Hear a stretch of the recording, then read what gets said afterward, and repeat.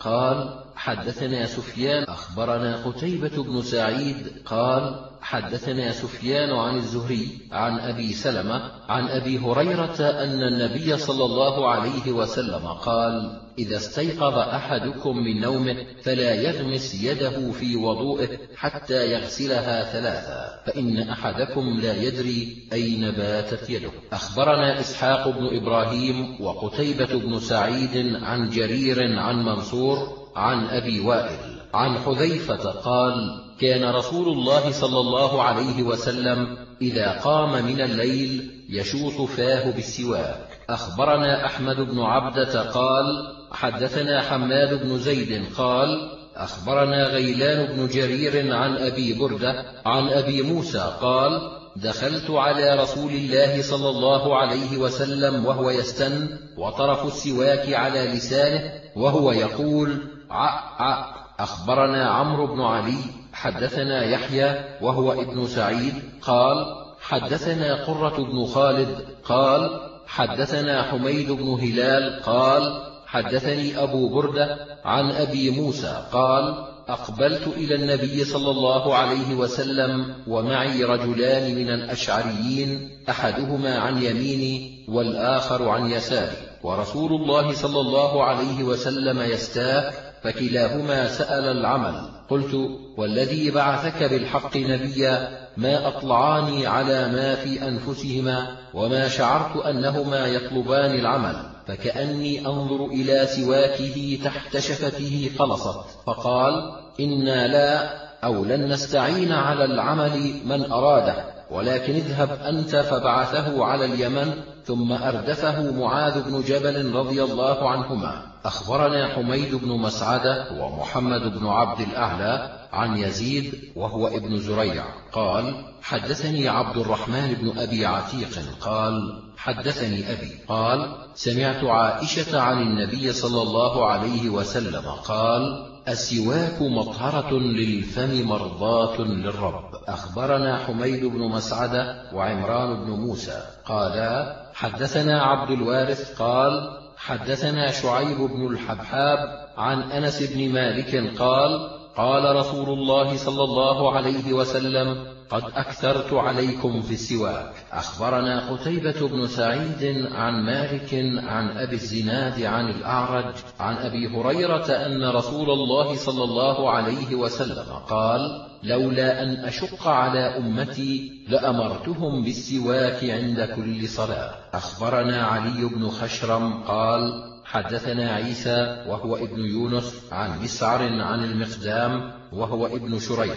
عن أبيه قال قلت لعائشة بأي شيء كان يبدأ النبي صلى الله عليه وسلم إذا دخل بيته؟ قالت بالسواك. أخبرنا الحارث بن مسكين قراءة عليه وأنا أسمع عن ابن وهب عن يونس عن ابن شهاب عن سعيد بن المسيب عن أبي هريرة عن رسول الله صلى الله عليه وسلم قال الفطرة خمس الاختتان والاستحداد وقص الشارب وتقليم الأظفار ونتف الإبط. أخبرنا محمد بن عبد الأعلى قال حدثنا المعتمر قال سمعت معمرا عن الزهري عن سعيد بن المسيب عن أبي هريرة قال قال رسول الله صلى الله عليه وسلم خمس من الفطرة قص الشارب ونتف الإبط وتقليم الأظفار والاستحداد والختان. أخبرنا محمد بن عبد الله بن يزيد قال حدثنا سفيان عن الزهري عن سعيد بن المسيب. عن أبي هريرة عن النبي صلى الله عليه وسلم قال خمس من الفطرة الختان وحلق العانة ونتف الإبط وتقليم الأظفار وأخذ الشارب. أخبرنا الحارث بن مسكين قراءة عليه وأنا أسمع عن ابن وهب عن حنظلة بن أبي سفيان عن نافع عن ابن عمر أن رسول الله صلى الله عليه وسلم قال الفطرة قص الأظفار وأخذ الشارب وحلق العانة. أخبرنا علي بن حجر قال أنبأنا عبيدة بن حميد عن يوسف بن صهيب عن حبيب بن يسار عن زيد بن أرقم قال قال رسول الله صلى الله عليه وسلم من لم يأخذ شاربه فليس منا. أخبرنا قتيبة قال حدثنا جعفر هو ابن سليمان عن أبي عمران الجوني عن أنس بن مالك قال وقتلنا رسول الله صلى الله عليه وسلم في قص الشارب وتقليم الأظفار وحلق العانة ونتف الإبط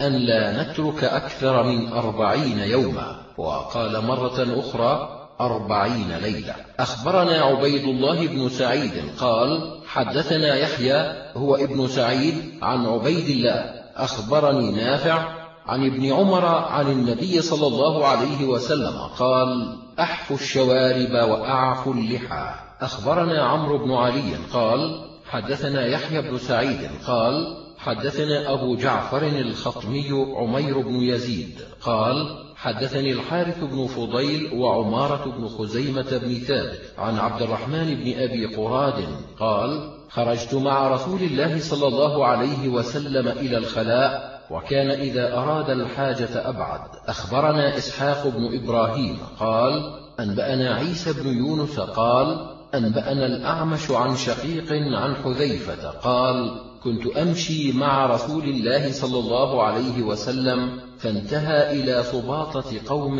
فبال قائما فتنحيت عنه فدعاني وكنت عند عقبيه حتى فرغ ثم توضأ ومسح على خفيه. أخبرنا إسحاق بن إبراهيم قال أنبأنا إسماعيل عن عبد العزيز بن صهيب عن أنس بن مالك قال كان رسول الله صلى الله عليه وسلم إذا دخل الخلاء قال اللهم إني أعوذ بك من الخبث والخبائث. أخبرنا محمد بن سلمة والحارث بن مسكين قراءة عليه وأنا أسمع واللفظ له. عن ابن القاسم قال حدثني مالك عن إسحاق بن عبد الله بن أبي طلحة عن رافع بن إسحاق أنه سمع أبا أيوب الأنصاري وهو بمصر يقول والله ما أدري كيف أصنع بهذه الكراييس وقد قال رسول الله صلى الله عليه وسلم إذا ذهب أحدكم إلى الغائط أو البول فلا يستقبل القبلة ولا يستدبرها. أخبرنا محمد بن منصور قال حدثنا سفيان عن الزهري عن عطاء بن يزيد عن أبي أيوب أن النبي صلى الله عليه وسلم قال لا تستقبلوا القبلة ولا تستدبروها لغائط أو بول ولكن شرقوا أو غربوا. أخبرنا يعقوب بن إبراهيم قال أنبأنا غندر قال أنبأنا معمر قال أنبأنا ابن شهاب عن عطاء بن يزيد عن أبي أيوب الأنصاري قال قال رسول الله صلى الله عليه وسلم إذا أتى أحدكم الغائط فلا يستقبل القبلة ولكن ليشرق أو ليغرب. أخبرنا قتيبة بن سعيد عن مالك عن يحيى بن سعيد عن محمد بن يحيى بن حبان عن عمه واسع بن حبان. عن عبد الله بن عمر قال لقد ارتقيت على ظهر بيتنا فرأيت رسول الله صلى الله عليه وسلم على لبنتين مستقبل بيت المقدس لحاجته. أخبرنا يحيى بن درست قال أنبأنا أبو إسماعيل وهو القناد قال حدثني يحيى بن أبي كثير أن عبد الله بن أبي قتادة حدث عن أبيه أن رسول الله صلى الله عليه وسلم قال إذا بال أحدكم فلا يأخذ ذكره بيمينه. أخبرنا هناد بن السري عن وكيع عن هشام عن يحيى هو ابن أبي كثير عن عبد الله بن أبي قتادة عن أبيه قال قال رسول الله صلى الله عليه وسلم إذا دخل أحدكم الخلاء فلا يمس ذكره بيمينه. أخبرنا مؤمل بن هشام قال أنبأنا إسماعيل قال أخبرنا شعبة عن سليمان عن أبي وائل عن حذيفة أن رسول الله صلى الله عليه وسلم أتى سباطة قوم فبال قائما. أخبرنا محمد بن بشار قال أنبأنا محمد قال أنبأنا شعبة عن منصور قال سمعت أبا وائل أن حذيفة قال إن رسول الله صلى الله عليه وسلم أتى سباطة قوم فبال قائما. أخبرنا سليمان بن عبيد الله قال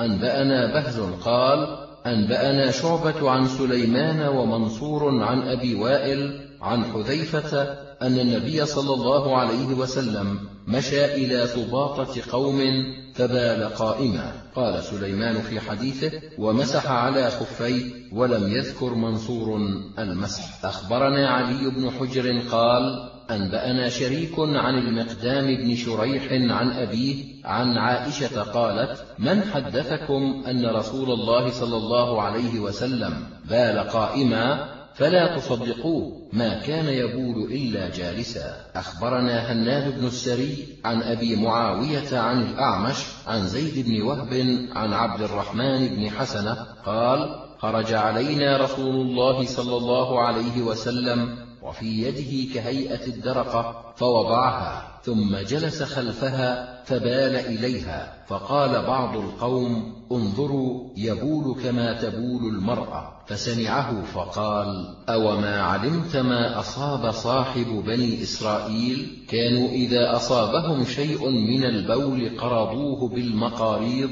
فنهاهم صاحبهم فعذب في قبره. أخبرنا هناد بن السري عن وكيع عن الأعمش قال سمعت مجاهدا يحدث عن طاوس عن ابن عباس قال مر رسول الله صلى الله عليه وسلم على قبرين فقال إنهما يعذبان وما يعذبان في كبير أما هذا فكان لا يستنزه من بوله وأما هذا فإنه كان يمشي بالنميمة ثم دعا بعسيب رطب فشقه باءتين فغرس على هذا واحدا وعلى هذا واحدا ثم قال لعله يخفف عنهما ما لم ييبسا. خالفه منصور رواه عن مجاهد عن ابن عباس ولم يذكر طاووسا. أخبرنا أيوب بن محمد الوزان قال حدثنا حجاج قال قال ابن جريج أخبرتني حكيمة بنت أميمة عن أمها أميمة بنت رقيقة قالت كان للنبي صلى الله عليه وسلم قدح من عيدان يبول فيه ويضعه تحت السرير. أخبرنا عمرو بن علي قال أنبأنا أزهر أنبأنا ابن عون عن إبراهيم عن الأسود عن عائشة قالت يقولون إن النبي صلى الله عليه وسلم أوصى إلى علي لقد دعا بالطست ليبول فيها فانخنثت نفسه وما أشعر فإلى من أوصى. قال الشيخ أزهر هو ابن سعد السمان. أخبرنا عبيد الله بن سعيد قال أنبأنا معاذ بن هشام قال حدثني أبي عن قتادة عن عبد الله بن سرجس أن النبي صلى الله عليه وسلم قال لا يبولن أحدكم في جحر. قالوا لقتادة وما يكره من البول في الجحر؟ قال يقال إنها مساكن الجن. أخبرنا قتيبة قال حدثنا الليث عن أبي الزبير عن جابر عن رسول الله صلى الله عليه وسلم أنه نهى عن البول في الماء الراكد أخبرنا علي بن حجر قال أنبأنا ابن المبارك عن معمر عن الأشعث بن عبد الملك عن الحسن عن عبد الله بن مغفل عن النبي صلى الله عليه وسلم قال لا يبولن أحدكم في مستحمه فإن عامة الوسواس منه. أخبرنا محمود بن غيلان حدثنا زيد بن الحباب وقبيصة قالا أنبأنا سفيان عن الضحاك بن عثمان عن نافع عن ابن عمر قال مر رجل على النبي صلى الله عليه وسلم وهو يقول فسلم عليه فلم يرد عليه السلام. أخبرنا محمد بن بشار قال حدثنا معاذ بن معاذ قال أنبأنا سعيد عن قتادة عن الحسن عن حضين أبي ساسان عن المهاجر بن قنفذ أنه سلم على النبي صلى الله عليه وسلم وهو يبول فلم يرد عليه حتى توضأ فلما توضأ رد عليه. أخبرنا أحمد بن عمرو بن السرح قال أنبأنا ابن وهب قال أخبرني يونس عن ابن شهاب عن أبي عثمان بن سنة الخزاعي عن عبد الله بن مسعود أن رسول الله صلى الله عليه وسلم نهى أن يستطيب أحدكم بعظم أو روث. أخبرنا يعقوب بن إبراهيم قال حدثنا يحيى يعني ابن سعيد عن محمد بن عجلان قال أخبرني القعقاع عن أبي صالح عن أبي هريرة عن النبي صلى الله عليه وسلم قال إنما أنا لكم مثل الوالد أعلمكم.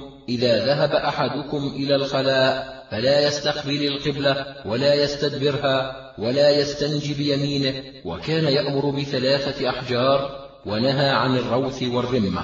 أخبرنا إسحاق بن إبراهيم قال أنبأنا أبو معاوية قال حدثنا الأعمش عن إبراهيم عن عبد الرحمن بن يزيد عن سلمان قال قال له رجل إن صاحبكم ليعلمكم حتى الخراءة قال أجل نهانا أن نستقبل القبلة بغائط أو بول أو نستنجي بأيماننا أو نكتفي بأقل من ثلاثة أحجار. أخبرنا أحمد بن سليمان قال حدثنا أبو نعيم عن زهير عن أبي إسحاق. قال ليس أبو عبيدة ذكره ولكن عبد الرحمن بن الأسود عن أبيه أنه سمع عبد الله يقول أتى النبي صلى الله عليه وسلم الغائط وأمرني أن آتيه بثلاثة أحجار فوجدت حجرين والتمست الثالث فلم أجد فأخذت روثة فأتيت بهن النبي صلى الله عليه وسلم فأخذ الحجرين وألقى الروثة وقال هذه ركس قال أبو عبد الرحمن الركس طعام الجن. أخبرنا إسحاق بن إبراهيم قال أنبأنا جرير عن منصور عن هلال بن يساف عن سلمة بن قيس عن رسول الله صلى الله عليه وسلم قال إذا استجمرت فأوتر. أخبرنا قتيبة قال حدثنا عبد العزيز بن أبي حازم عن أبيه عن مسلم بن قرط عن عروة عن عائشة أن رسول الله صلى الله عليه وسلم قال إذا ذهب أحدكم إلى الغائط فليذهب معه بثلاثة أحجار فليستطب بها فإنها تجزي عنه. أخبرنا إسحاق بن إبراهيم قال أنبأنا النضر. قال أنبأنا شعبة عن عطاء بن أبي ميمونة. قال سمعت أنس بن مالك يقول كان رسول الله صلى الله عليه وسلم إذا دخل الخلاء أحمل أنا وغلام معي نحوي إداوة من ماء فيستنجي بالماء. أخبرنا قتيبة قال حدثنا أبو عوانة عن قتادة عن معاذة عن عائشة أنها قالت مرن أزواجكن أن يستطيبوا بالماء فإني أستحييهم منه أن رسول الله صلى الله عليه وسلم كان يفعله. أخبرنا إسماعيل بن مسعود قال حدثنا خالد قال أنبأنا هشام عن يحيى عن عبد الله بن أبي قتادة عن أبي قتادة أن رسول الله صلى الله عليه وسلم قال إذا شرب أحدكم فلا يتنفس في إنائه وإذا أتى الخلاء فلا يمس ذكره بيمينه ولا يتمسح بيمينه. أخبرنا عبد الله بن محمد بن عبد الرحمن قال حدثنا عبد الوهاب عن أيوب عن يحيى بن أبي كثير عن ابن أبي قتادة عن أبيه أن النبي صلى الله عليه وسلم نهى أن يتنفس في الإناء وأن يمس ذكره بيمينه وأن يستطيب بيمينه. أخبرنا عمرو بن علي وشعيب بن يوسف واللفظ له عن عبد الرحمن بن مهدي عن سفيان عن منصور والأعمش عن إبراهيم عن عبد الرحمن بن يزيد عن سلمان قال قال المشركون إنا لنرى صاحبكم يعلمكم الخراءة قال أجل نهانا أن يستنجي أحدنا بيمينه ويستقبل القبلة وقال لا يستنجي أحدكم بدون ثلاثة أحجار. أخبرنا محمد بن عبد الله بن المبارك المخرمي قال حدثنا وكيع عن شريك عن إبراهيم بن جرير عن أبي زرعة عن أبي هريرة أن النبي صلى الله عليه وسلم توضأ فلما استنجى دلك يده بالأرض.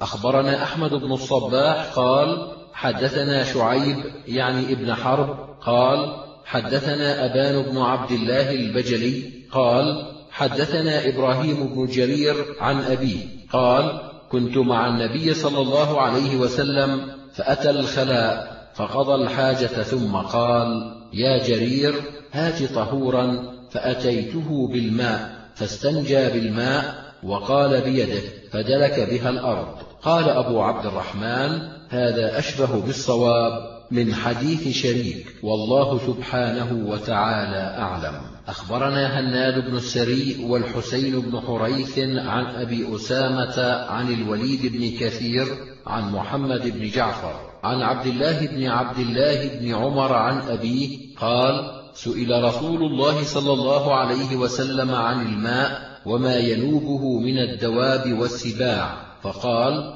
إذا كان الماء قلتين لم يحمل الخبث أخبرنا قتيبة قال حدثنا حماد عن ثابت عن أنس أن أعرابيا بال في المسجد فقام عليه بعض القوم فقال رسول الله صلى الله عليه وسلم دعوه لا تزرموه فلما فرغ دعا بدلو فصبه عليه. قال أبو عبد الرحمن يعني لا تقطعوا عليه. أخبرنا قتيبة قال حدثنا عبيدة عن يحيى بن سعيد عن أنس قال بال أعرابي في المسجد فأمر النبي صلى الله عليه وسلم بدلو من ماء فصب عليه. أخبرنا سويد بن نصر قال أنبأنا عبد الله عن يحيى بن سعيد قال سمعت أنسا يقول جاء أعرابي إلى المسجد فبال فصاح به الناس فقال رسول الله صلى الله عليه وسلم اتركوه فتركوه حتى بال ثم أمر بدلو فصب عليه.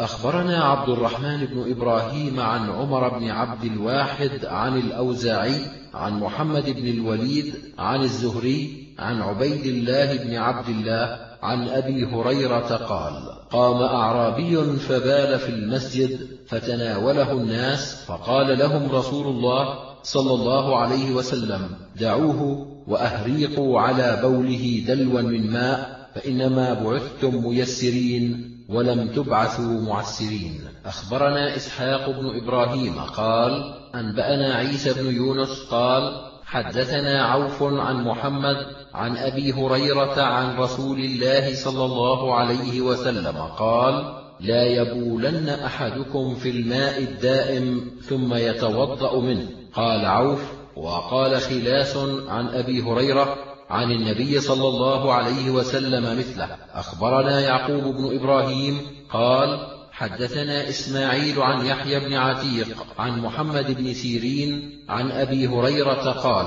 قال رسول الله صلى الله عليه وسلم لا يبولن أحدكم في الماء الدائم ثم يغتسل منه. قال أبو عبد الرحمن كان يعقوب لا يحدث بهذا الحديث إلا بدينار. أخبرنا قتيبة عن مالك عن صفوان بن سليم عن سعيد بن سلمة أن المغيرة بن أبي بردة من بني عبد الدار أخبره أنه سمع أبا هريرة يقول سأل رجل رسول الله صلى الله عليه وسلم فقال يا رسول الله إنا نركب البحر ونحمل معنا القليل من الماء فإن توضأنا به عطشنا أفنتوضأ من ماء البحر؟ فقال رسول الله صلى الله عليه وسلم هو الطهور ماؤه. الحل ميتته. أخبرنا علي بن حجر قال حدثنا جرير عن عمارة بن القعقاع عن أبي زرعة بن عمرو بن جرير عن أبي هريرة قال كان رسول الله صلى الله عليه وسلم إذا استفتح الصلاة سكت هنيها فقلت بأبي أنت وأمي يا رسول الله ما تقول في سكوتك بين التكبير والقراءة؟ قال أقول اللهم باعد بيني وبين خطاياي كما باعدت بين المشرق والمغرب. اللهم نقني من خطاياي كما ينقى الثوب الأبيض من الدنس. اللهم اغسلني من خطاياي بالثلج والماء والبرد. أخبرنا إسحاق بن إبراهيم قال أنبأنا جرير عن هشام بن عروة عن أبيه. عن عائشة قالت كان النبي صلى الله عليه وسلم يقول اللهم اغسل خطاياي بماء الثلج والبرد ونق قلبي من الخطايا كما نقيت الثوب الأبيض من الدنس. أخبرني هارون بن عبد الله قال حدثنا معن قال حدثنا معاوية بن صالح عن حبيب بن عبيد عن جبير بن نفير قال شهدت عوف بن مالك يقول سمعت رسول الله صلى الله عليه وسلم يصلي على ميت فسمعت من دعائه وهو يقول اللهم اغفر له وارحمه وعافه واعف عنه وأكرم نزله وأوسع مدخله واغسله بالماء والثلج والبرد ونقه من الخطايا كما ينقى الثوب الأبيض من الدنس. أخبرنا قتيبة عن مالك عن أبي الزناد عن الأعرج عن أبي هريرة أن رسول الله صلى الله عليه وسلم قال إذا شرب الكلب في إناء أحدكم فليغسله سبع مرات. أخبرني إبراهيم بن الحسن قال حدثنا حجاج قال قال ابن جريج أخبرني زياد بن سعد أن ثابتا مولى عبد الرحمن بن زيد أخبره أنه سمع أبا هريرة يقول قال رسول الله صلى الله عليه وسلم إذا ولغ الكلب في إناء أحدكم فليغسله سبع مرات. أخبرني إبراهيم بن الحسن قال حدثنا حجاج قال قال ابن جريج أخبرني زياد بن سعد أنه أخبره هلال بن أسامة أنه سمع أبا سلمة يخبر عن أبي هريرة عن النبي صلى الله عليه وسلم مثله. أخبرنا علي بن حجر قال أنبأنا علي بن مسهر عن الأعمش عن أبي رزين وأبي صالح. عن أبي هريرة قال قال رسول الله صلى الله عليه وسلم إذا ولغ الكلب في إناء أحدكم فليرق ثم ليغسله سبع مرات. قال أبو عبد الرحمن لا أعلم أحدا تابع علي بن مسهر على قوله فليرق. أخبرنا محمد بن عبد الأعلى الصنعاني قال حدثنا خالد حدثنا شعبة عن أبي التياح قال سمعت مطرفا عن عبد الله بن المغفل أن رسول الله صلى الله عليه وسلم أمر بقتل الكلاب ورخص في كلب الصيد والغنم وقال إذا ولغ الكلب في الإناء فاغسلوه سبع مرات وعفروه الثامنة بالتراب. أخبرنا قتيبة عن مالك عن إسحاق بن عبد الله بن أبي طلحة عن حميدة بنت عبيد بن رفاعة عن كبشة بنت كعب بن مالك أن أبا قتادة دخل عليها ثم ذكرت كلمة معناها فسكبت له وضوءا فجاءت هرة فشربت منه فأصغى لها الإناء حتى شربت. قالت كبشة فرآني أنظر إليه فقال أتعجبين يا ابنة أخي؟ فقلت نعم. قال إن رسول الله صلى الله عليه وسلم قال إنها ليست بنجس إنما هي من الطوافين عليكم والطوافات. أخبرنا محمد بن عبد الله بن يزيد قال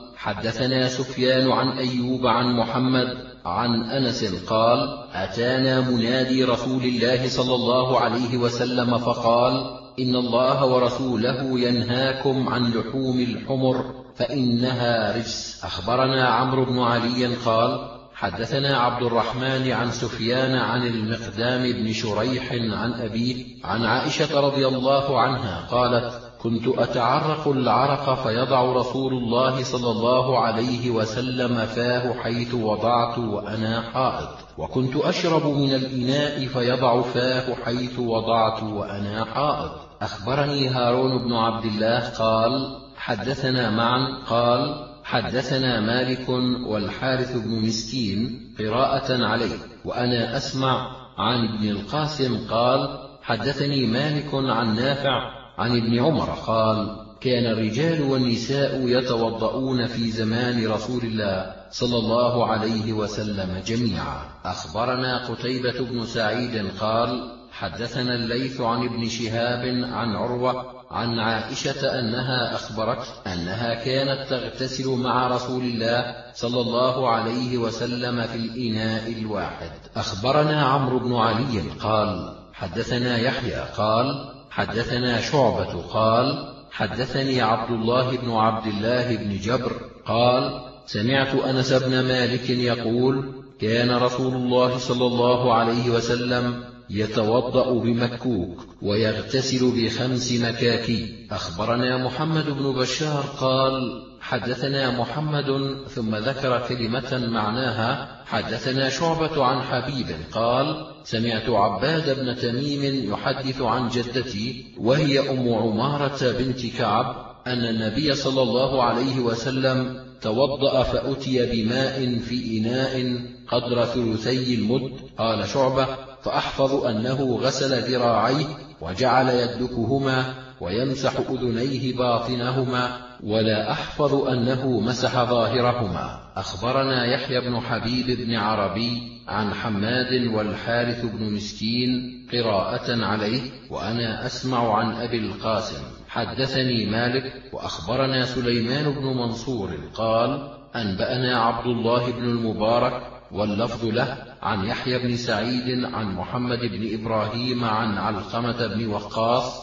عن عمر بن الخطاب رضي الله عنه قال قال رسول الله صلى الله عليه وسلم إنما الأعمال بالنية وإنما لامرئ ما نوى فمن كانت هجرته إلى الله وإلى رسوله فهجرته إلى الله وإلى رسوله ومن كانت هجرته إلى دنيا يصيبها أو امرأة ينكحها فهجرته إلى ما هاجر إليه. أخبرنا قتيبة عن مالك عن إسحاق بن عبد الله بن أبي طلحة عن أنس قال رأيت رسول الله صلى الله عليه وسلم وحانت صلاة العصر فالتمس الناس الوضوء فلم يجدوه. فأتي رسول الله صلى الله عليه وسلم بوضوء فوضع يده في ذلك الإناء وأمر الناس أن يتوضأوا فرأيت الماء ينبع من تحت أصابعه حتى توضأوا من عند آخرهم. أخبرنا إسحاق بن إبراهيم قال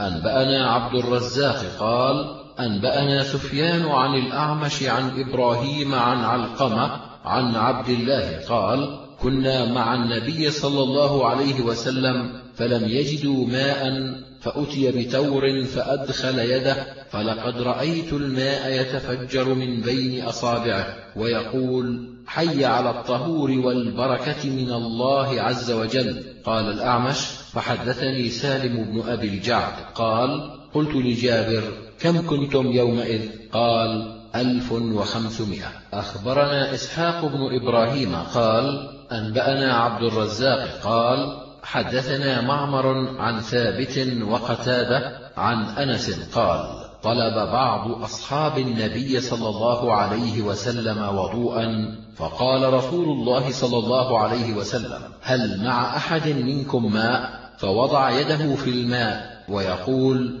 توضأوا بسم الله. فرأيت الماء يخرج من بين أصابعه حتى توضأوا من عند آخرهم. قال ثابت قلت لأنس كم تراهم؟ قال نحوا من سبعين.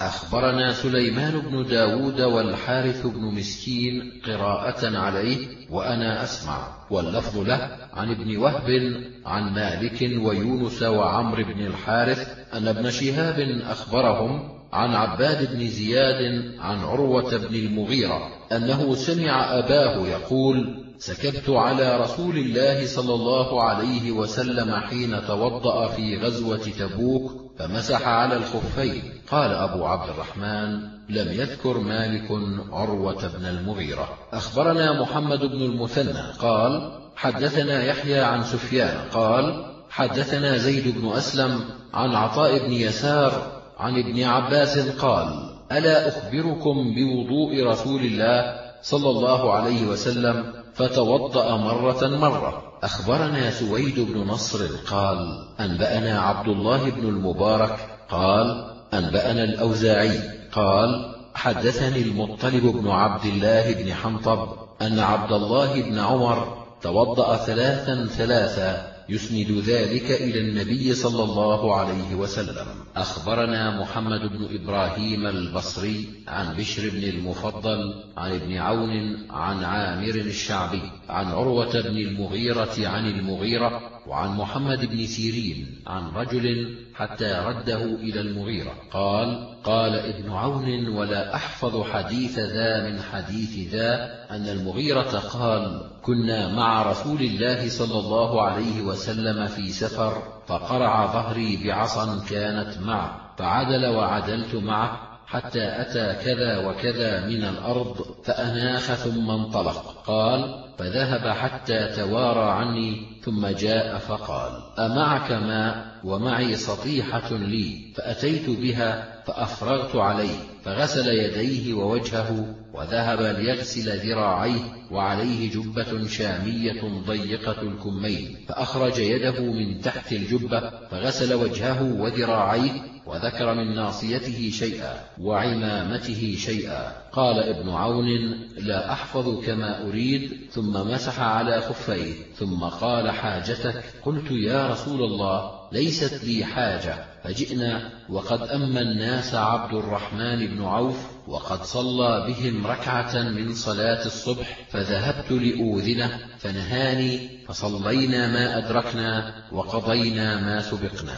أخبرنا حميد بن مسعدة عن سفيان وهو ابن حبيب عن شعبة عن النعمان بن سالم عن ابن أوس بن أبي أوس عن جده. قال رأيت رسول الله صلى الله عليه وسلم استوكف ثلاثا. أخبرنا سويد بن نصر قال أنبأنا عبد الله عن معمر عن الزهري عن عطاء بن يزيد الليثي عن حمران بن أبان قال رأيت عثمان بن عفان رضي الله عنه توضأ فأفرغ على يديه ثلاثا فغسلهما ثم تمضمض واستنشق ثم غسل وجهه ثلاثا ثم غسل يديه اليمنى إلى المرفق ثلاثا ثم اليسرى مثل ذلك ثم مسح برأسه ثم غسل قدمه اليمنى ثلاثا ثم اليسرى مثل ذلك ثم قال رأيت رسول الله صلى الله عليه وسلم توضأ نحو وضوئي ثم قال من توضأ نحو وضوئي هذا ثم صلى ركعتين لا يحدث نفسه فيهما بشيء غفر له ما تقدم من ذنبه. أخبرنا أحمد بن محمد بن المغيرة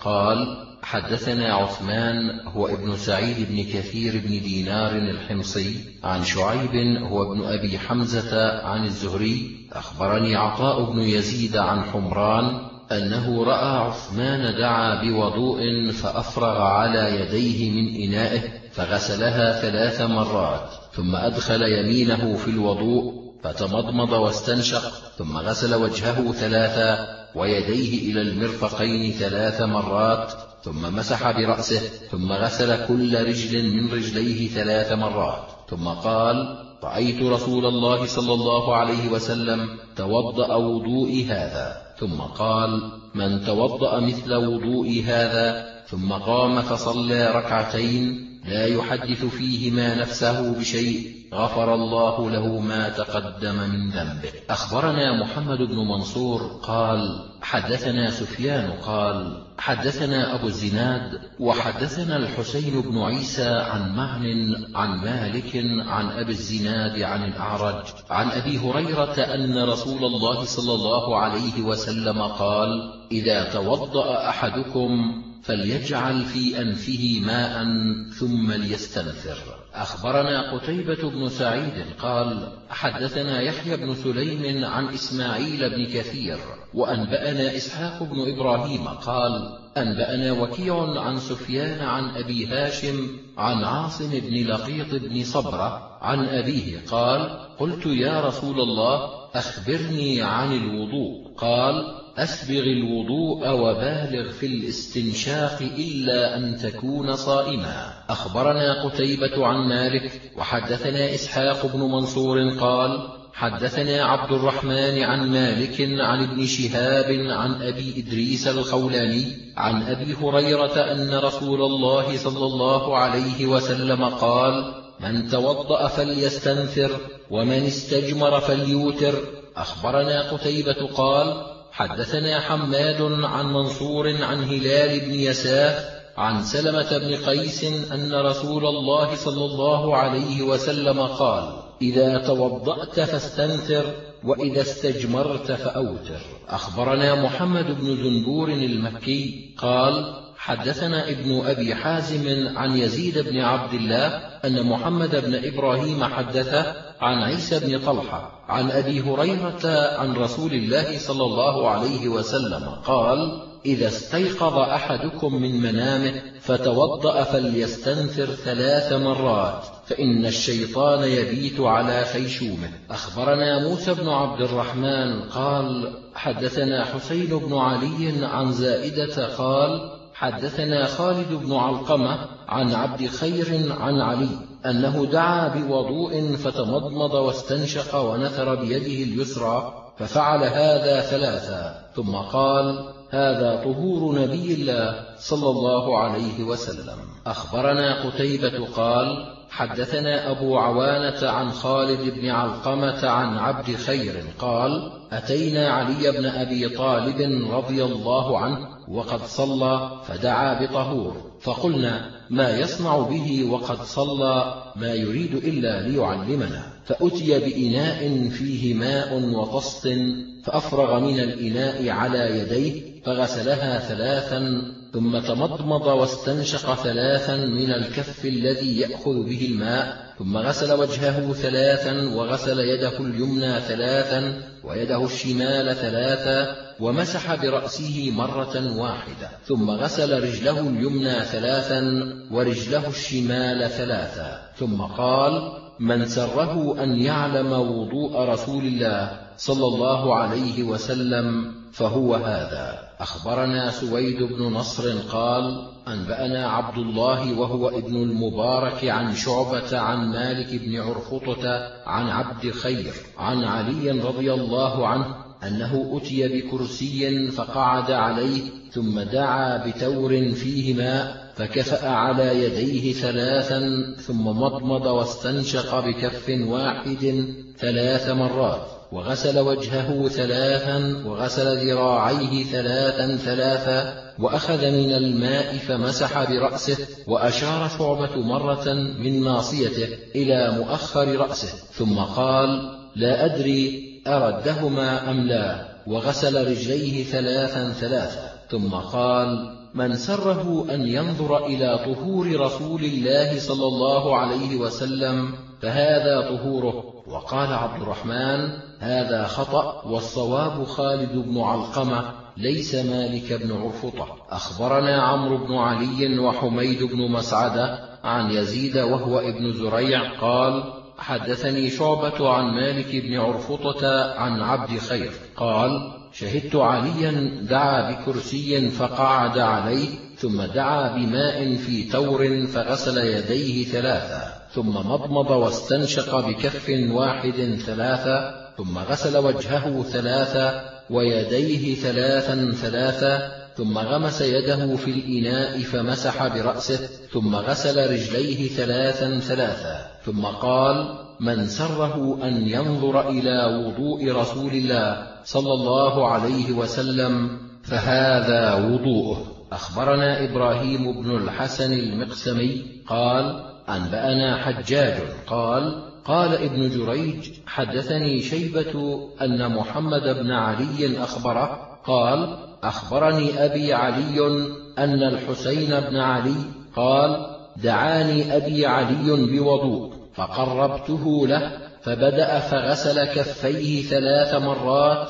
قبل أن يدخلهما في وضوءه ثم مضمض ثلاثا واستنثر ثلاثا ثم غسل وجهه ثلاث مرات ثم غسل يده اليمنى إلى المرفق ثلاثا ثم اليسرى كذلك ثم مسح برأسه مسحة واحدة ثم غسل رجله اليمنى إلى الكعبين ثلاثا ثم اليسرى كذلك ثم قام قائما فقال ناولني فناولته الإناء الذي فيه فضل وضوئه فشرب من فضل وضوئه قائما فعجبت فلما رآني قال لا تعجب فإني رأيت أباك النبي صلى الله عليه وسلم يصنع مثل ما رأيتني صنعت يقول لوضوئه هذا وشرب فضل وضوئه قائما. أخبرنا قتيبة بن سعيد قال حدثنا أبو الأحوص عن أبي إسحاق عن أبي حية وهو ابن قيس قال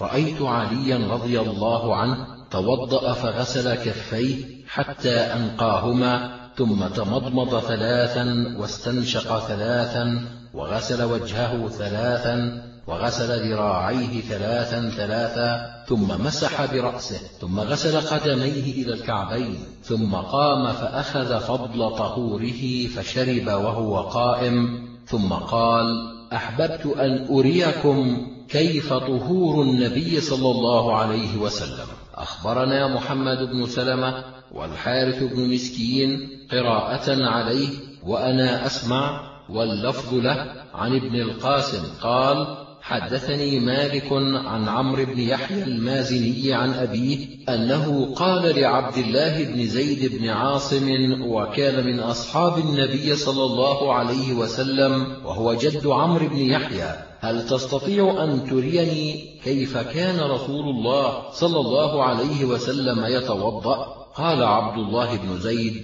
نعم. فدعا بوضوء فأفرغ على يديه فغسل يديه مرتين مرتين ثم تمضمض واستنشق ثلاثا ثم غسل وجهه ثلاثا ثم غسل يديه مرتين مرتين إلى المرفقين ثم مسح رأسه بيديه فأقبل بهما وأدبر بدأ بمقدم رأسه ثم ذهب بهما إلى قفاه ثم ردهما حتى رجع إلى المكان الذي بدأ منه ثم غسل رجليه. أخبرنا عتبة بن عبد الله عن مالك هو ابن أنس عن عمرو بن يحيى عن أبيه أنه قال لعبد الله بن زيد بن عاصم وهو جد عمرو بن يحيى هل تستطيع أن تريني كيف كان رسول الله صلى الله عليه وسلم يتوضأ؟ قال عبد الله بن زيد نعم. فدعا بوضوء فأفرغ على يده اليمنى فغسل يديه مرتين ثم مضمض واستنشق ثلاثا ثم غسل وجهه ثلاثا ثم غسل يديه مرتين مرتين إلى المرفقين ثم مسح رأسه بيديه فأقبل بهما وأدبر بدأ بمقدم رأسه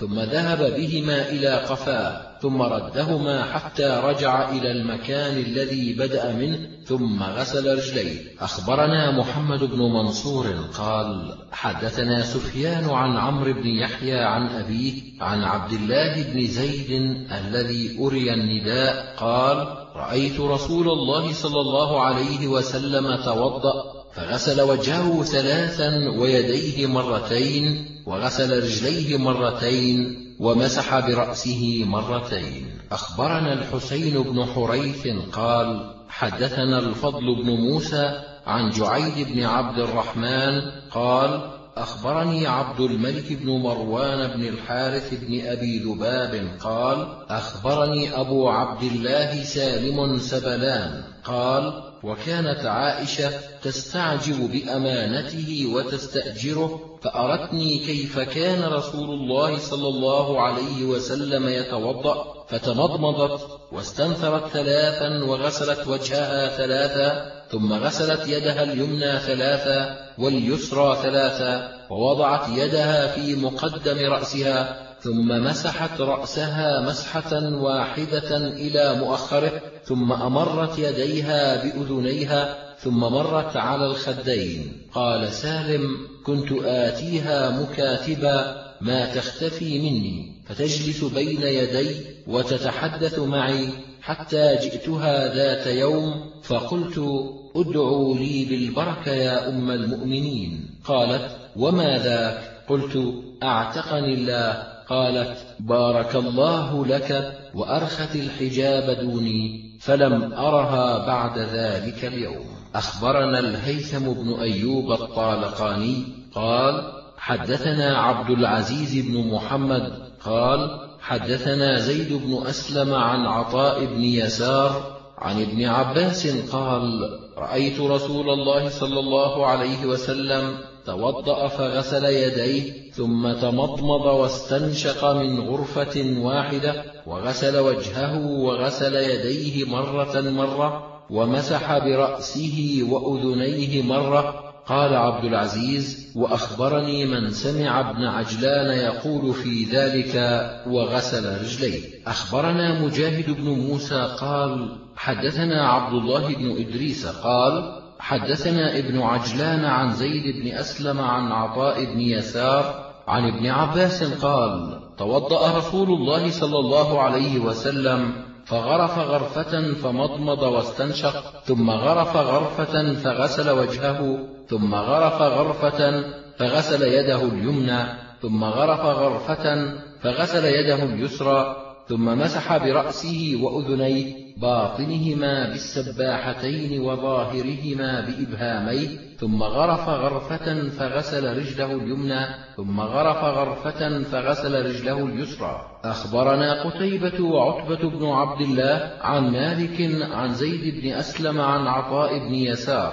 عن عبد الله الصنابحي أن رسول الله صلى الله عليه وسلم قال إذا توضأ العبد المؤمن فتمضمض خرجت الخطايا من فيه فإذا استنثر خرجت الخطايا من أنفه فإذا غسل وجهه خرجت الخطايا من وجهه حتى تخرج من تحت أشفار عينيه فإذا غسل يديه خرجت الخطايا من يديه حتى تخرج من تحت أظفار يديه فإذا مسح برأسه خرجت الخطايا من رأسه حتى تخرج من أذنيه فإذا غسل رجليه خرجت الخطايا من رجليه حتى تخرج من تحت أظفار رجليه ثم كان مشيه إلى المسجد وصلاته نافلة له. قال قتيبة عن الصنابحي أن النبي صلى الله عليه وسلم قال أخبرنا الحسين بن منصور قال حدثنا أبو معاوية حدثنا الأعمش وأنبأنا الحسين بن منصور قال حدثنا عبد الله بن نمير قال حدثنا الأعمش عن الحكم عن عبد الرحمن بن أبي ليلى عن كعب بن عجرة عن بلال قال رأيت النبي صلى الله عليه وسلم يمسح على الخفين والخمار وأخبرنا الحسين بن عبد الرحمن الجرجرائي عن طلق بن غنام قال حدثنا زائدة وحفص بن غياث عن الأعمش عن الحكم عن عبد الرحمن بن أبي ليلى عن البراء بن عازب عن بلال قال رأيت رسول الله صلى الله عليه وسلم يمسح على الخفين.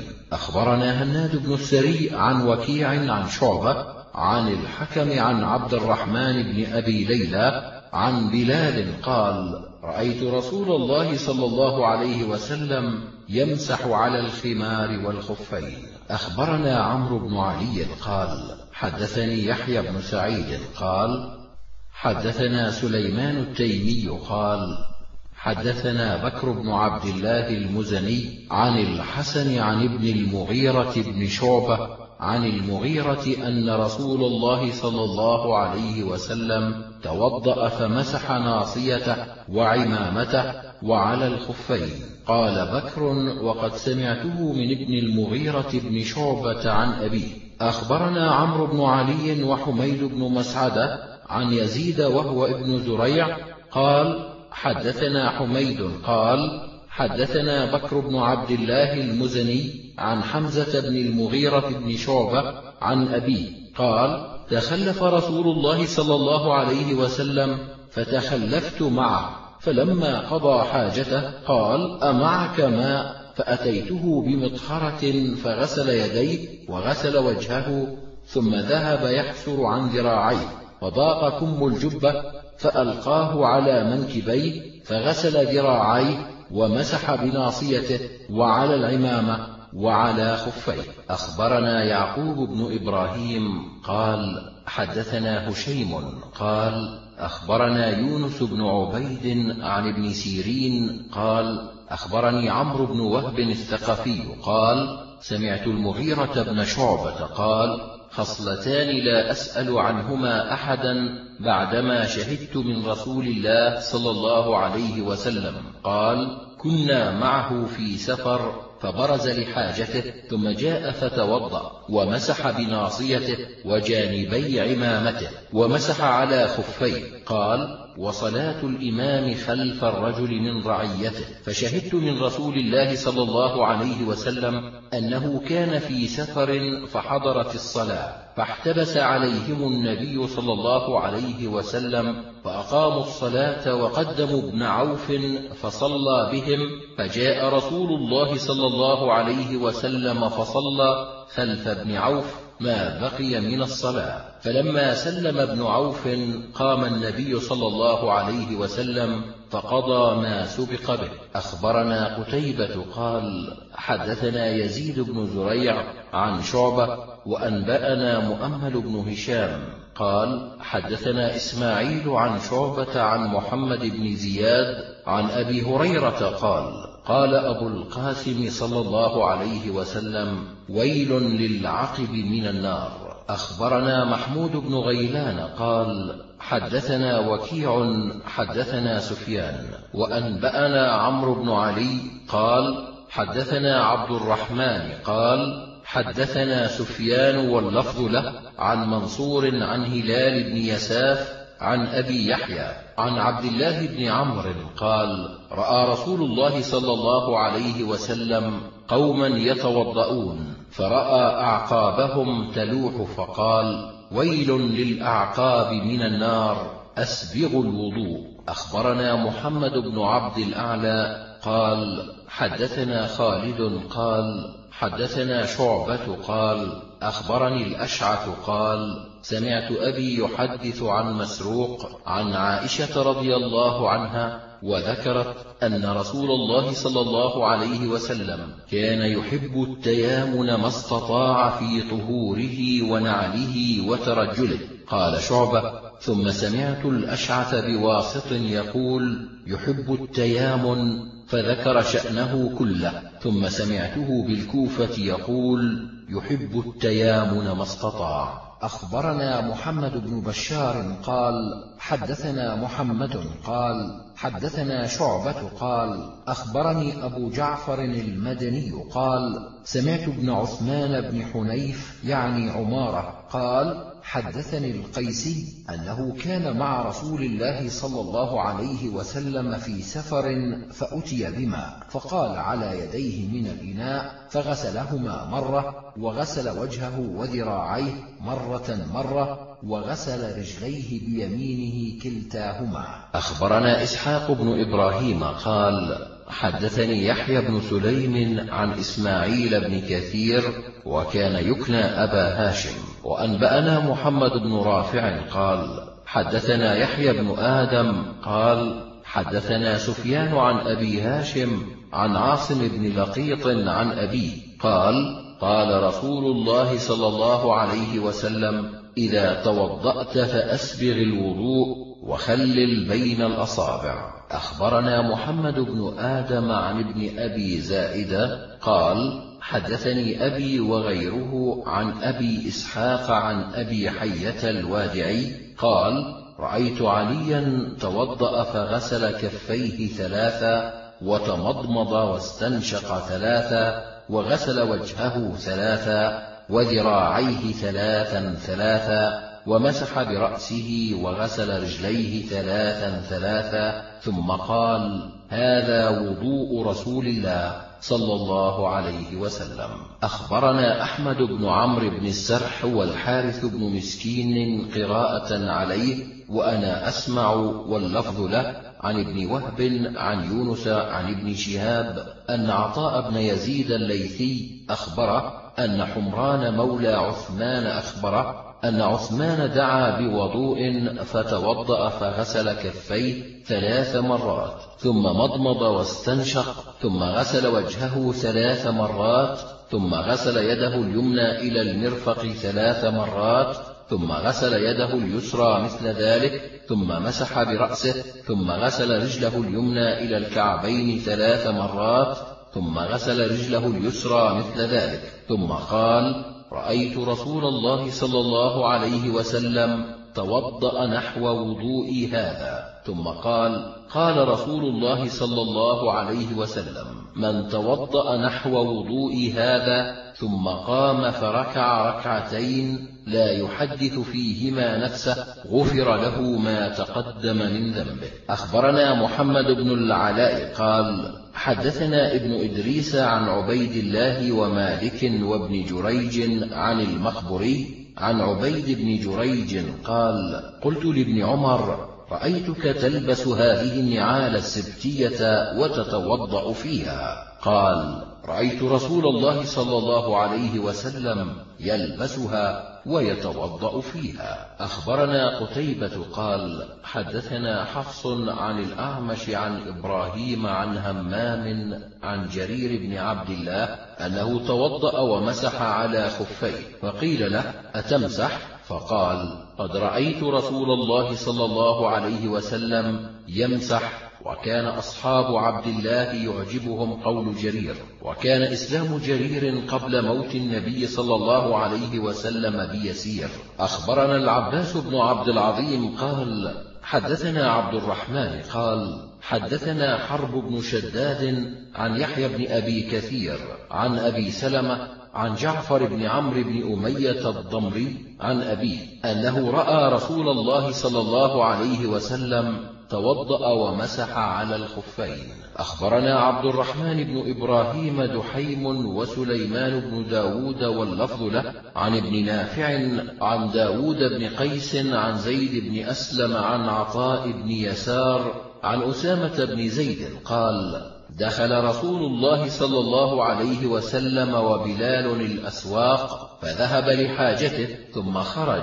قال أسامة فسألت بلالا ما صنع. فقال بلال ذهب النبي صلى الله عليه وسلم لحاجته ثم توضأ فغسل وجهه ويديه ومسح برأسه ومسح على الخفين ثم صلى. أخبرنا سليمان بن داود والحارث بن مسكين قراءة عليه وأنا أسمع واللفظ له عن ابن وهب عن عمرو بن الحارث عن أبي النضر عن أبي سلمة بن عبد الرحمن عن عبد الله بن عمر عن سعد بن أبي وقاص عن رسول الله صلى الله عليه وسلم أنه مسح على الخفين. أخبرنا قتيبة قال حدثنا إسماعيل وهو ابن جعفر عن موسى بن عقبة عن أبي النضر عن أبي سلمة. عن سعد بن أبي وقاص عن رسول الله صلى الله عليه وسلم في المسح على الخفين أنه لا بأس به. أخبرنا علي بن خشرم قال حدثنا عيسى عن الأعمش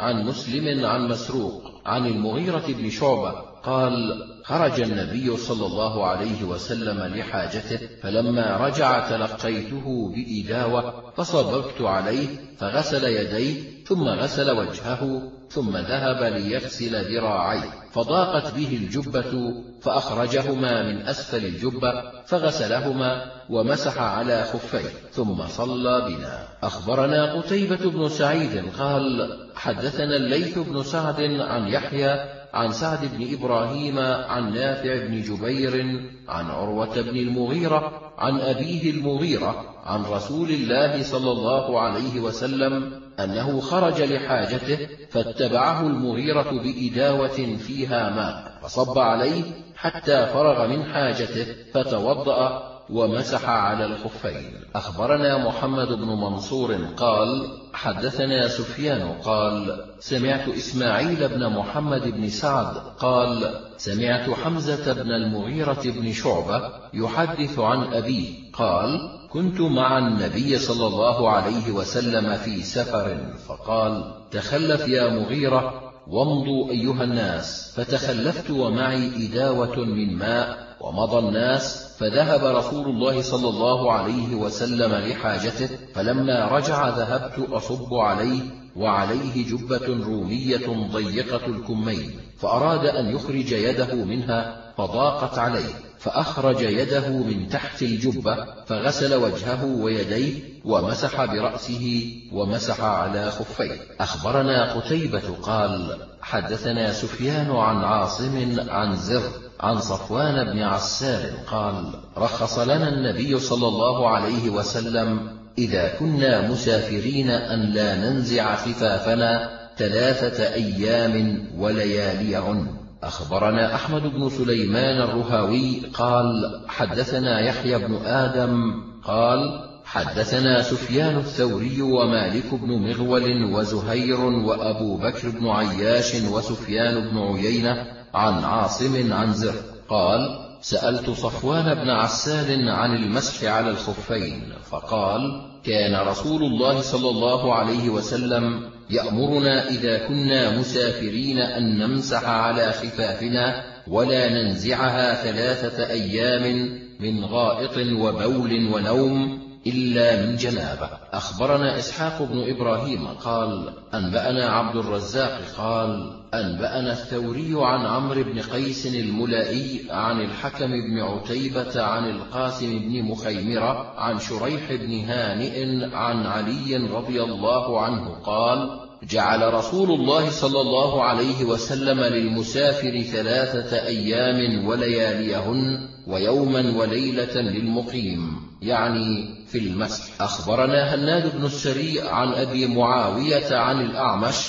عن الحكم عن القاسم بن مخيمرة عن شريح بن هانئ قال سألت عائشة رضي الله عنها عن المسح على الخفين فقالت ائت عليا فإنه أعلم بذلك مني. فأتيت عليا فسألته عن المسح فقال كان رسول الله صلى الله عليه وسلم يأمرنا أن يمسح المقيم يوما وليلة والمسافر ثلاثا أخبرنا عمرو بن يزيد قال حدثنا بهز بن أسد قال حدثنا شعبة عن عبد الملك بن ميسرة قال سمعت النزال بن سبرة قال رأيت عليا رضي الله عنه صلى الظهر ثم قعد لحوائج الناس فلما حضرت العصر أتي بتور من ماء فأخذ منه كفا فمسح به وجهه وذراعيه ورأسه ورجليه ثم أخذ فضله فشرب قائما وقال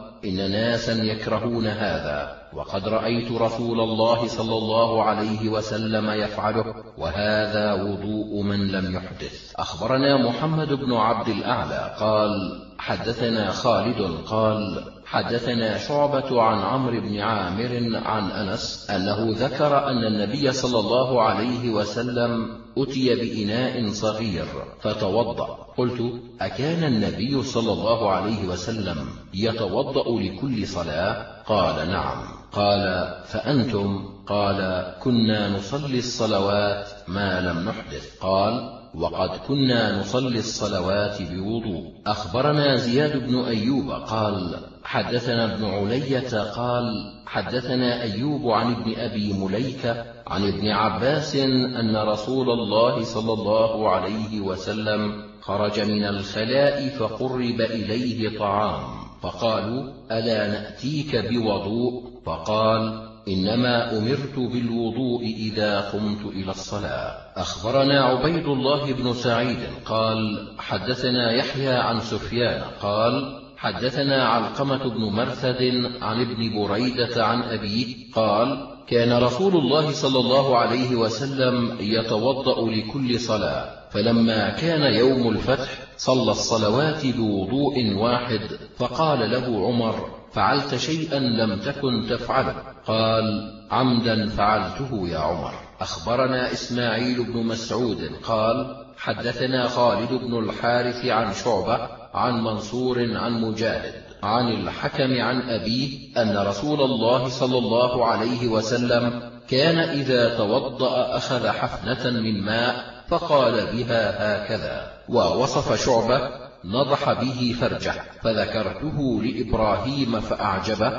قال الشيخ ابن السني الحكم هو ابن سفيان الثقفي رضي الله عنه. أخبرنا العباس بن محمد الدوري قال حدثنا الأحوص بن جواب حدثنا عمار بن رزيق عن منصور وأنبأنا أحمد بن حرب قال حدثنا قاسم وهو ابن يزيد الجرمي قال حدثنا سفيان قال حدثنا منصور عن مجاهد عن الحكم بن سفيان قال رأيت رسول الله صلى الله عليه وسلم توضأ ونضح فرجه. قال أحمد فنضح فرجه. أخبرنا أبو داود سليمان بن سيف قال حدثنا أبو عتاب قال حدثنا شعبة عن أبي إسحاق عن أبي حية قال رأيت عليا رضي الله عنه توضأ ثلاثا ثلاثا ثم قام فشرب فضل وضوئه وقال صنع رسول الله صلى الله عليه وسلم كما صنعت. أخبرنا محمد بن منصور عن سفيان قال حدثنا مالك بن مغول عن عون بن أبي جحيفة عن أبي قال شهدت النبي صلى الله عليه وسلم بالبطحاء وأخرج بلال فضل وضوئه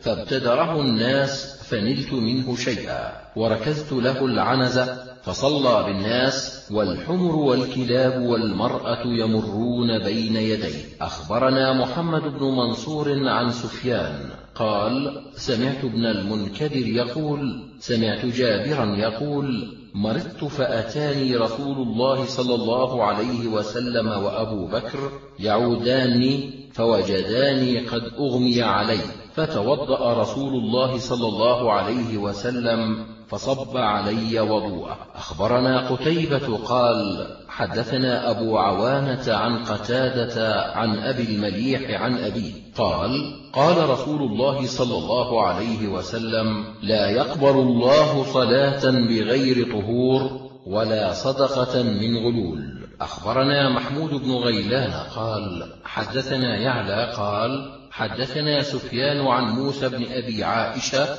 عن عمرو بن شعيب عن أبيه عن جده قال جاء أعرابي إلى النبي صلى الله عليه وسلم يسأله عن الوضوء فأراه الوضوء ثلاثا ثلاثا ثم قال هكذا الوضوء فمن زاد على هذا فقد أساء وتعدى وظلم. أخبرنا يحيى بن حبيب بن عربي قال حدثنا حماد قال حدثنا أبو جحضم قال حدثني عبد الله بن عبيد الله بن عباس قال كنا جلوسا إلى عبد الله بن عباس فقال والله ما خصنا رسول الله صلى الله عليه وسلم بشيء دون الناس إلا بثلاثة أشياء فإنه أمرنا أن نسبغ الوضوء ولا نأكل الصدقة ولا ننزي الحمر على الخيل. أخبرنا قتيبة قال حدثنا جرير عن منصور عن هلال بن يساف عن أبي يحيى عن عبد الله بن عمرو قال قال رسول الله صلى الله عليه وسلم أسبغ الوضوء. أخبرنا قتيبة عن مالك عن العلاء بن عبد الرحمن عن أبيه عن أبي هريرة أن رسول الله صلى الله عليه وسلم قال ألا أخبركم بما يمحو الله به الخطايا ويرفع به الدرجات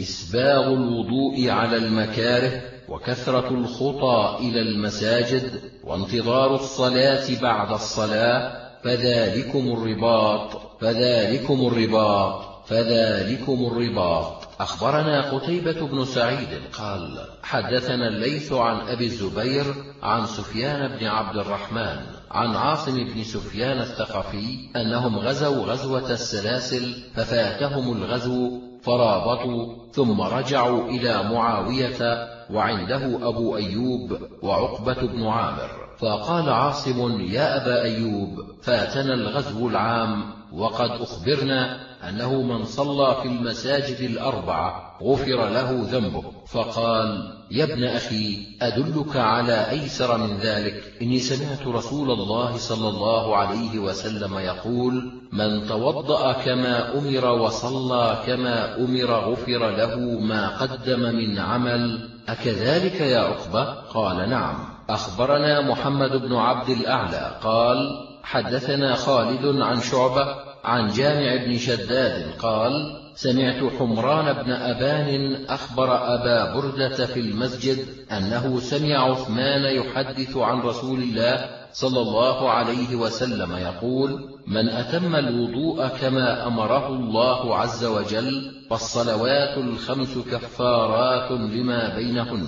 أخبرنا قتيبة عن مالك عن هشام بن عروة عن أبيه عن حمران مولى عثمان أن عثمان رضي الله عنه قال سمعت رسول الله صلى الله عليه وسلم يقول ما من امرئ يتوضأ فيحسن وضوءه ثم يصلي الصلاة إلا غفر له ما بينه وبين الصلاة الأخرى حتى يصليها. أخبرنا عمرو بن منصور قال حدثنا آدم بن أبي إياس قال حدثنا الليث هو ابن سعد قال حدثنا معاوية بن صالح قال أخبرني أبو يحيى سليم بن عامر وضمرة بن حبيب وأبو طلحة نعيم بن زياد قالوا سمعنا أبا أمامة الباهلي يقول سمعت عمرو بن عبسة يقول قلت يا رسول الله كيف الوضوء؟ قال أما الوضوء فإنك إذا توضأت فغسلت كفيك فأنقيتهما خرجت خطاياك من بين أظفارك وأناملك. فإذا مضمضت واستنشقت من خريك وغسلت وجهك ويديك إلى المرفقين ومسحت رأسك وغسلت رجليك إلى الكعبين اغتسلت من عامة خطاياك. فإن أنت وضعت وجهك لله عز وجل خرجت من خطاياك كيوم ولدتك أمك. قال أبو أمامة فقلت يا عمرو بن عبسة انظر ما تقول أكل هذا يعطى في مجلس واحد؟ فقال أما والله لقد كبرت سني ودنا أجلي وما بي من فقر فأكذب على رسول الله صلى الله عليه وسلم. ولقد سمعته أذناي ووعاه قلبي من رسول الله صلى الله عليه وسلم. أخبرنا محمد بن علي بن حرب المروزي قال حدثنا زيد بن الحباب قال حدثنا معاوية بن صالح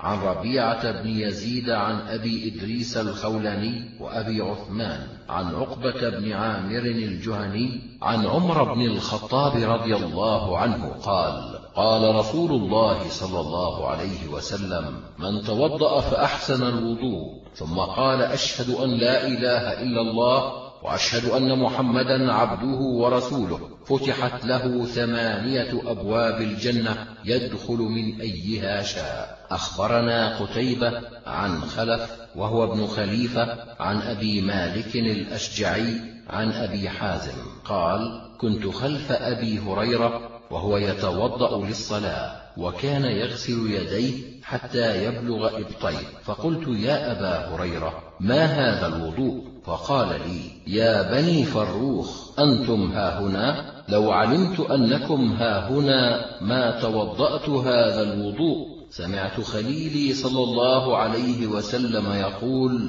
تبلغ حلية المؤمن حيث يبلغ الوضوء. أخبرنا قتيبة عن مالك عن العلاء بن عبد الرحمن عن أبيه عن أبي هريرة أن رسول الله صلى الله عليه وسلم خرج إلى المقبرة فقال السلام عليكم دار قوم مؤمنين وإنا إن شاء الله بكم لاحقون وددت أني قد رأيت إخواننا قالوا يا رسول الله ألسنا إخوانك؟ قال بل أنتم أصحابي وإخواني الذين لم يأتوا بعد. وأنا فرطهم على الحوض. قالوا يا رسول الله كيف تعرف من يأتي بعدك من أمتك؟ قال أرأيت لو كان لرجل خيل غر محجلة في خيل بهم دهم ألا يعرف خيله؟ قالوا بلى. قال فإنهم يأتون يوم القيامة غرا محجلين من الوضوء وأنا فرطهم على الحوض. أخبرنا موسى بن عبد الرحمن المسروقي قال حدثنا زيد بن الحباب قال حدثنا معاوية بن صالح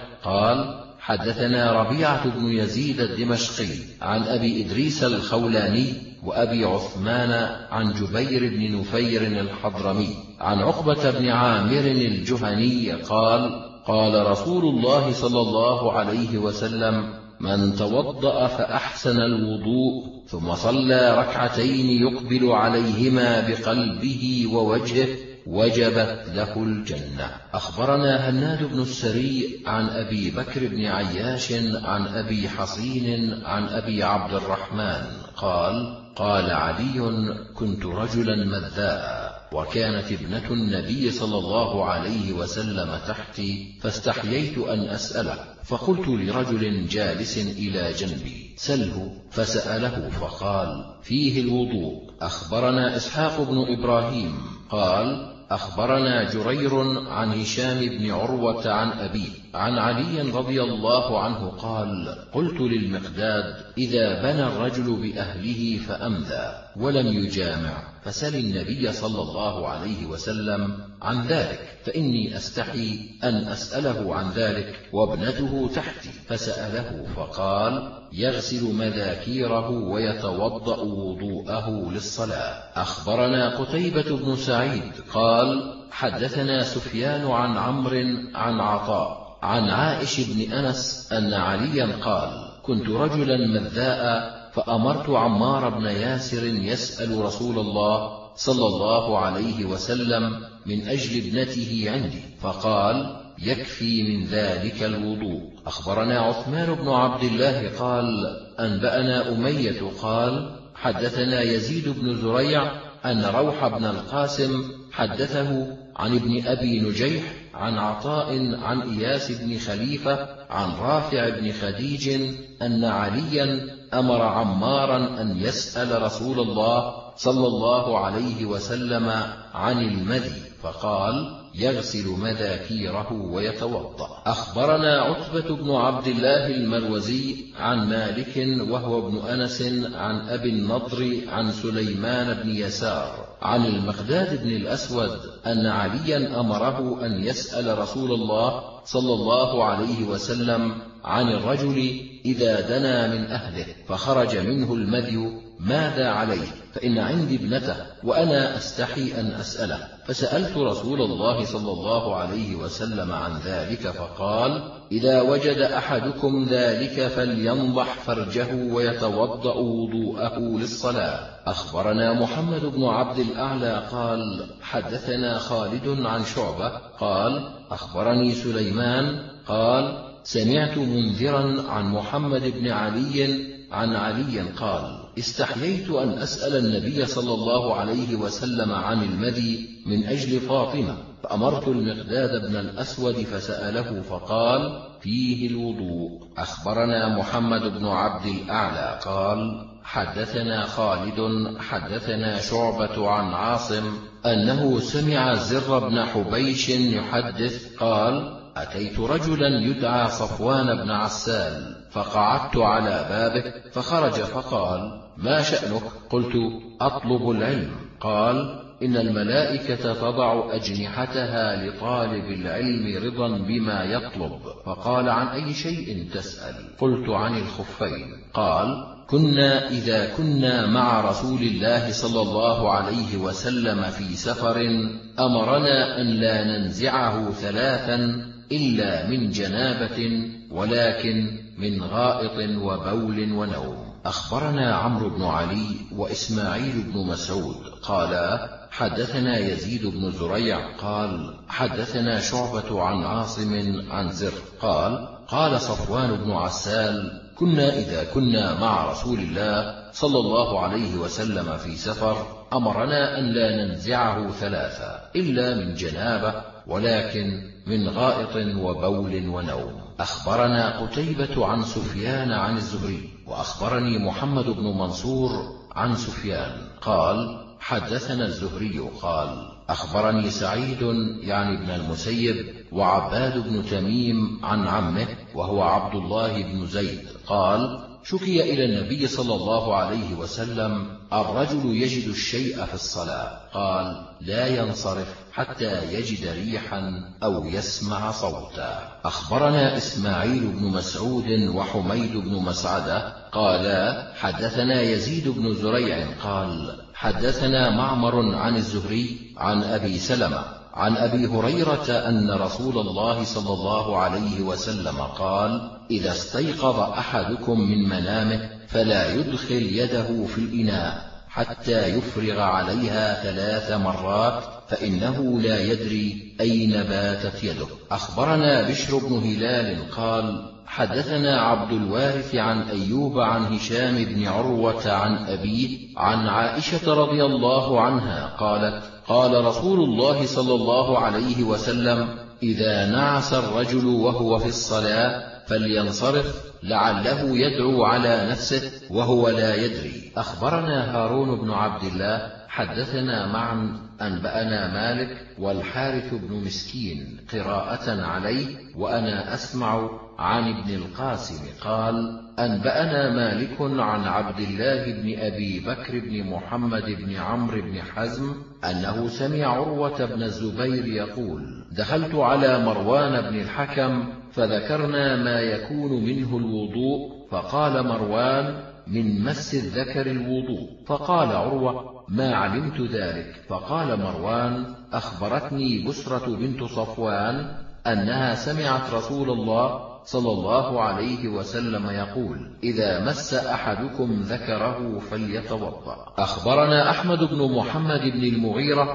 قال حدثنا عثمان بن سعيد عن شعيب عن الزهري قال أخبرني عبد الله بن أبي بكر بن عمرو بن حزم أنه سمع عروة بن الزبير يقول ذكر مروان في إمارته على المدينة أنه يتوضأ من مس الذكر إذا أفضى إليه الرجل بيده فأنكرت ذلك وقلت لا وضوء على من مسه فقال مروان أخبرتني بسرة بنت صفوان أنها سمعت رسول الله صلى الله عليه وسلم ذكر ما يتوضأ منه فقال رسول الله صلى الله عليه وسلم ويتوضأ من مس الذكر؟ قال عروة فلم أزل أماري مروان حتى دعا رجلا من حرسه فأرسله إلى بسرة فسألها عما حدثت مروان فأرسلت إليه بسرة بمثل الذي حدثني عنها مروان. أخبرنا هناد عن ملازم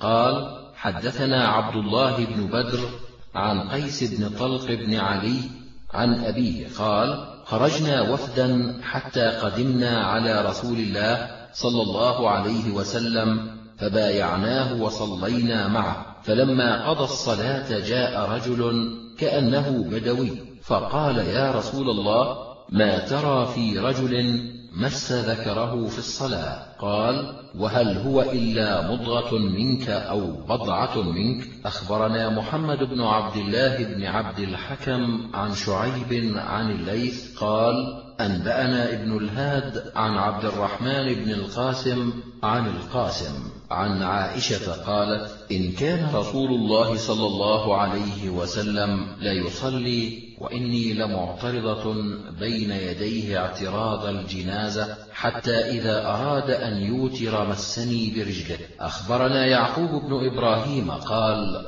حدثنا يحيى عن عبيد الله قال سمعت القاسم بن محمد يحدث عن عائشة قالت لقد رأيتموني معترضة بين يدي رسول الله صلى الله عليه وسلم ورسول الله صلى الله عليه وسلم يصلي فإذا أراد أن يسجد غمز رجلي فضممتها إلي ثم يسجد. أخبرنا قتيبة عن مالك عن أبي النضر عن أبي سلمة عن عائشة قالت كنت أنام بين يدي رسول الله صلى الله عليه وسلم ورجلاي في قبلته فإذا سجد غمزني فقبضت رجلي فإذا قام بسطتهما والبيوت يومئذ ليس فيها مصابيح. أخبرنا محمد بن عبد الله بن المبارك ونصير بن الفرج واللفظ له. قالا حدثنا أبو أسامة عن عبيد الله بن عمر عن محمد بن يحيى بن حبان عن الأعرج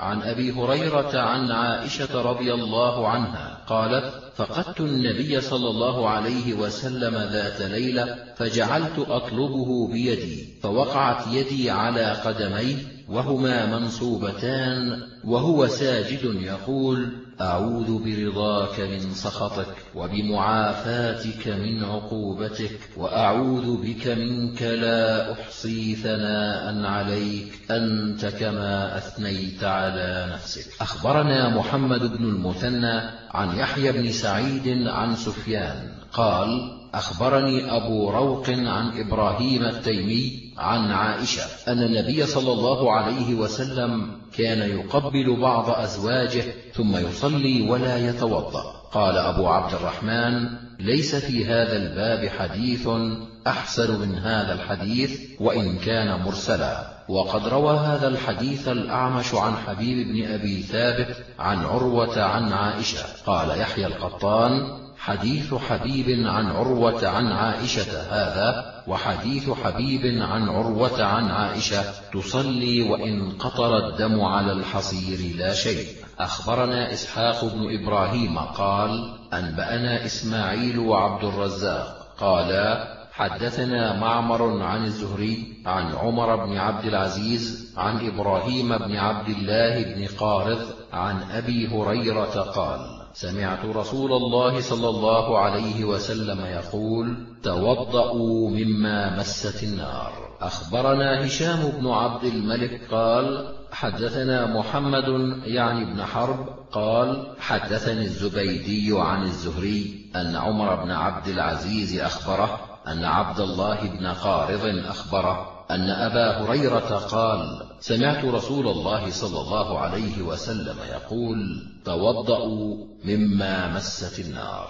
أخبرنا الربيع بن سليمان قال حدثنا إسحاق بن بكر وهو ابن مضر قال حدثني أبي عن جعفر بن ربيعة عن بكر بن سوادة عن محمد بن مسلم عن عمر بن عبد العزيز عن عبد الله بن إبراهيم بن قارض قال رأيت أبا هريرة يتوضأ على ظهر المسجد فقال أكلت أثوار أقط فتوضأت منها. إني سمعت رسول الله صلى الله عليه وسلم يأمر بالوضوء مما مست النار. أخبرنا إبراهيم بن يعقوب قال حدثنا عبد الصمد بن عبد الوارث قال حدثنا أبي عن حسين المعلم قال حدثني يحيى بن أبي كثير عن عبد الرحمن بن عمرو الأوزاعي أنه سمع المطلب بن عبد الله بن حنطب يقول قال ابن عباس أتوضأ من طعام أجده في كتاب الله حلالا لأن النار مست؟ فجمع أبو هريرة حصا فقال أشهد عدد هذا الحصى؟ أن رسول الله صلى الله عليه وسلم قال توضأوا مما مست النار. أخبرنا محمد بن بشار قال حدثنا ابن أبي عدي عن شعبة عن عمرو بن دينار عن يحيى بن جعدة عن عبد الله بن عمرو عن أبي هريرة أن رسول الله صلى الله عليه وسلم قال توضأوا مما مست النار.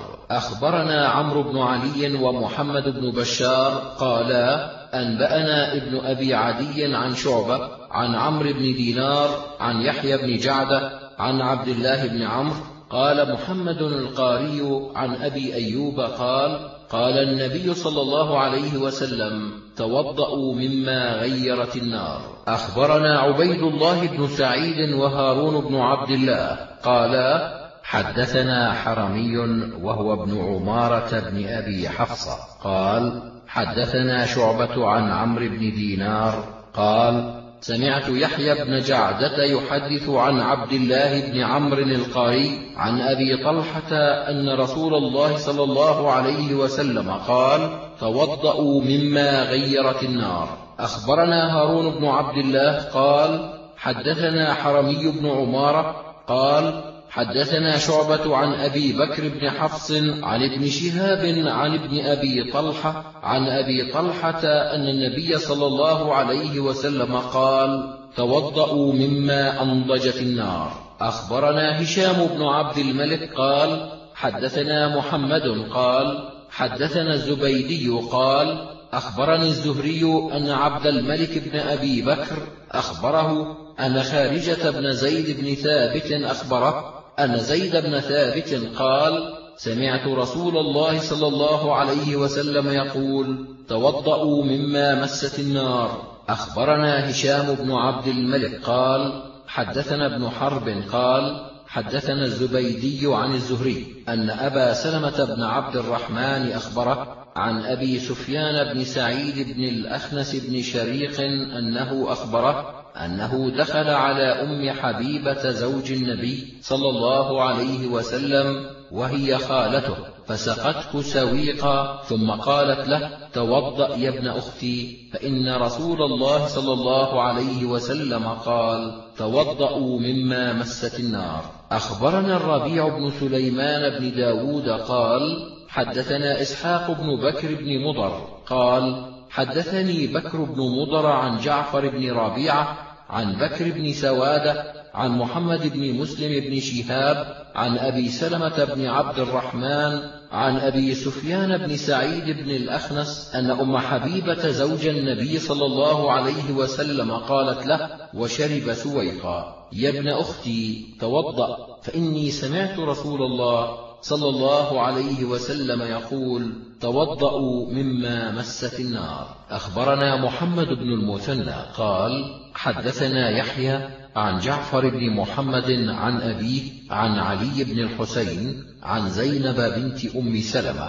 عن أم سلمة أن رسول الله صلى الله عليه وسلم أكل كتفا فجاءه بلال فخرج إلى الصلاة ولم يمس ماء. أخبرنا محمد بن عبد الأعلى قال حدثنا خالد قال حدثنا ابن جريج عن محمد بن يوسف عن سليمان بن يسار قال دخلت على أم سلمة فحدثتني أن رسول الله صلى الله عليه وسلم كان يصبح جنبا من غير احتلام ثم يصوم. وحدثنا مع هذا الحديث أنها حدثت أنها قربت إلى النبي صلى الله عليه وسلم جنبا مشويا فأكل منه ثم قام إلى الصلاة ولم يتوضأ. أخبرنا محمد بن عبد الأعلى قال حدثنا خالد قال حدثنا ابن جريج قال حدثني محمد بن يوسف عن ابن يسار عن ابن عباس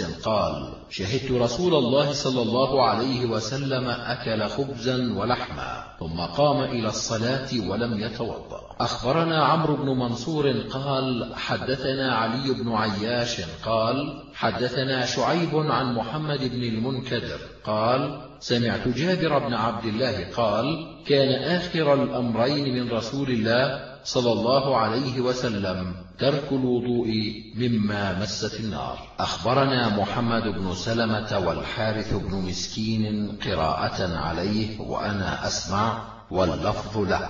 عن ابن القاسم قال حدثني مالك عن يحيى بن سعيد عن بشير بن يسار مولى بني حارثة أن سويد بن النعمان أخبره أنه خرج مع رسول الله صلى الله عليه وسلم عام خيبر حتى إذا كانوا بالصهباء وهي من أدنى خيبر صلى العصر ثم دعا بالأزواد فلم يؤت إلا بالسويق فأمر به فثري فأكل وأكلنا ثم قام إلى المغرب فتمضمض وتمضمضنا ثم صلى ولم يتوضأ. أخبرنا قتيبة قال حدثنا الليث عن عقيل عن الزهري عن عبيد الله بن عبد الله عن ابن عباس أن النبي صلى الله عليه وسلم شرب لبنا ثم دعا بماء فتمضمض ثم قال إن له دسما. أخبرنا عمرو بن علي قال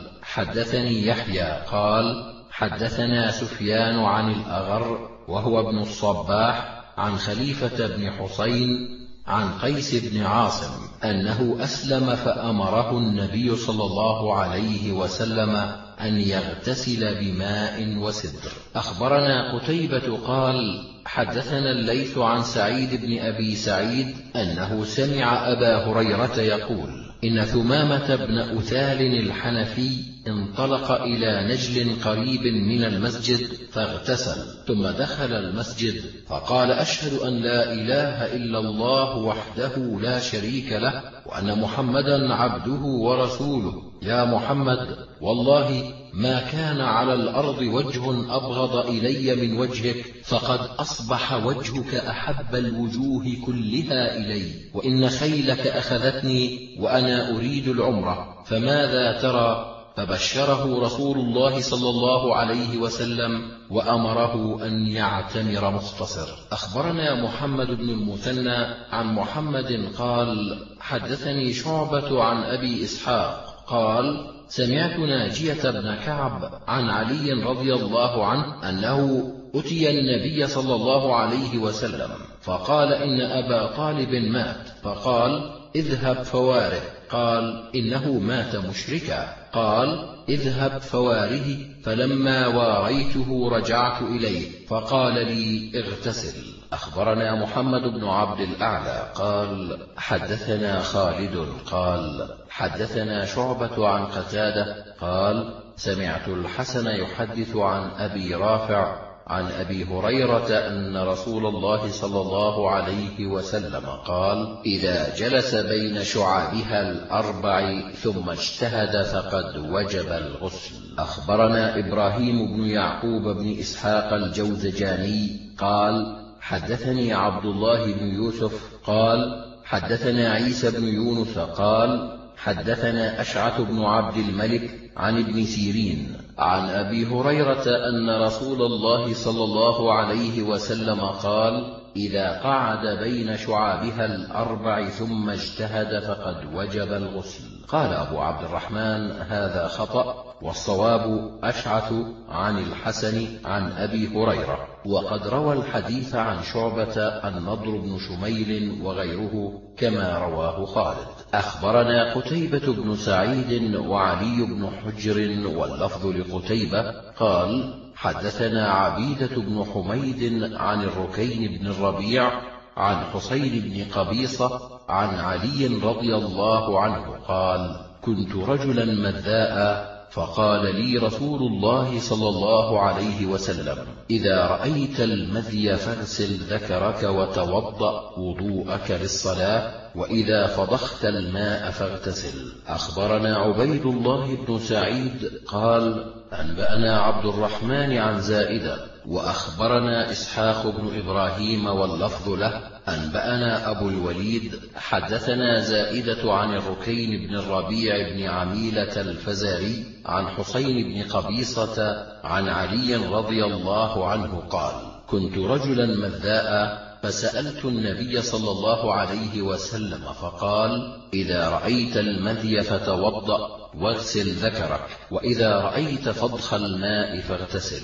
أخبرنا إسحاق بن إبراهيم قال حدثنا عبدة قال حدثنا سعيد عن قتادة عن أنس أن أم سليم سألت رسول الله صلى الله عليه وسلم عن المرأة ترى في منامها ما يرى الرجل. قال إذا أنزلت الماء فلتغتسل. أخبرنا كثير بن عبيد عن محمد بن حرب عن الزبيدي عن الزهري عن عروة أن عائشة أخبرت أن أم سليم كلمت رسول الله صلى الله عليه وسلم وعائشة جالسة فقالت له يا رسول الله إن الله لا يستحيي من الحق. أرأيت المرأة ترى في النوم ما يرى الرجل؟ أفتغتسل من ذلك؟ فقال لها رسول الله صلى الله عليه وسلم نعم.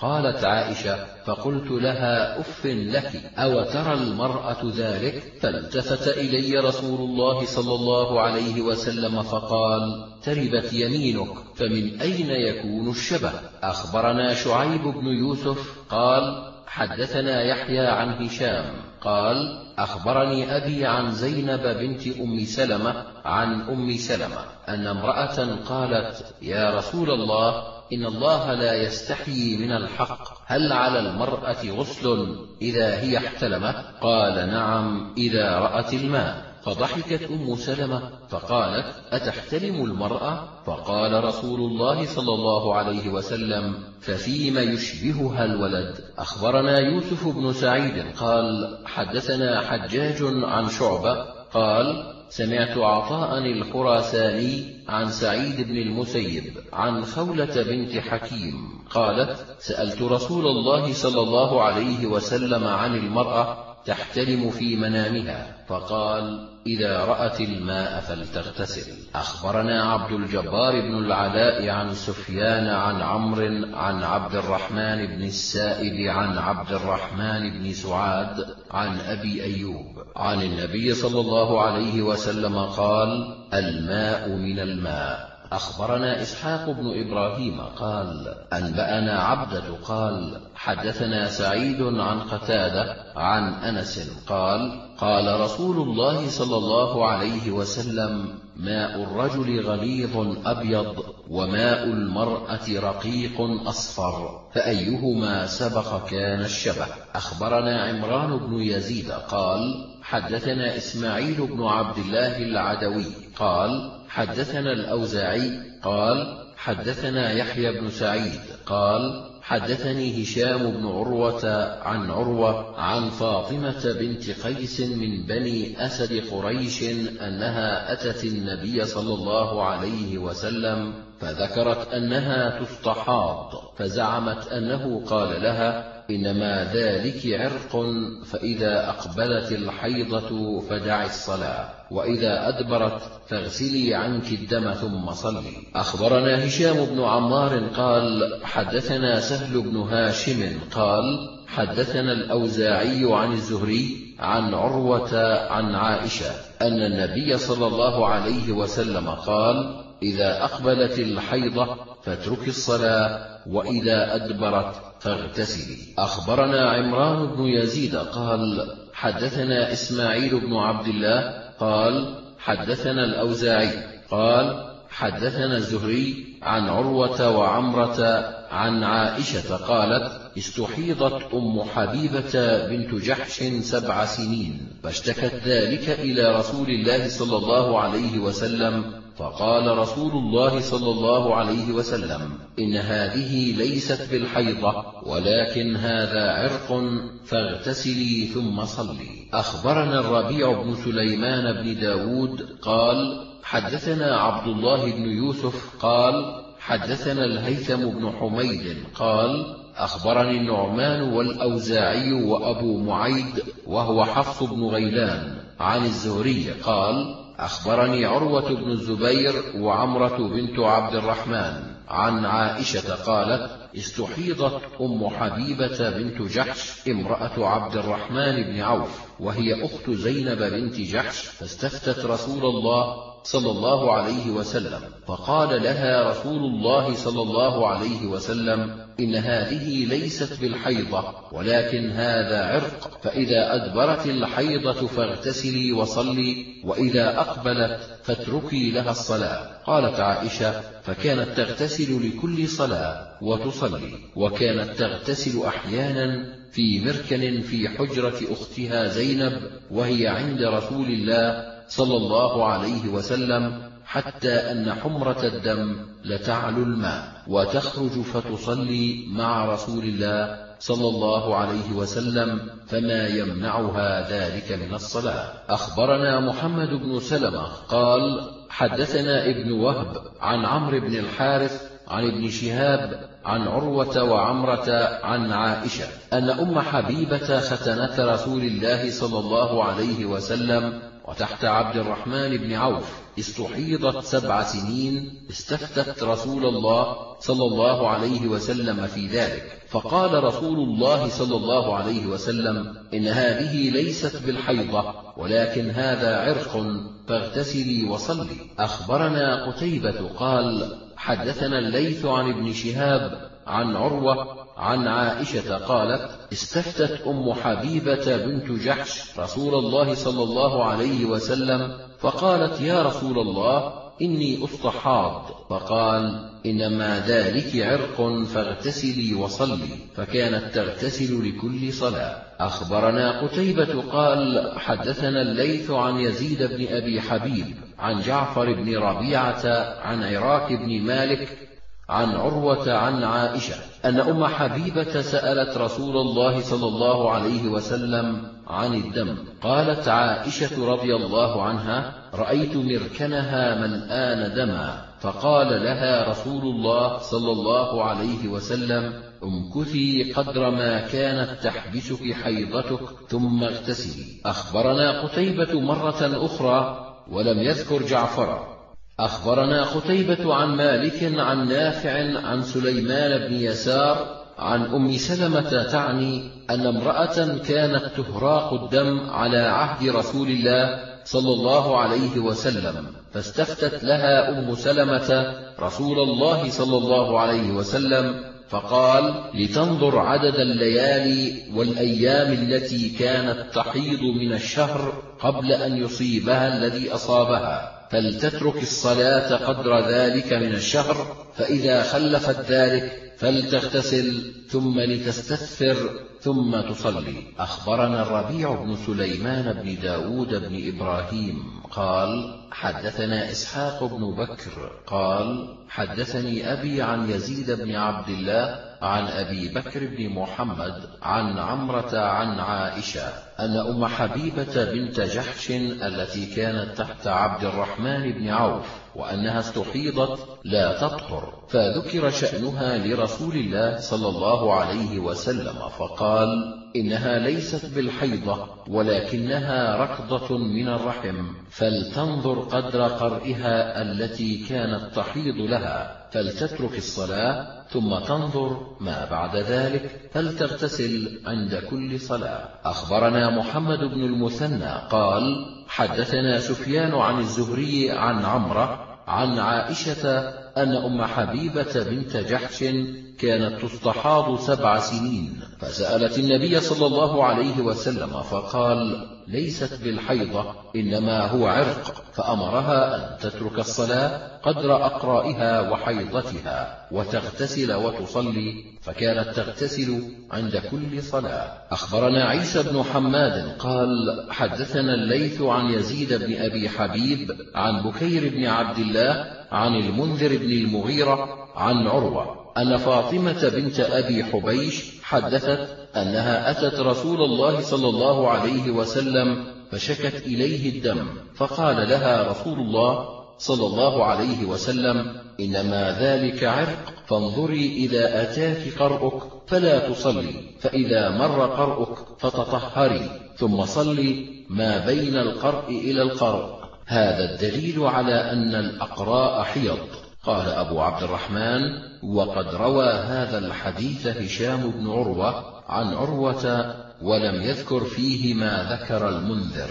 أخبرنا إسحاق بن إبراهيم قال أخبرنا عبدة ووكيع وأبو معاوية قالوا حدثنا هشام بن عروة عن أبيه عن عائشة قالت جاءت فاطمة بنت أبي حبيش إلى رسول الله صلى الله عليه وسلم فقالت إني امرأة استحاض فلا أطهر أفأدع الصلاة؟ قال لا إنما ذلك عرق وليس بالحيضة فإذا أقبلت الحيضة فدع الصلاة. وإذا أدبرت فاغسلي عنك الدم وصلي. أخبرنا محمد بن بشار قال حدثنا محمد قال حدثنا شعبة عن عبد الرحمن بن القاسم عن أبيه عن عائشة رضي الله عنها أن امرأة مستحاضة على عهد رسول الله صلى الله عليه وسلم.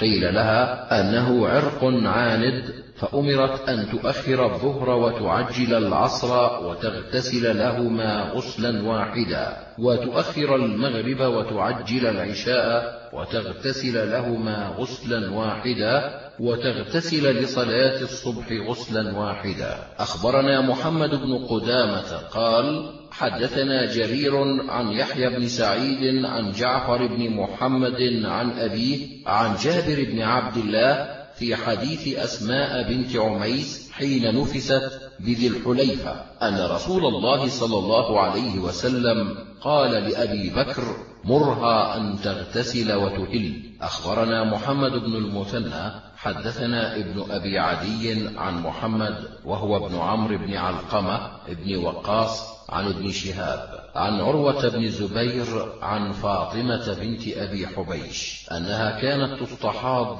فقال لها رسول الله صلى الله عليه وسلم إذا كان دم الحيض فإنه دم أسود يعرف فأمسكي عن الصلاة فإذا كان الآخر فتوضئي فإنما هو عرق. قال أخبرنا محمد بن المثنى قال حدثنا ابن أبي عدي هذا من كتابه. أخبرنا محمد بن المثنى حدثنا ابن أبي عدي من حفظه. قال حدثنا محمد بن عمرو عن ابن شهاب عن عروة عن عائشة أن فاطمة بنت أبي حبيش كانت تستحاض فقال لها رسول الله صلى الله عليه وسلم إن دم الحيض دم أسود يعرف فإذا كان ذلك فأمسكي عن الصلاة وإذا كان الآخر فتوضئي وصلي. قال أبو عبد الرحمن قد روى هذا الحديث غير واحد لم يذكر أحد منهم ما ذكره ابن أبي عدي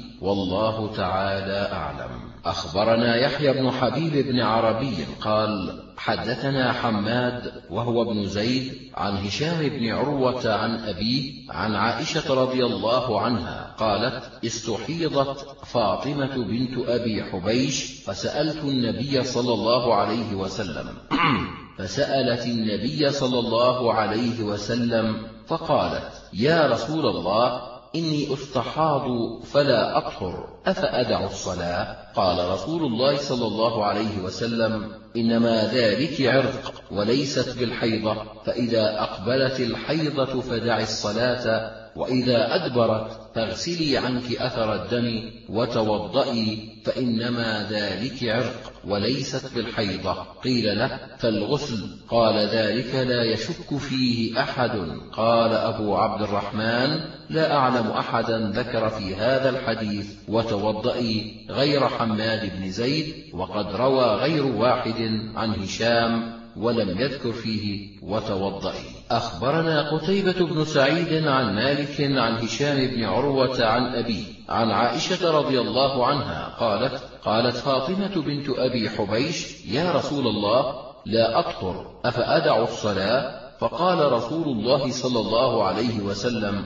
إنما ذلك عرق وليست بالحيضة فإذا أقبلت الحيضة فدع الصلاة فإذا ذهب قدرها فاغسلي عنك الدم وصلي. أخبرنا أبو الأشعث قال حدثنا خالد بن الحارث قال سمعت هشام بن عروة عن أبيه عن عائشة أن بنت أبي حبيش قالت يا رسول الله إني لا أطهر أفأترك الصلاة؟ قال لا إنما هو عرق. قال خالد فيما قرأت عليه وليست بالحيضة فإذا أقبلت الحيضة فدع الصلاة وإذا أدبرت فاغسلي عنك الدم وصلي وإذا أدبرت فاغسلي عنك الدم وصلي. أخبرنا سليمان بن داود والحارث بن مسكين قراءة عليه وأنا أسمع واللفظ له. عن ابن وهب عن عمرو بن الحارث عن بكير أن أبا السائب أخبره أنه سمع أبا هريرة يقول قال رسول الله صلى الله عليه وسلم لا يغتسل أحدكم في الماء الدائم وهو جنب. أخبرنا محمد بن عبد الله بن يزيد المقري عن سفيان عن أبي الزناد عن موسى بن أبي عثمان عن أبيه عن أبي هريرة أن رسول الله صلى الله عليه وسلم قال لا يبولن أحدكم في الماء الراكد ثم يغتسل منه. أخبرنا عمرو بن هشام قال حدثنا مخلد عن سفيان عن أبي العلاء عن عبادة بن نسي عن غضيف بن الحارث أنه سأل عائشة رضي الله عنها أي الليل كان يغتسل رسول الله؟ صلى الله عليه وسلم. قالت ربما اغتسل أول الليل وربما اغتسل آخرة. قلت الحمد لله الذي جعل في الأمر سعة. أخبرنا يحيى بن حبيب بن عربي قال حدثنا حماد عن برد عن عبادة بن نسي عن غضيف بن الحارث قال دخلت على عائشة رضي الله عنها فسألتها قلت أكان رسول الله صلى الله عليه وسلم يغتسل من أول الليل أو من آخره. قالت كل ذلك ربما اغتسل من أوله وربما اغتسل من آخره.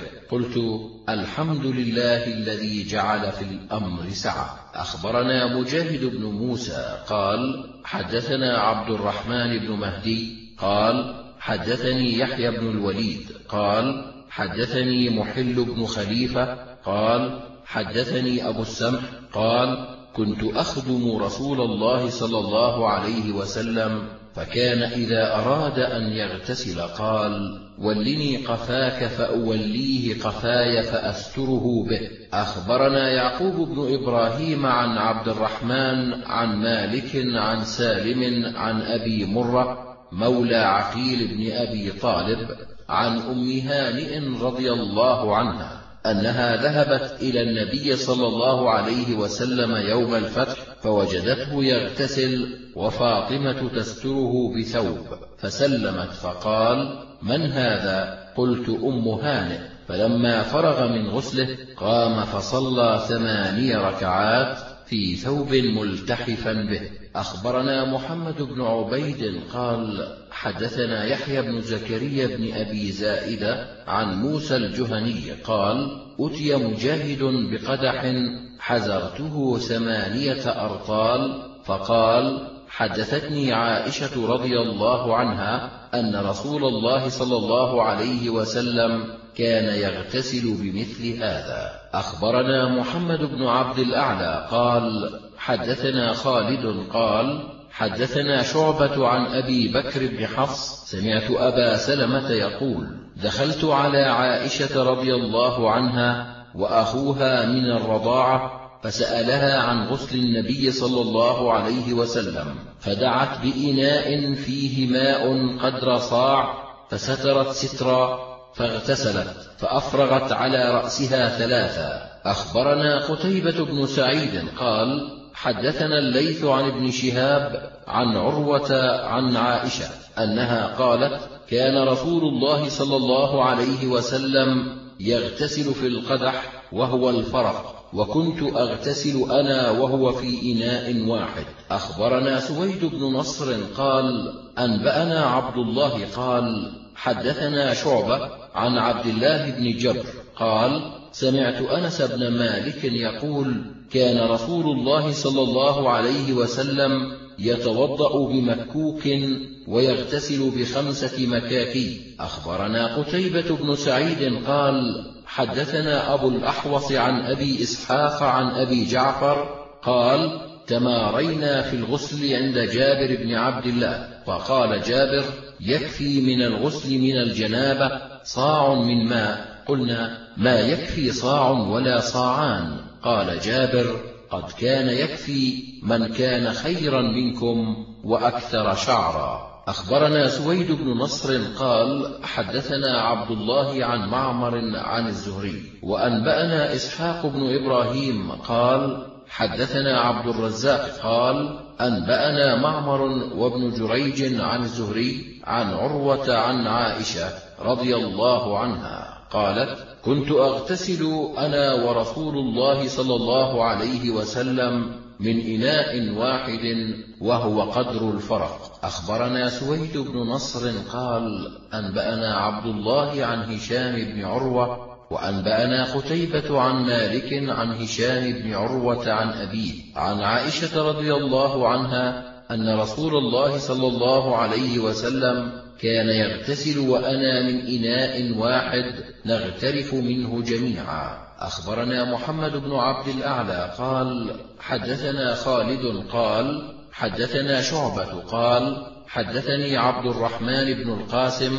قال سمعت القاسم يحدث عن عائشة قالت كنت أغتسل أنا ورسول الله صلى الله عليه وسلم من إناء واحد من الجنابة. أخبرنا قتيبة بن سعيد حدثنا عبيدة بن حميد عن منصور عن إبراهيم عن الأسود عن عائشة رضي الله عنها قالت لقد رأيتني أنازع رسول الله صلى الله عليه وسلم الإناء أغتسل أنا وهو منه. أخبرنا عمرو بن علي قال حدثنا يحيى قال حدثنا سفيان قال حدثني منصور عن إبراهيم عن الأسود عن عائشة رضي الله عنها قالت كنت أغتسل أنا ورسول الله صلى الله عليه وسلم من إناء واحد. أخبرنا يحيى بن موسى عن سفيان عن عمرو عن جابر بن زيد عن ابن عباس قال أخبرتني خالتي ميمونة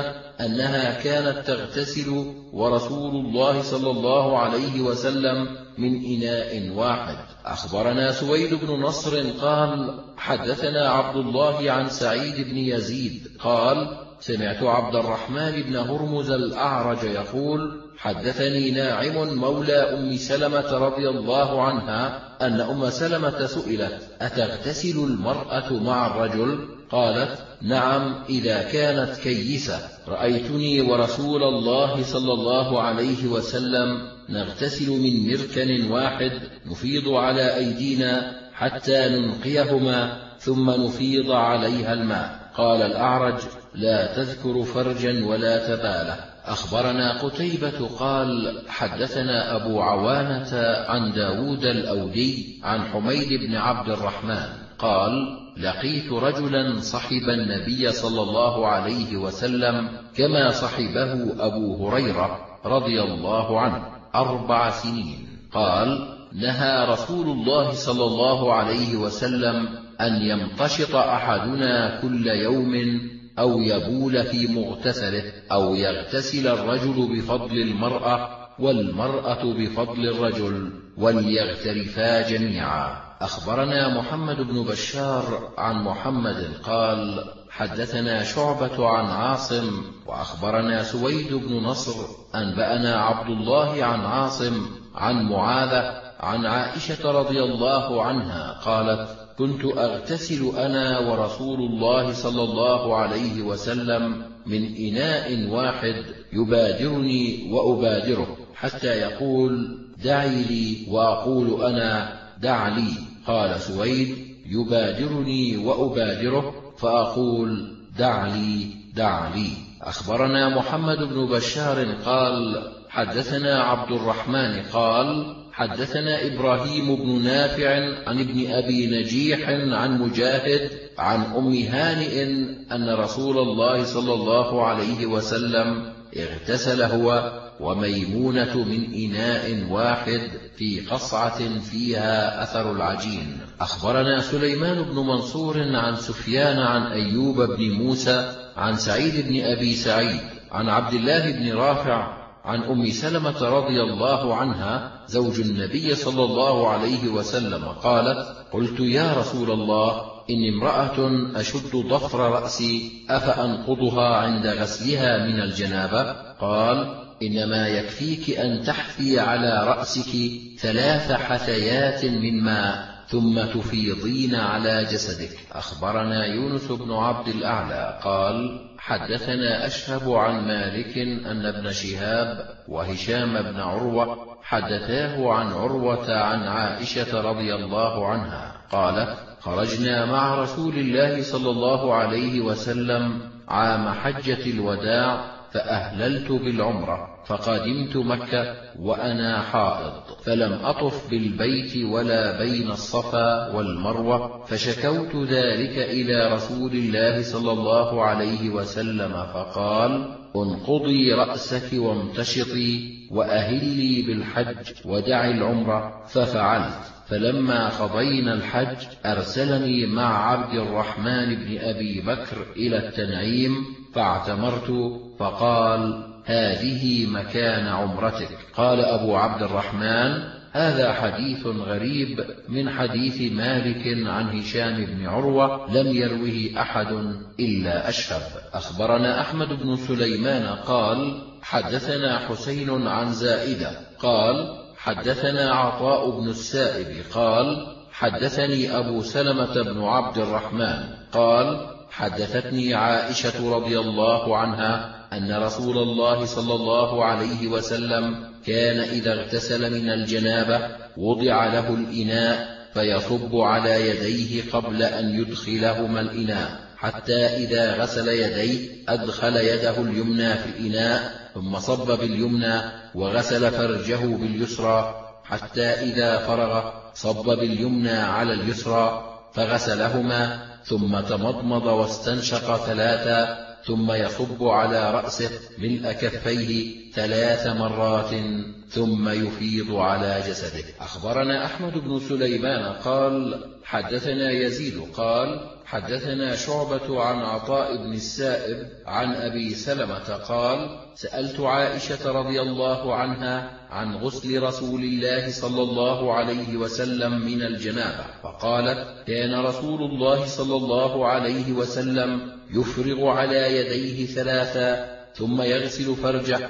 ثم يغسل يديه ثم يمضمض ويستنشق ثم يفرغ على رأسه ثلاثا ثم يفيض على سائر جسده. أخبرنا محمود بن غيلان أنبأنا النضر قال أنبأنا شعبة قال أنبأنا عطاء بن السائب قال سمعت أبا سلمة أنه دخل على عائشة رضي الله عنها فسألها عن غسل رسول الله صلى الله عليه وسلم من الجنابة فقالت كان النبي صلى الله عليه وسلم يؤتى بالإناء فيصب على يديه ثلاثا فيغسلهما ثم يصب بيمينه على شماله فيغسل ما على فخذيه ثم يغسل يديه ويتمضمض ويستنشق ويصب على رأسه ثلاثا ثم يفيض على سائر جسده. أخبرنا إسحاق بن إبراهيم قال حدثنا عمر بن عبيد عن عطاء بن السائب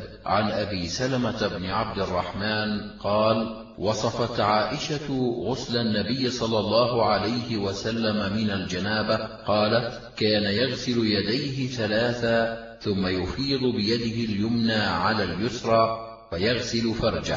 وما أصابه؟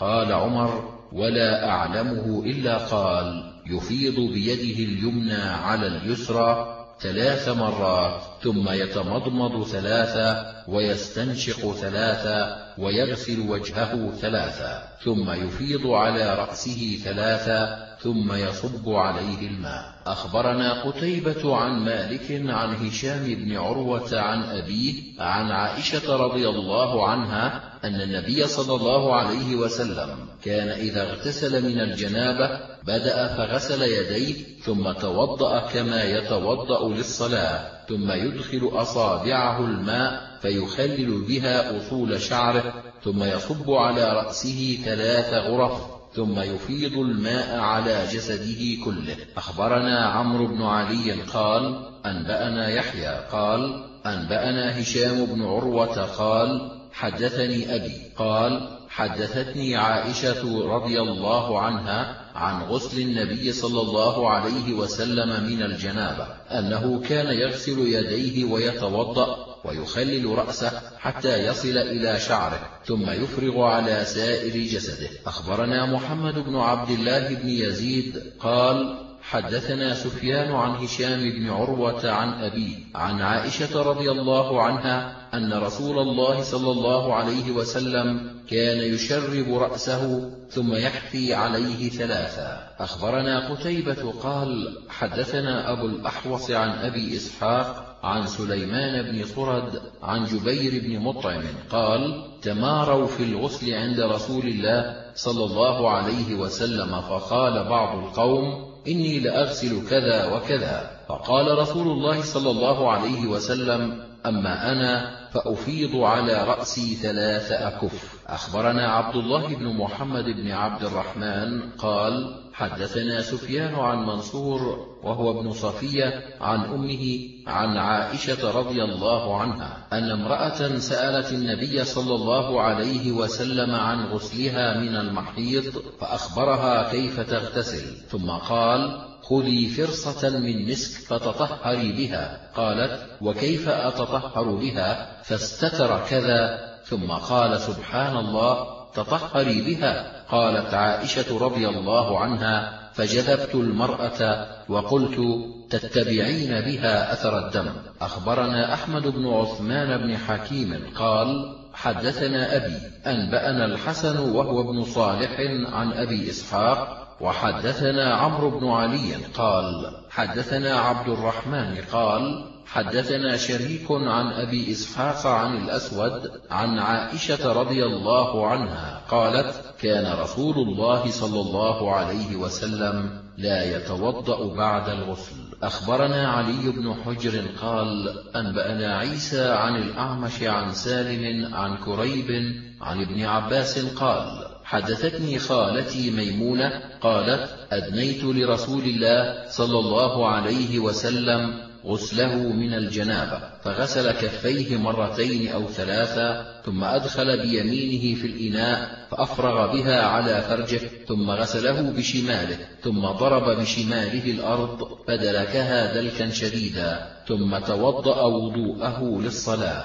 ثم أفرغ على رأسه ثلاث حثيات ملء كفه ثم غسل سائر جسده ثم تنحى عن مقامه فغسل رجليه. قالت ثم أتيته بالمنديل. فرده أخبرنا محمد بن يحيى بن أيوب بن إبراهيم. قال حدثنا عبد الله بن إدريس عن الأعمش عن سالم عن كريب عن ابن عباس أن النبي صلى الله عليه وسلم اغتسل فأتي بمنديل فلم يمسه وجعل يقول بالماء هكذا. أخبرنا حميد بن مسعدة عن سفيان بن حبيب عن شعبة وحدثنا عمرو بن علي قال حدثنا يحيى وعبد الرحمن عن شعبة عن الحكم عن إبراهيم عن الأسود عن عائشة رضي الله عنها قالت كان النبي صلى الله عليه وسلم وقال عمرو كان رسول الله صلى الله عليه وسلم إذا أراد أن يأكل أو ينام وهو جنب توضأ. زاد عمرو في حديثه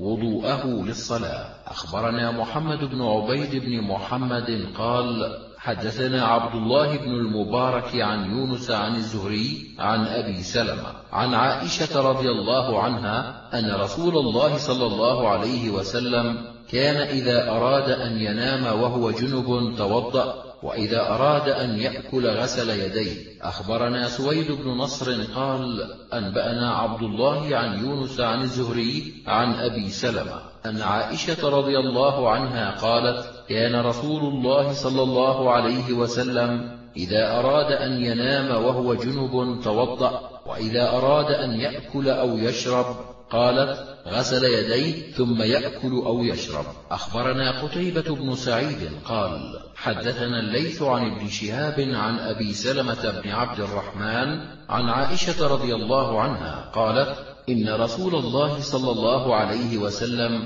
كان إذا أراد أن ينام وهو جنب توضأ وضوءه للصلاة قبل أن ينام. أخبرنا عبيد الله بن سعيد قال حدثنا يحيى عن عبيد الله قال أخبرني نافع عن عبد الله بن عمر أن عمر قال يا رسول الله أينام أحدنا وهو جنب؟ قال إذا توضأ. أخبرنا قتيبة عن مالك عن عبد الله بن دينار عن ابن عمر قال ذكر عمر لرسول الله صلى الله عليه وسلم أنه تصيبه الجنابة من الليل فقال رسول الله صلى الله عليه وسلم توضأ واغسل ذكرك ثم نم. أخبرنا إسحاق بن إبراهيم قال حدثنا هشام بن عبد الملك قال أنبأنا شعبة وأنبأنا عبيد الله بن سعيد قال حدثنا يحيى عن شعبة واللفظ له عن علي بن مدرك عن أبي زرعة عن عبد الله بن نجي عن أبيه عن علي رضي الله عنه عن النبي صلى الله عليه وسلم قال لا تدخل الملائكة بيتا فيه صورة ولا كلب ولا جنب. أخبرنا الحسين بن حريث قال حدثنا سفيان عن عاصم عن أبي المتوكل عن أبي سعيد عن النبي صلى الله عليه وسلم قال إذا أراد أحدكم أن يعود توضأ. أخبرنا إسحاق بن إبراهيم ويعقوب بن إبراهيم واللفظ لإسحاق. قال حدثنا إسماعيل بن إبراهيم عن حميد الطويل عن أنس بن مالك أن رسول الله صلى الله عليه وسلم طاف على نسائه في ليلة بغسل واحد. أخبرنا محمد بن عبيد قال حدثنا عبد الله بن المبارك قال أنبأنا معمر عن قتادة عن أنس أن رسول الله صلى الله عليه وسلم كان يطوف على نسائه في غسل واحد. أخبرنا علي بن حجر قال أنبأنا إسماعيل بن إبراهيم عن شعبة عن عمرو بن مرة عن عبد الله بن سلمة قال أتيت عليا أنا ورجلان فقال كان رسول الله صلى الله عليه وسلم يخرج من الخلاء فيقرأ القرآن ويأكل معنا اللحم ولم يكن يحجبه عن القرآن شيء ليس الجنابة. أخبرنا محمد بن أحمد أبو يوسف الصيدلاني الرقي قال حدثنا عيسى بن يونس قال حدثنا الأعمش عن عمرو بن مرة عن عبد الله بن سلمة عن علي قال كان رسول الله صلى الله عليه وسلم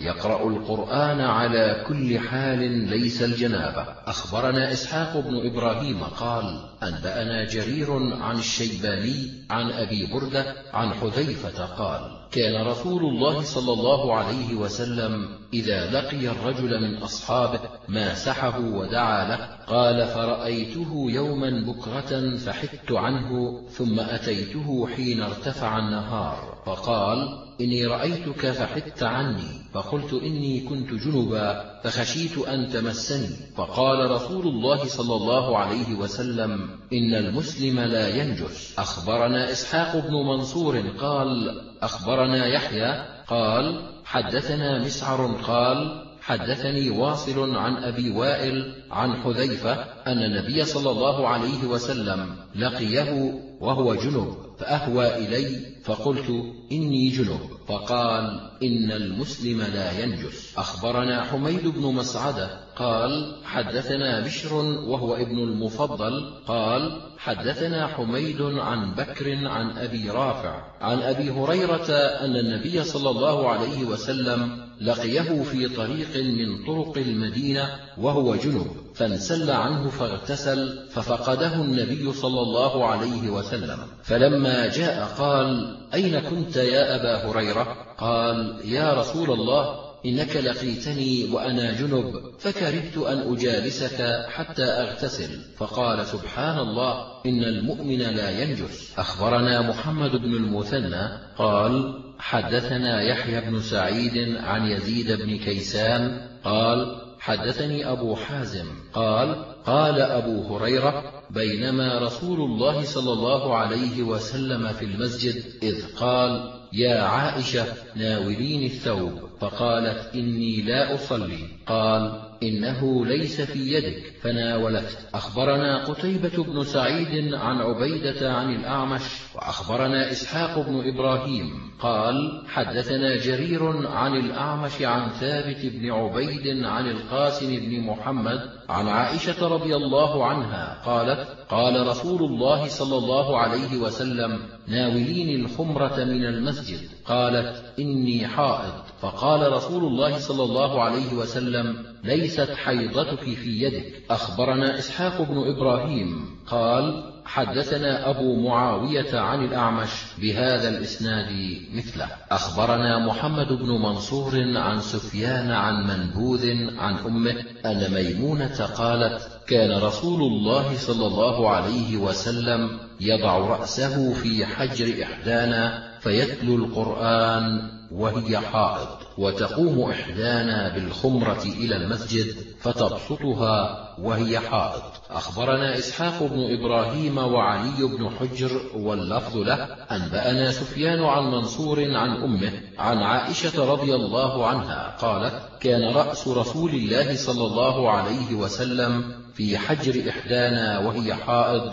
وهو يتلو القرآن. أخبرنا عمرو بن علي قال حدثنا يحيى قال حدثنا سفيان قال حدثني منصور عن إبراهيم عن الأسود عن عائشة رضي الله عنها قالت كان النبي صلى الله عليه وسلم يومئ إلي رأسه وهو معتكف فأغسله وأنا حائض أخبرنا محمد بن سلمة قال حدثنا ابن وهب عن عمرو بن الحارث وذكر آخر عن أبي الأسود عن عروة عن عائشة رضي الله عنها قالت كان رسول الله صلى الله عليه وسلم يخرج إلي رأسه من المسجد وهو مجاور فأغسله وأنا حائض.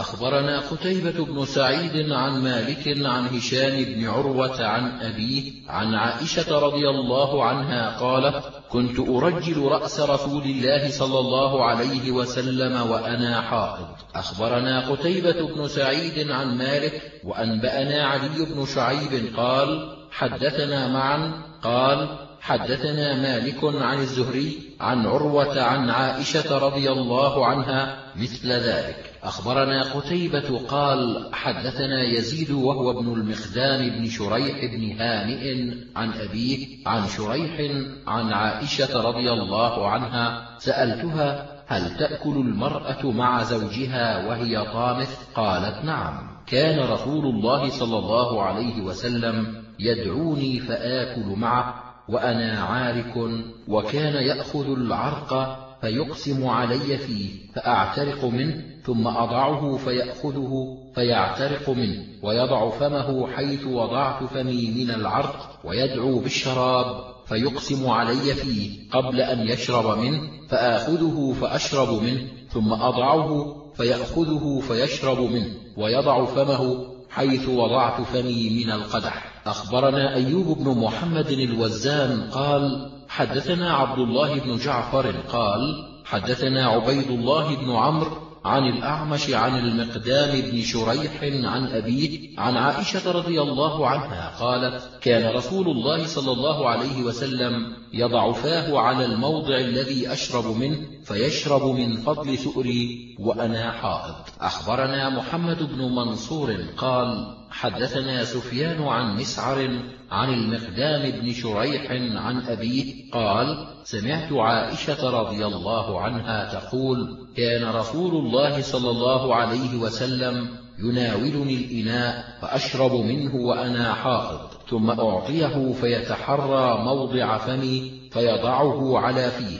أخبرنا محمود بن غيلان قال حدثنا وكيع قال حدثنا مسعر وسفيان عن المقدام بن شريح عن أبيه عن عائشة رضي الله عنها قالت كنت أشرب أنا حائض وأناوله النبي صلى الله عليه وسلم فيضع فاه على موضع فيه فيشرب وأتعرق العرق وأنا حائض وأناوله النبي صلى الله عليه وسلم فيضع فاه على موضع فيه أخبرنا إسماعيل بن مسعود قال حدثنا خالد قال حدثنا هشام وأنبأنا عبيد الله بن سعيد وإسحاق بن إبراهيم قالا حدثنا معاذ بن هشام واللفظ له قال حدثني أبي عن يحيى قال حدثنا أبو سلمة أن زينب بنت أبي سلمة حدثته أن أم سلمة حدثتها قالت بينما أنا مضطجعة مع رسول الله صلى الله عليه وسلم في الخميلة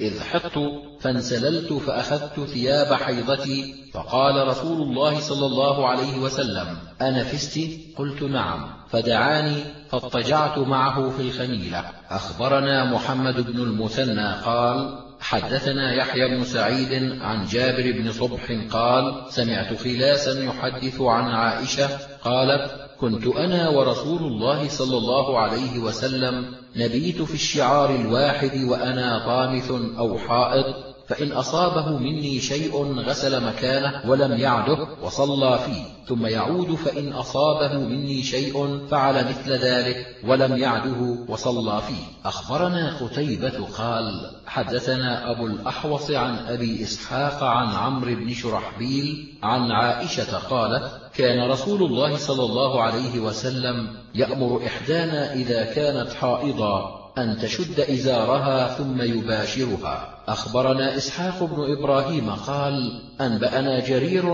عن منصور عن إبراهيم عن الأسود عن عائشة قالت كانت إحدانا إذا حاضت أمرها رسول الله صلى الله عليه وسلم أن تتزر ثم يباشرها. أخبرنا الحارث بن مسكين قراءة عليه وأنا أسمع عن ابن وهب عن يونس والليث عن ابن شهاب عن حبيب مولى عروة عن بدية وكان الليث يقول ندبة مولاة ميمونة. عن ميمونة قالت كان رسول الله صلى الله عليه وسلم يباشر المرأة من نسائه وهي حائض إذا كان عليها إزار يبلغ أنصاف الفخذين والركبتين في حديث الليث محتجزة به. أخبرنا إسحاق بن إبراهيم قال حدثنا سليمان بن حرب قال حدثنا حماد بن سلمة عن ثابت عن أنس قال كانت اليهود إذا حاضت المرأة منهم لم يآكلوهن ولم يشاربوهن ولم يجامعوهن في البيوت فسألوا نبي الله صلى الله عليه وسلم عن ذلك فأنزل الله عز وجل ويسألونك عن المحيض قل هو أذى. الآية فأمرهم رسول الله صلى الله عليه وسلم أن يآكلوهن ويشاربوهن ويجامعوهن في البيوت وأن يصنعوا بهن كل شيء ما خلا الجماع. أخبرنا عمرو بن علي قال حدثنا يحيى عن شعبة عن الحكم عن عبد الحميد عن يقسم عن ابن عباس عن النبي صلى الله عليه وسلم في الرجل يأتي امرأته وهي حائض يتصدق بدينار أو بنصف دينار. أخبرنا إسحاق بن إبراهيم قال أنبأنا سفيان عن عبد الرحمن بن القاسم عن أبيه عن عائشة قالت خرجنا مع رسول الله صلى الله عليه وسلم لا نرى إلا الحج. فلما كان بسرف حط فدخل علي رسول الله صلى الله عليه وسلم وأنا أبكي. فقال ما لك؟ أنفست فقلت نعم. قال هذا أمر كتبه الله عز وجل على بنات آدم فاقضي ما يقضي الحاج غير أن لا تطوفي بالبيت وضحى رسول الله صلى الله عليه وسلم عن نسائه بالبقر. أخبرنا عمرو بن علي ومحمد بن المثنى ويعقوب بن إبراهيم واللفظ له قالوا حدثنا يحيى بن سعيد قال حدثنا جعفر بن محمد قال حدثني أبي قال أتينا جابر بن عبد الله فسألناه عن حجة النبي صلى الله عليه وسلم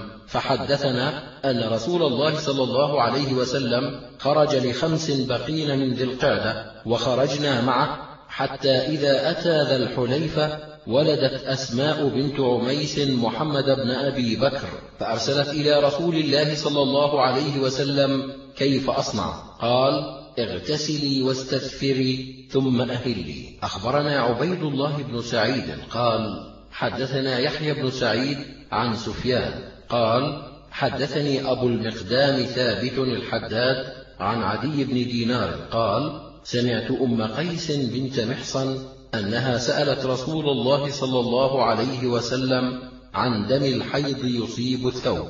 قال حكيه بضلع واغسليه بماء وسدر. أخبرنا يحيى بن حبيب بن عربي عن حماد بن زيد عن هشام بن عروة عن فاطمة بنت المنذر عن أسماء بنت أبي بكر وكانت تكون في حجرها أن امرأة استفتت النبي صلى الله عليه وسلم عن دم الحيض يصيب الثوب فقال حتيه ثم اقرصيه بالماء ثم انضحيه وصلي فيه.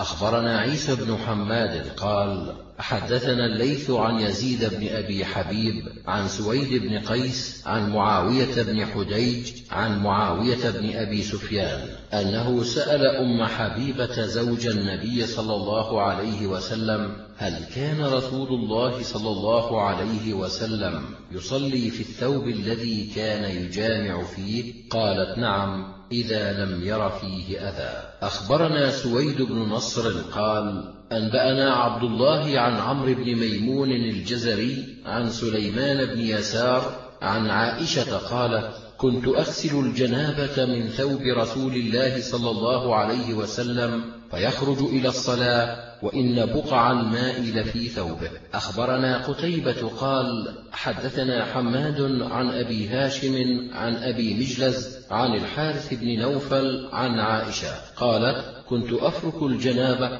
وقالت مرة أخرى ألمني من ثوب رسول الله صلى الله عليه وسلم. أخبرنا عمرو بن يزيد قال حدثنا بهز قال حدثنا شعبة قال الحكم أخبرني عن إبراهيم عن همام بن الحارث. أن عائشة قالت لقد رأيتني وما أزيد على أن أفركه من ثوب رسول الله صلى الله عليه وسلم. أخبرنا الحسين بن حريث أنبأنا سفيان عن منصور عن إبراهيم عن همام عن عائشة قالت كنت أفركه من ثوب النبي صلى الله عليه وسلم. أخبرنا شعيب بن يوسف عن يحيى بن سعيد عن الأعمش عن إبراهيم عن همام عن عائشة قالت كنت أراه في ثوب رسول الله صلى الله عليه وسلم فأحكه. أخبرنا قتيبة قال حدثنا حماد بن زيد عن هشام بن حسان عن أبي معشر عن إبراهيم عن الأسود عن عائشة قالت لقد رأيتني أفرك الجنابة من ثوب رسول الله صلى الله عليه وسلم. أخبرنا محمد بن كامل المروزي قال حدثنا هشيم عن مغيرة عن إبراهيم عن الأسود عن عائشة قالت لقد رأيتني أجده في ثوب رسول الله صلى الله عليه وسلم فأحته عنه.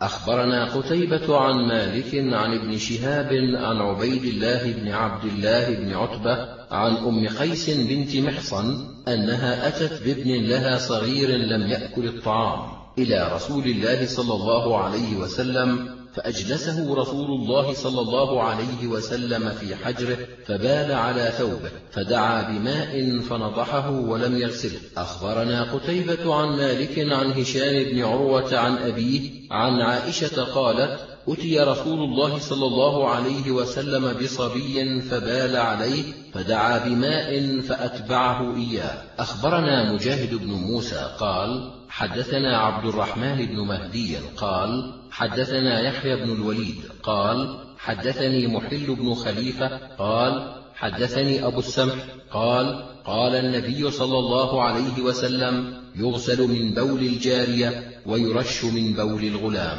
أخبرنا محمد بن عبد الأعلى قال حدثنا يزيد بن زريع قال حدثنا سعيد قال حدثنا قتادة أن أنس بن مالك حدثهم أن أناسا أو رجالا من عكل قدموا على رسول الله صلى الله عليه وسلم فتكلموا بالإسلام فقالوا يا رسول الله إنا أهل ضرع ولم نكن أهل ريف واستوخموا المدينة فأمر لهم رسول الله صلى الله عليه وسلم بذود وراع وأمرهم أن يخرجوا فيها فيشربوا من ألبانها وأبوالها فلما صحوا وكانوا بناحية الحرة كفروا بعد إسلامهم وقتلوا راعي النبي صلى الله عليه وسلم واستاقوا الذود فبلغ النبي صلى الله عليه وسلم فبعث الطلب في آثارهم فأتي بهم فسمروا أعينهم وقطعوا أيديهم وأرجلهم ثم تركوا في الحرة. على حالهم حتى ماتوا. أخبرنا محمد بن وهب حدثنا محمد بن سلمة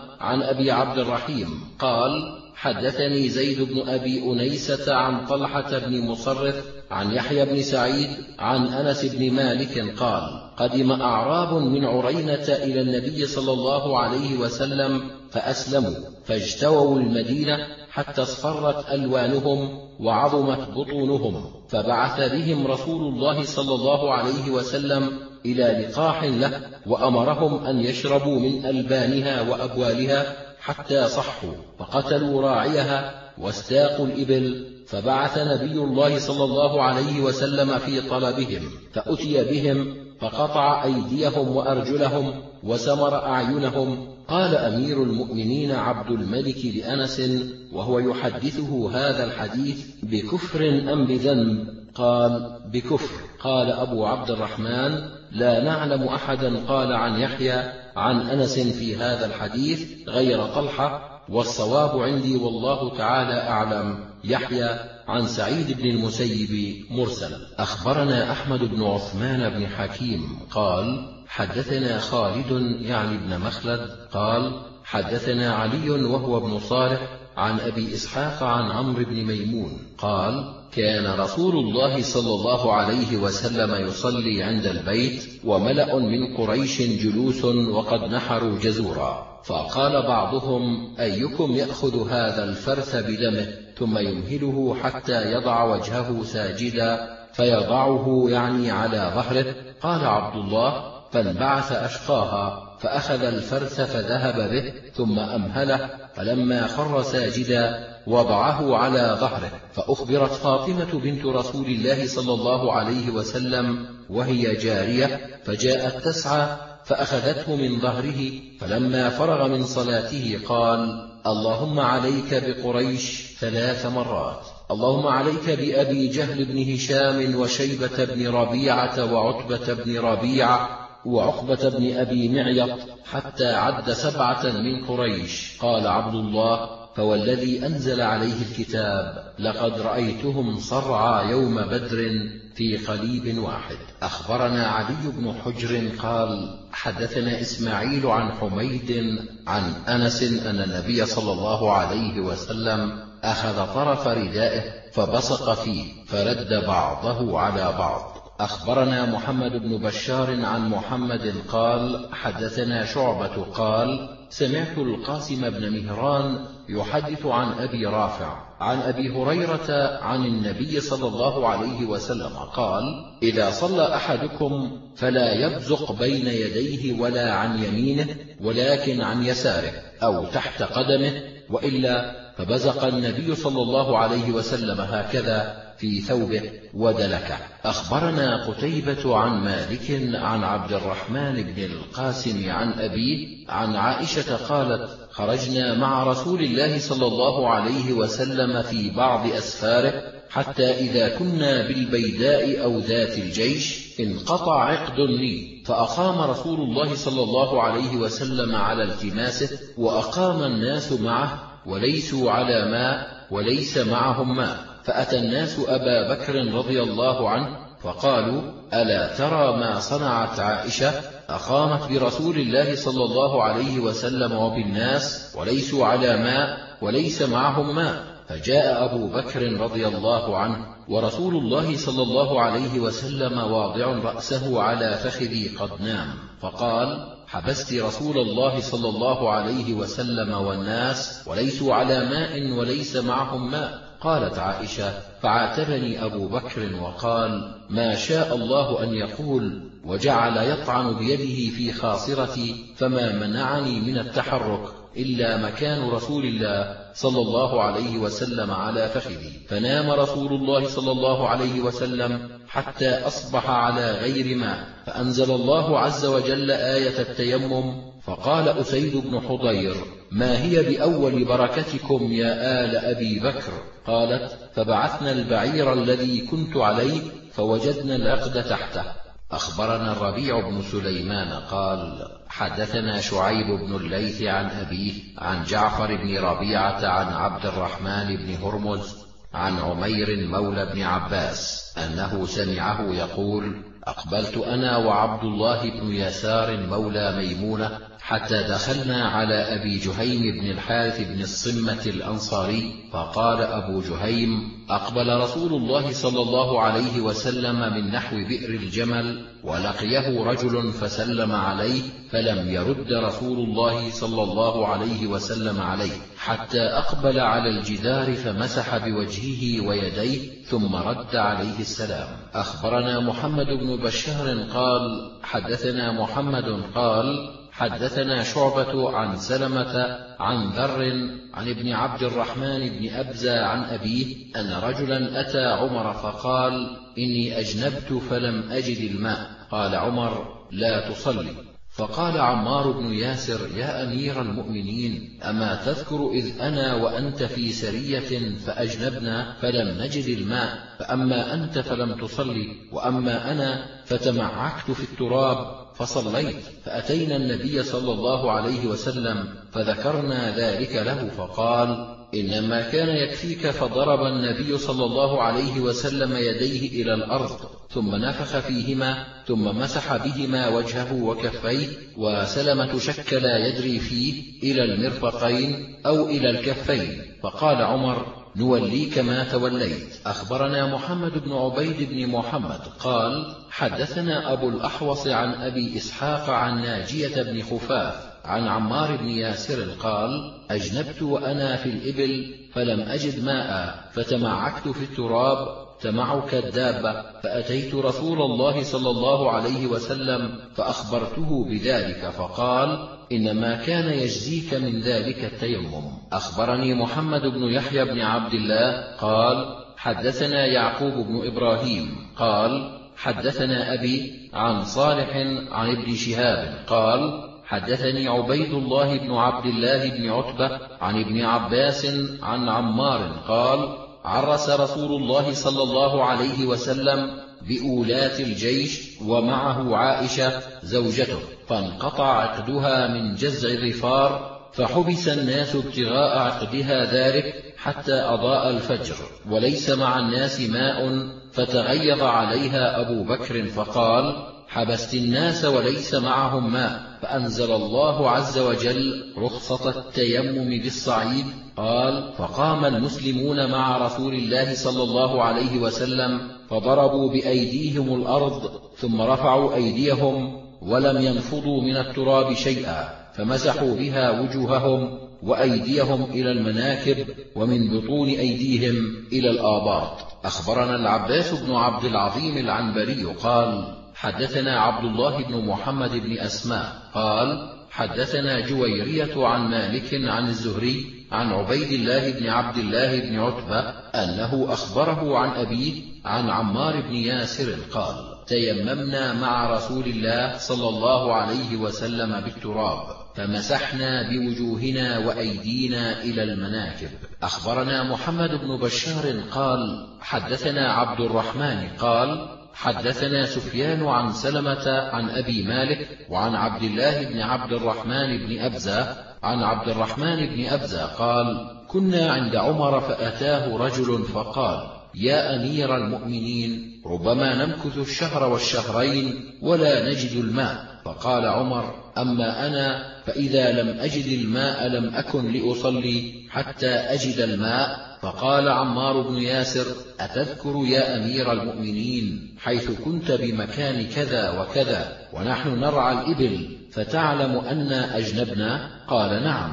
أما أنا فتمرغت في التراب فأتينا النبي صلى الله عليه وسلم فضحك فقال إن كان الصعيد لكافيك وضرب بكفيه إلى الأرض ثم نفخ فيهما ثم مسح وجهه وبعض ذراعيه فقال اتق الله يا عمار. فقال يا أمير المؤمنين إن شئت لم أذكره قال لا ولكن نوليك من ذلك ما توليت. أخبرنا عمرو بن يزيد قال حدثنا بهز قال حدثنا شعبة قال حدثنا الحكم عن ذر عن ابن عبد الرحمن بن أبزى عن أبيه أن رجلا سأل عمر بن الخطاب عن التيمم فلم يدر ما يقول. فقال عمار أتذكر حيث كنا في سرية فأجنبت فتمعكت في التراب فأتيت النبي صلى الله عليه وسلم فقال إنما يكفيك هكذا. وضرب شعبة بيديه على ركبتيه ونفخ في يديه ومسح بهما وجهه وكفيه مرة واحدة. أخبرنا إسماعيل بن مسعود أنبأنا خالد أنبأنا شعبة عن الحكم. سمعت ذرا يحدث عن ابن أبزى عن أبيه قال وقد سمعه الحكم من ابن عبد الرحمن.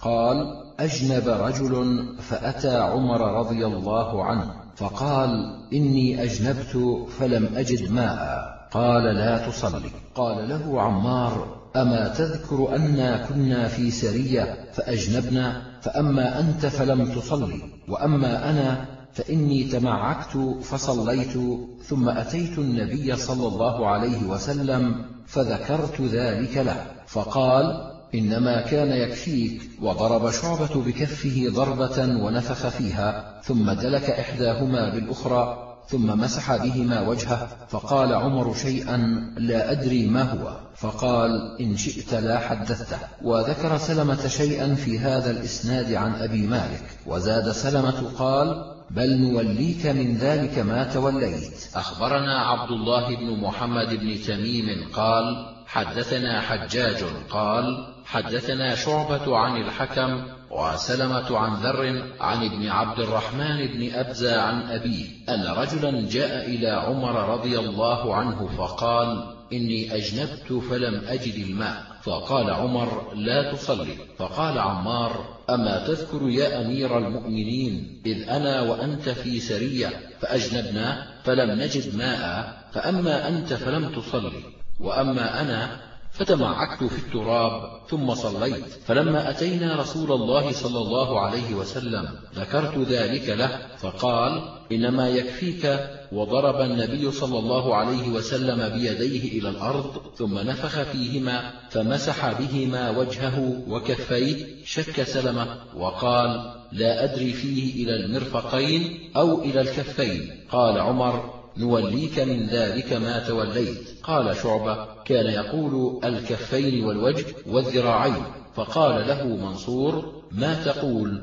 فإنه لا يذكر الذراعين أحد غيرك. فشك سلمة فقال لا أدري ذكر الذراعين أم لا. أخبرنا محمد بن العلاء قال حدثنا أبو معاوية قال حدثنا الأعمش عن شقيق قال كنت جالسا مع عبد الله وأبي موسى. فقال أبو موسى أولم تسمع قول عمار لعمر بعثني رسول الله صلى الله عليه وسلم في حاجة فأجنبت فلم أجد الماء فتمرغت بالصعيد ثم أتيت النبي صلى الله عليه وسلم فذكرت ذلك له فقال إنما كان يكفيك أن تقول هكذا وضرب بيديه على الأرض ضربة فمسح كفيه ثم نفضهما ثم ضرب بشماله على يمينه وبيمينه على شماله على كفيه ووجهه فقال عبد الله أولم تر عمر لم يقنع بقول عمار؟ أخبرنا سويد بن نصر قال حدثنا عبد الله عن عوف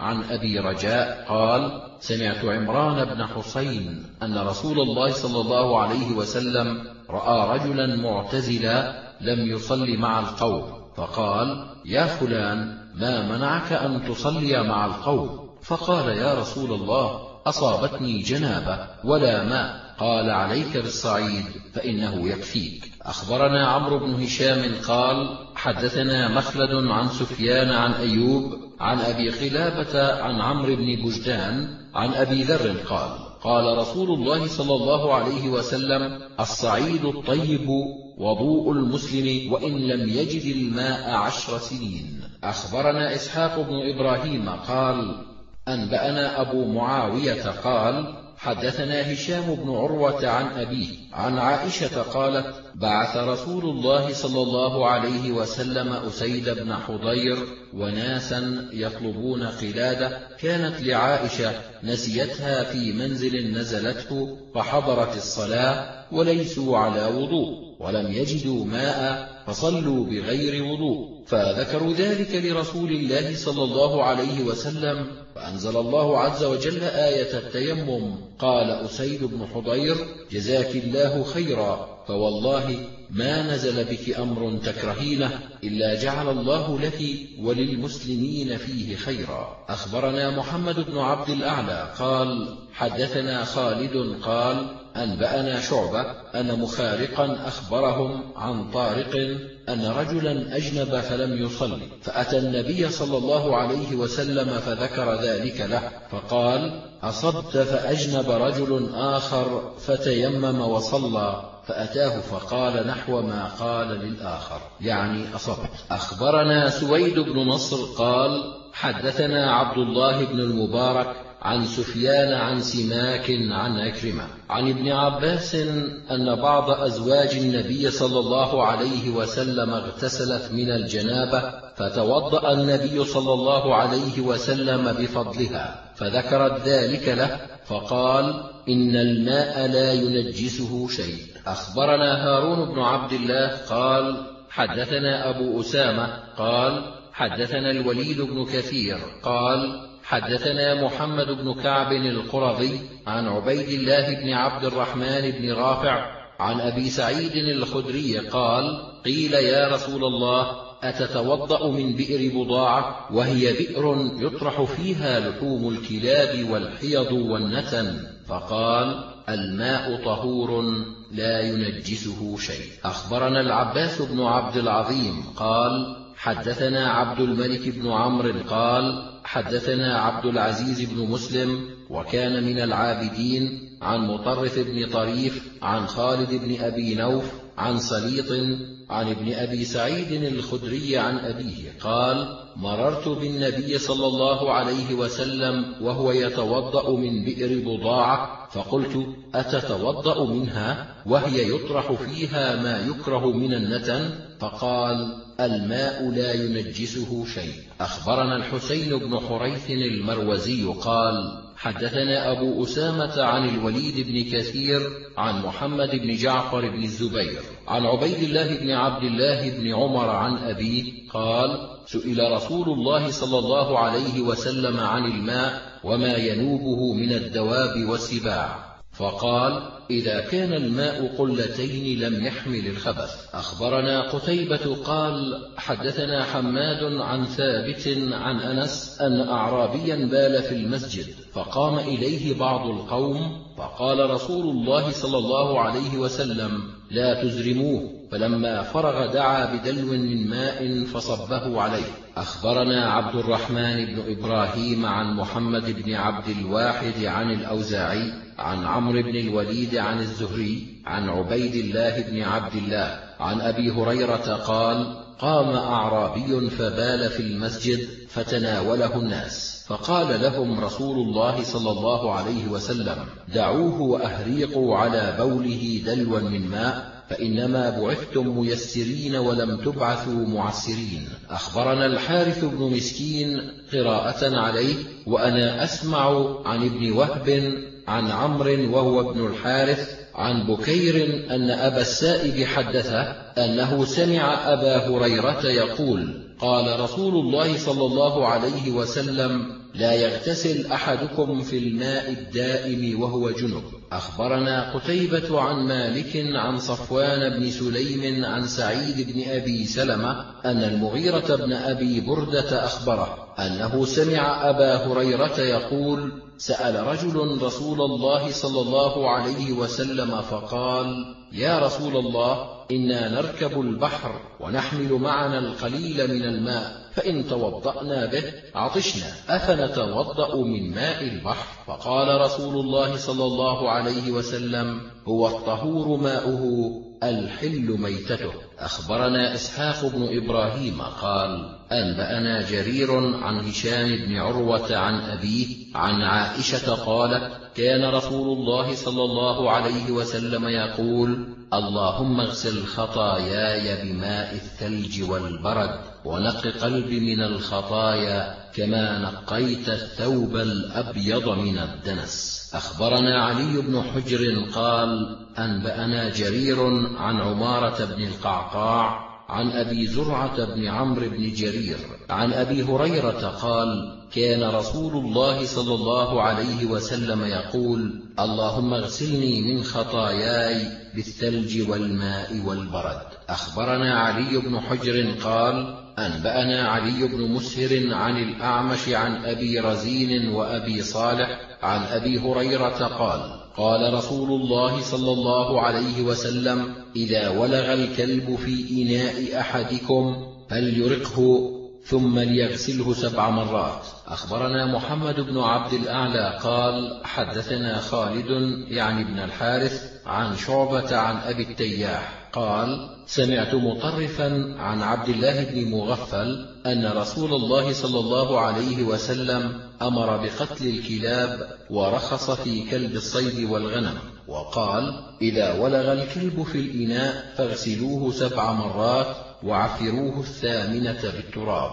أخبرنا عمرو بن يزيد قال حدثنا بهز بن أسد قال حدثنا شعبة عن أبي التياح يزيد بن حميد قال سمعت مطرفا يحدث عن عبد الله بن مغفل قال أمر رسول الله صلى الله عليه وسلم بقتل الكلاب. قال ما بالهم وبال الكلاب؟ قال ورخص في كلب الصيد وكلب الغنم. وقال إذا ولغ الكلب في الإناء فاغسلوه سبع مرات وعفروا الثامنة بالتراب. خالفه أبو هريرة فقال إحداهن بالتراب. أخبرنا إسحاق بن إبراهيم قال أنبأنا معاذ بن هشام قال حدثني أبي عن قتادة عن خلاس عن أبي رافع عن أبي هريرة أن رسول الله صلى الله عليه وسلم قال إذا ولغ الكلب في إناء أحدكم فليغسله سبع مرات أولاهن بالتراب.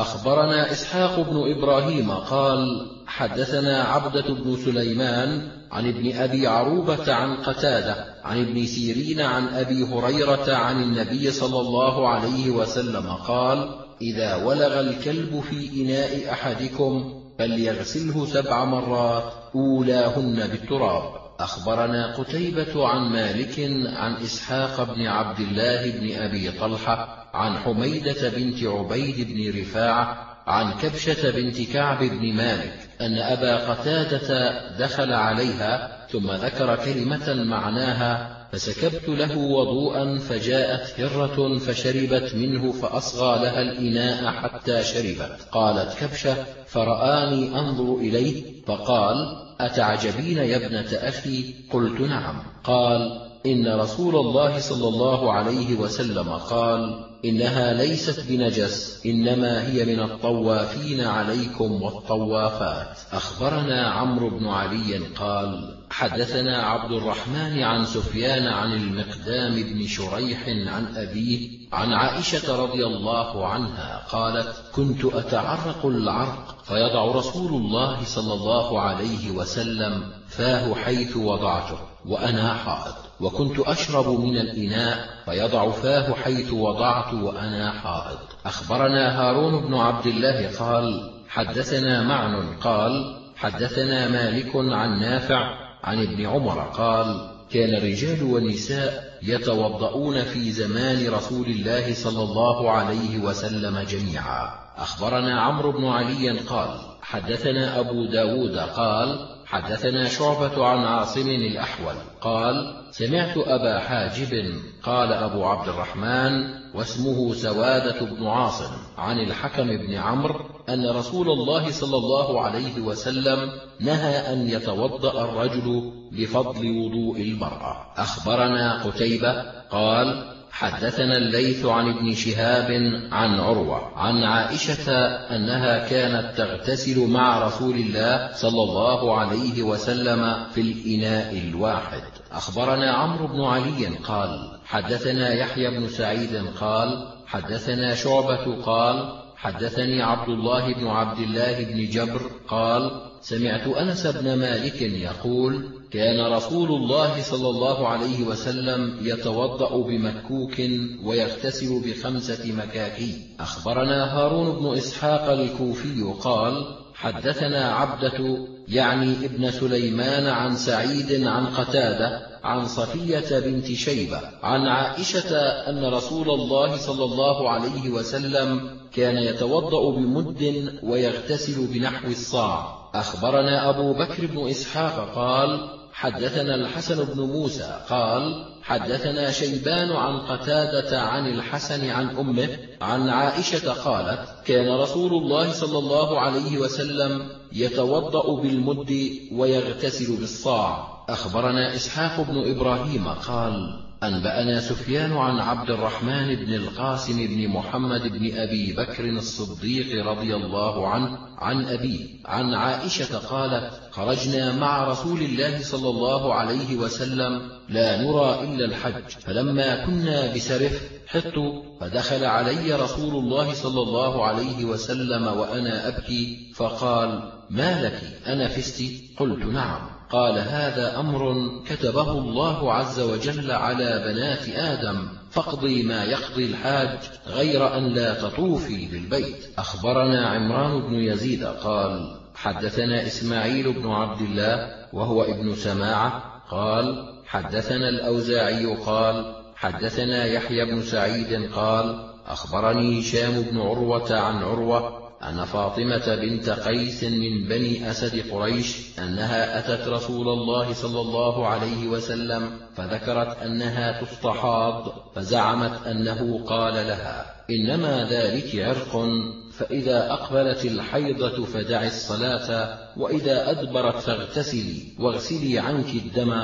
ثم صلي. أخبرنا هشام بن عمار قال حدثنا سهل بن هاشم قال حدثنا الأوزاعي عن الزهري عن عروة عن عائشة أن النبي صلى الله عليه وسلم قال إذا أقبلت الحيضة فدع الصلاة وإذا أدبرت فاغتسلي أخبرنا قتيبة قال حدثنا الليث عن ابن شهاب عن عروة عن عائشة قالت استفتت أم حبيبة بنت جحش رسول الله صلى الله عليه وسلم فقالت يا رسول الله إني أستحاض. فقال إن ذلك عرق فاغتسلي ثم صلي. فكانت تغتسل عند كل صلاة. أخبرنا قتيبة قال حدثنا الليث عن يزيد بن أبي حبيب عن جعفر بن ربيعة عن عراك بن مالك عن عروة. عن عائشة قالت إن أم حبيبة سألت رسول الله صلى الله عليه وسلم عن الدم.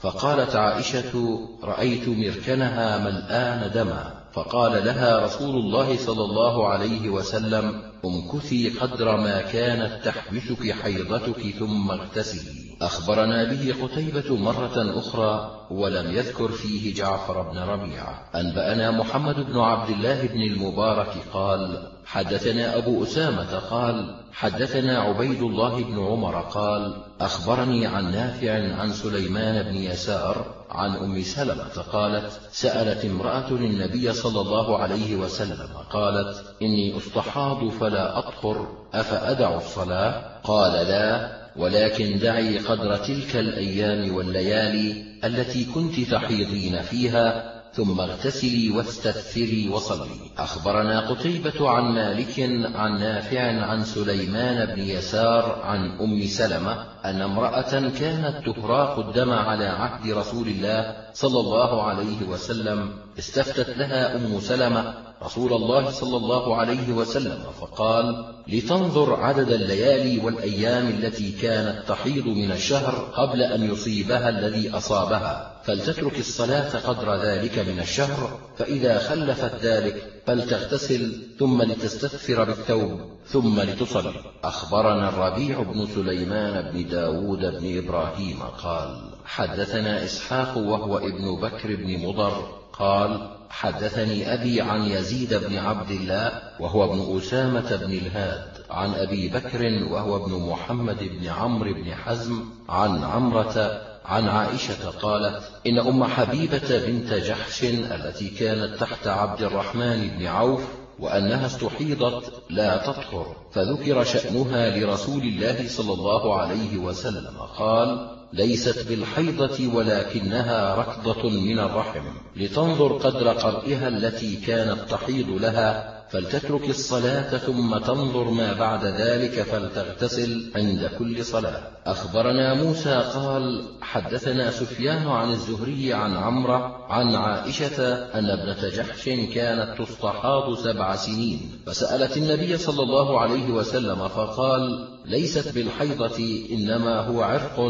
فأمرها أن تترك الصلاة قدر أقرائها وحيضتها وتغتسل وتصلي فكانت تغتسل عند كل صلاة. أخبرنا عيسى بن حماد قال أنبأنا الليث عن يزيد بن أبي حبيب عن بكير بن عبد الله عن المنذر بن المغيرة عن عروة. أن فاطمة بنت أبي حبيش حدثت أنها أتت رسول الله صلى الله عليه وسلم فشكت إليه الدم. فقال لها رسول الله صلى الله عليه وسلم إنما ذلك عرق فانظري إذا أتاك قرؤك فلا تصلي وإذا مر قرؤك فلتطهري ثم صلي ما بين القرء إلى القرء. قال أبو عبد الرحمن قد روى هذا الحديث هشام بن عروة عن عروة ولم يذكر فيه ما ذكر المنذر. أخبرنا إسحاق بن إبراهيم قال حدثنا عبدة ووكيع وأبو معاوية قالوا حدثنا هشام بن عروة عن أبيه عن عائشة قالت جاءت فاطمة بنت أبي حبيش إلى رسول الله صلى الله عليه وسلم فقالت إن امرأة أستحاض فلا أطهر أفأدع الصلاة؟ قال لا إنما ذلك عرق وليست بالحيضة فإذا أقبلت الحيضة فدع الصلاة وإذا أدبرت فاغسلي عنك الدم وصلي. أخبرنا محمد بن بشار قال حدثنا محمد قال حدثنا شعبة عن عبد الرحمن بن القاسم عن أبيه عن عائشة أن امرأة مستحاضة على عهد النبي صلى الله عليه وسلم قيل لها إنه عرق عاند وأمرت أن تؤخر الظهر وتعجل العصر وتغتسل لهما غسلا واحدا وتؤخر المغرب وتعجل العشاء وتغتسل لهما غسلا واحدا وتغتسل لصلاة الصبح غسلا واحدا. أخبرنا سويد بن نصر قال حدثنا عبد الله عن سفيان عن عبد الرحمن بن القاسم عن القاسم عن زينب بنت جحش قالت قلت للنبي صلى الله عليه وسلم أنها مستحاضة. فقال تجلس أيام أقرائها ثم تغتسل وتؤخر الظهر وتعجل العصر وتغتسل وتصلي وتؤخر المغرب وتعجل العشاء وتغتسل وتصليهما جميعا وتغتسل للفجر. أخبرنا محمد بن المثنى قال حدثنا ابن أبي عدي عن محمد بن عمرو وهو ابن علقمة بن وقاص عن ابن شهاب عن عروة بن الزبير. عن فاطمة بنت أبي حبيش أنها كانت تستحاض فقال لها رسول الله صلى الله عليه وسلم إذا كان دم الحيض فإنه دم أسود يعرف فأمسكي عن الصلاة وإذا كان الآخر فتوضئي فإنما هو عرق. قال محمد بن المثنى حدثنا ابن أبي عدي هذا من كتابه. وأخبرنا محمد بن المثنى قال حدثنا ابن أبي عدي من حفظه قال حدثنا محمد بن عمرو عن ابن شهاب عن عروة عن عائشة أن فاطمة بنت أبي حبيش كانت تستحاض فقال لها رسول الله صلى الله عليه وسلم أن دم الحيض دم أسود يعرف فإذا كان ذلك فأمسكي عن الصلاة فإذا كان الآخر فتوضئي وصلي. قال أبو عبد الرحمن قد روى هذا الحديث غير واحد ولم يذكر أحد منهم ما ذكر ابن أبي عدي والله تعالى أعلم. أخبرنا يحيى بن حبيب بن عربي عن حماد عن هشام بن عروة عن أبيه عن عائشة قالت استحيضت فاطمة بنت أبي حبيش فسألت النبي صلى الله عليه وسلم فقالت يا رسول الله إني أستحاض فلا أطهر أفأدع الصلاة؟ قال رسول الله صلى الله عليه وسلم إنما ذلك عرق وليست بالحيضة فإذا أقبلت الحيضة فدع الصلاة وإذا أدبرت فاغسلي عنك الدم وتوضئي وصلي فإنما ذلك عرق وليست بالحيضة.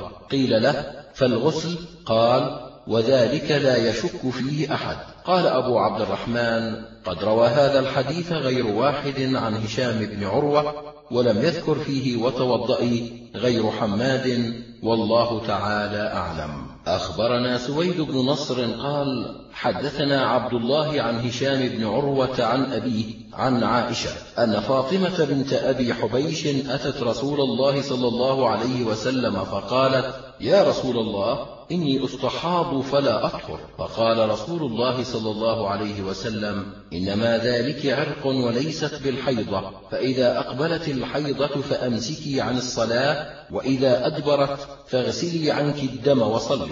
أخبرنا قتيبة عن مالك عن هشام بن عروة عن أبيه عن عائشة قالت قالت فاطمة بنت أبي حبيش لرسول الله صلى الله عليه وسلم لا أطهر أفأدع الصلاة؟ فقال رسول الله صلى الله عليه وسلم إنما ذلك عرق وليست بالحيضة فإذا أقبلت الحيضة فدع الصلاة وإذا ذهب قدرها فاغسلي عنك الدم وصلي. أخبرنا أبو الأشعث قال حدثنا خالد بن الحارث قال سمعت هشاما يحدث عن أبيه عن عائشة أن بنت أبي حبيش قالت يا رسول الله إني لا أطهر أفأترك الصلاة؟ قال لا إنما هو عرق قال خالد وفيما قرأت عليه وليست بالحيضة فإذا أقبلت الحيضة فدع الصلاة وإذا أدبرت فاغسلي عنك الدم ثم صل. أخبرنا عمرو بن زرارة قال أنبأنا إسماعيل عن أيوب عن محمد قال قالت أم عطية كنا لا نعد الصفرة والكدرة شيئا. أخبرنا إسحاق بن إبراهيم قال أنبأنا سليمان بن حرب قال حدثنا حماد بن سلمة عن ثابت عن أنس قال كانت اليهود إذا حاضت المرأة منهم لم يآكلوهن ولا يشاربوهن ولا يجامعوهن في البيوت. فسألوا النبي صلى الله عليه وسلم فأنزل الله عز وجل ويسألونك عن المحيض قل هو أذى. الآية. فأمرهم رسول الله صلى الله عليه وسلم أن يآكلوهن ويشاربوهن ويجامعوهن في البيوت وأن يصنعوا بهن كل شيء ما خلا الجماع. فقالت اليهود ما يدع رسول الله صلى الله عليه وسلم شيئا من أمرنا إلا خالفنا. فقام أسيد بن حضير وعباد بن بشر فأخبرا رسول الله صلى الله عليه وسلم قالا أنجامعهن في المحيض فتمعر رسول الله صلى الله عليه وسلم تمعرا شديدا حتى ظننا أنه قد غضب.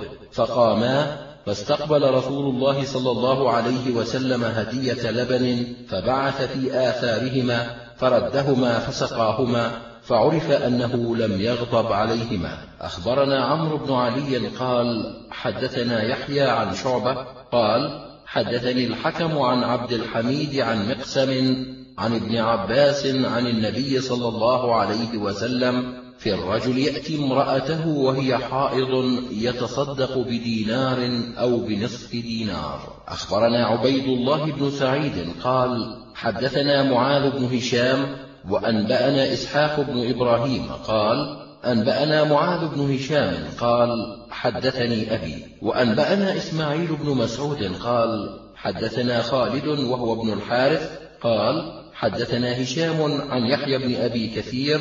قال حدثني أبو سلمة أن زينب بنت أبي سلمة حدثته أن أم سلمة حدثتها قالت بينما أنا مضطجعة مع رسول الله صلى الله عليه وسلم إذ حدت فانسللت فأخذت ثياب حيضتي فقال رسول الله صلى الله عليه وسلم أنا فستي؟ قلت نعم. فدعاني فاضطجعت معه في الخميلة واللفظ لعبيد الله بن سعيد. أخبرنا محمد بن المثنى قال حدثنا يحيى عن جابر بن صبح قال سمعت خلاسا يحدث عن عائشة. قالت كنت أنا ورسول الله صلى الله عليه وسلم نبيت في الشعار الواحد وأنا طامث حائض فإن أصابه مني شيء غسل مكانه لم يعده ثم صلى فيه ثم يعود فإن أصابه مني شيء فعل مثل ذلك غسل مكانه لم يعده وصلى فيه. أخبرنا قتيبة قال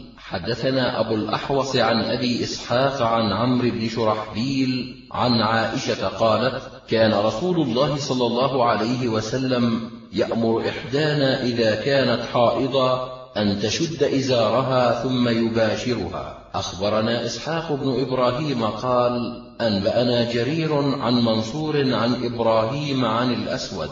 عن عائشة قالت كانت إحدانا إذا حاضت أمرها رسول الله صلى الله عليه وسلم أن تتزر ثم يباشرها. أخبرنا هناد بن السري عن ابن عياش وهو أبو بكر عن صدقة بن سعيد ثم ذكر كلمة معناها حدثنا جميع بن عمير قال دخلت على عائشة مع أمي وخالتي فسألتاها كيف كان رسول الله صلى الله عليه وسلم يصنع إذا حاضت إحداكن قالت كان يأمرنا إذا حاضت إحدانا أن تتزر بإزار واسع ثم يلتزم صدرها وثدييها. أخبرنا الحارث بن مسكين قراءة عليه وأنا أسمع عن ابن وهب عن يونس والليث عن ابن شهاب عن حبيب مولى عروة عن بدية وكان الليث يقول ندب مولاة ميمونة عن ميمونة قالت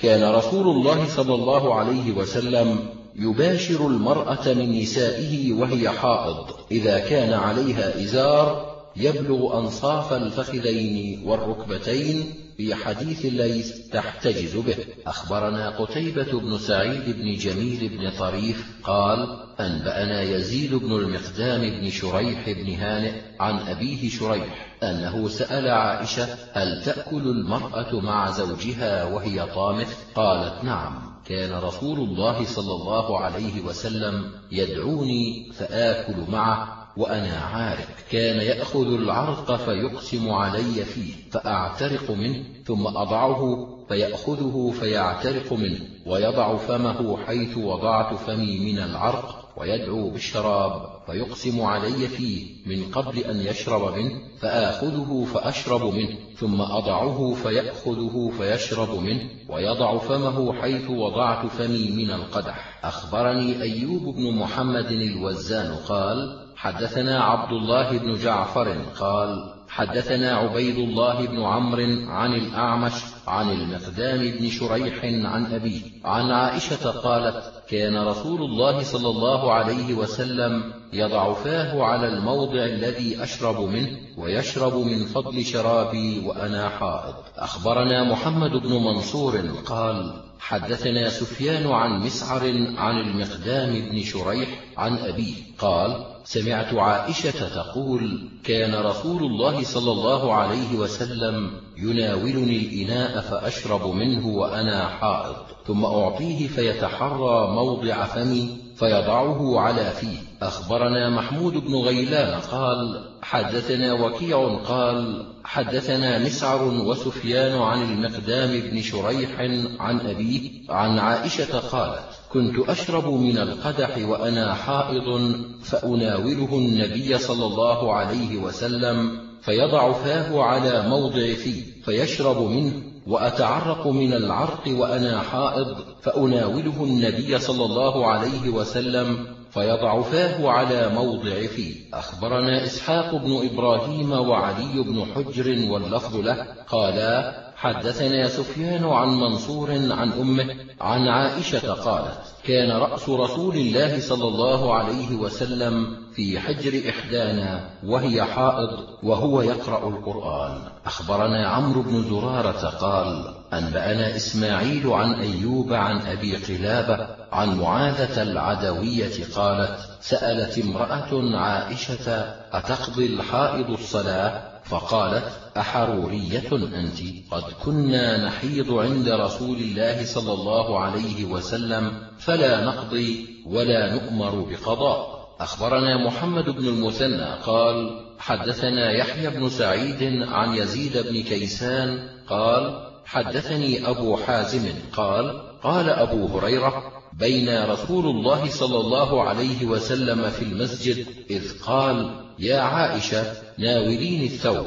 فقالت إني لا أصلي. فقال إنه ليس في يدك. فناولت. أخبرنا قتيبة عن عبيدة عن الأعمش وأخبرنا إسحاق بن إبراهيم قال حدثنا جرير عن الأعمش عن ثابت بن عبيد عن القاسم بن محمد. قال قالت عائشة قال لي رسول الله صلى الله عليه وسلم ناوليني الحمرة من المسجد. فقلت إني حائض. فقال رسول الله صلى الله عليه وسلم ليست حيضتك في يدك. قال إسحاق أنبأنا أبو معاوية عن الأعمش بهذا الإسناد مثله. أخبرنا محمد بن منصور عن سفيان عن منبوذ عن أمه أن ميمونة قالت كان رسول الله صلى الله عليه وسلم يضع رأسه في حجر إحدانا فيتلو القرآن وهي حائض وتقوم إحدانا بخمرته إلى المسجد فتبسطها وهي حائض.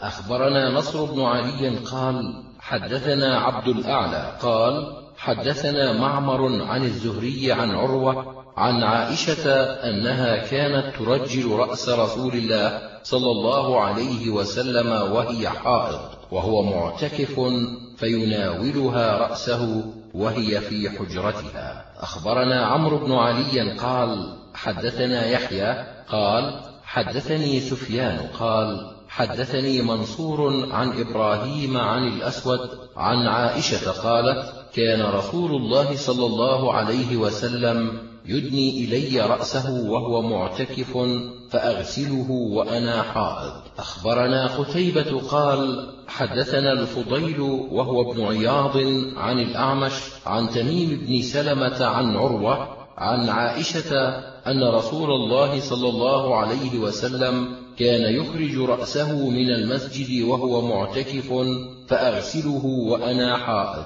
أخبرنا قتيبة عن مالك عن هشام بن عروة عن أبيه عن عائشة قالت كنت أرجل رأس رسول الله صلى الله عليه وسلم وأنا حائض. أخبرنا عمرو بن زرارة قال أنبأنا إسماعيل عن أيوب عن حفصة قالت كانت أم عطية لا تذكر رسول الله صلى الله عليه وسلم إلا قالت بأبا فقلت أسمعت رسول الله صلى الله عليه وسلم يقول كذا وكذا؟ قالت نعم. بأبا قال لتخرج العواتق وذوات الخدور والحيض فيشهدن الخير ودعوة المسلمين وتعتزل الحيض المصلى. أخبرنا محمد بن سلمة. قال حدثنا عبد الرحمن بن القاسم. قال أخبرني مالك عن عبد الله بن أبي بكر عن أبيه عن عمرة عن عائشة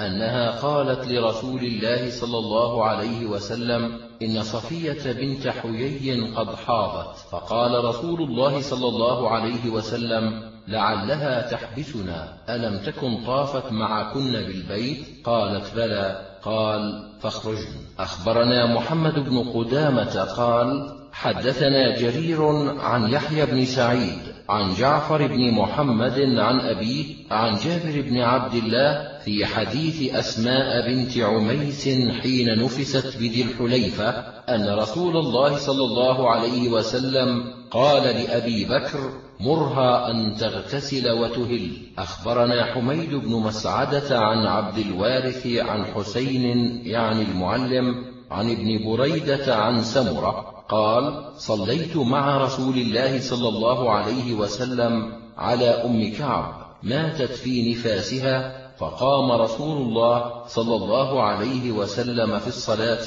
في وسطها. أخبرنا يحيى بن حبيب بن عربي قال حدثنا حماد عن هشام بن عروة عن فاطمة بنت المنذر عن أسماء بنت أبي بكر وكانت تكون في حجرها أن امرأة استفتت النبي صلى الله عليه وسلم عن دم الحيض يصيب الثوب فقال حتيه واقرصيه وانضحيه وصلي فيه أخبرنا عبيد الله بن سعيد قال حدثنا يحيى عن سفيان قال حدثني أبو المقدام ثابت الحداد عن عدي بن دينار قال سمعت أم قيس بنت محصن أنها سألت رسول الله صلى الله عليه وسلم عن دم الحيضة يصيب الثوب. قال حكيه بضلع واغسليه بماء وسدر. أخبرنا سليمان بن داود والحارث بن مسكين قراءة عليه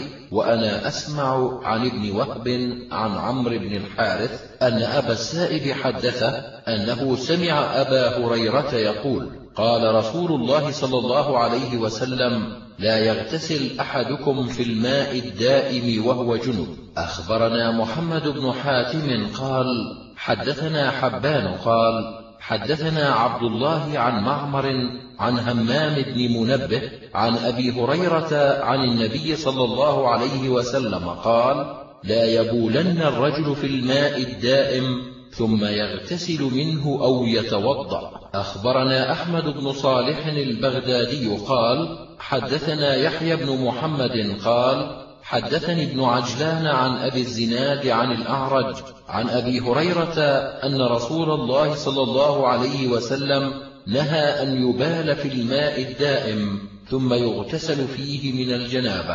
أخبرنا محمد بن عبد الله بن يزيد عن سفيان عن أبي الزناد عن موسى بن أبي عثمان عن أبيه عن أبي هريرة أن النبي صلى الله عليه وسلم نهى أن يبال في الماء الراكد ثم يغتسل منه. أخبرنا قتيبة قال لا يبولن أحدكم في الماء الدائم الذي لا يجري ثم يغتسل منه.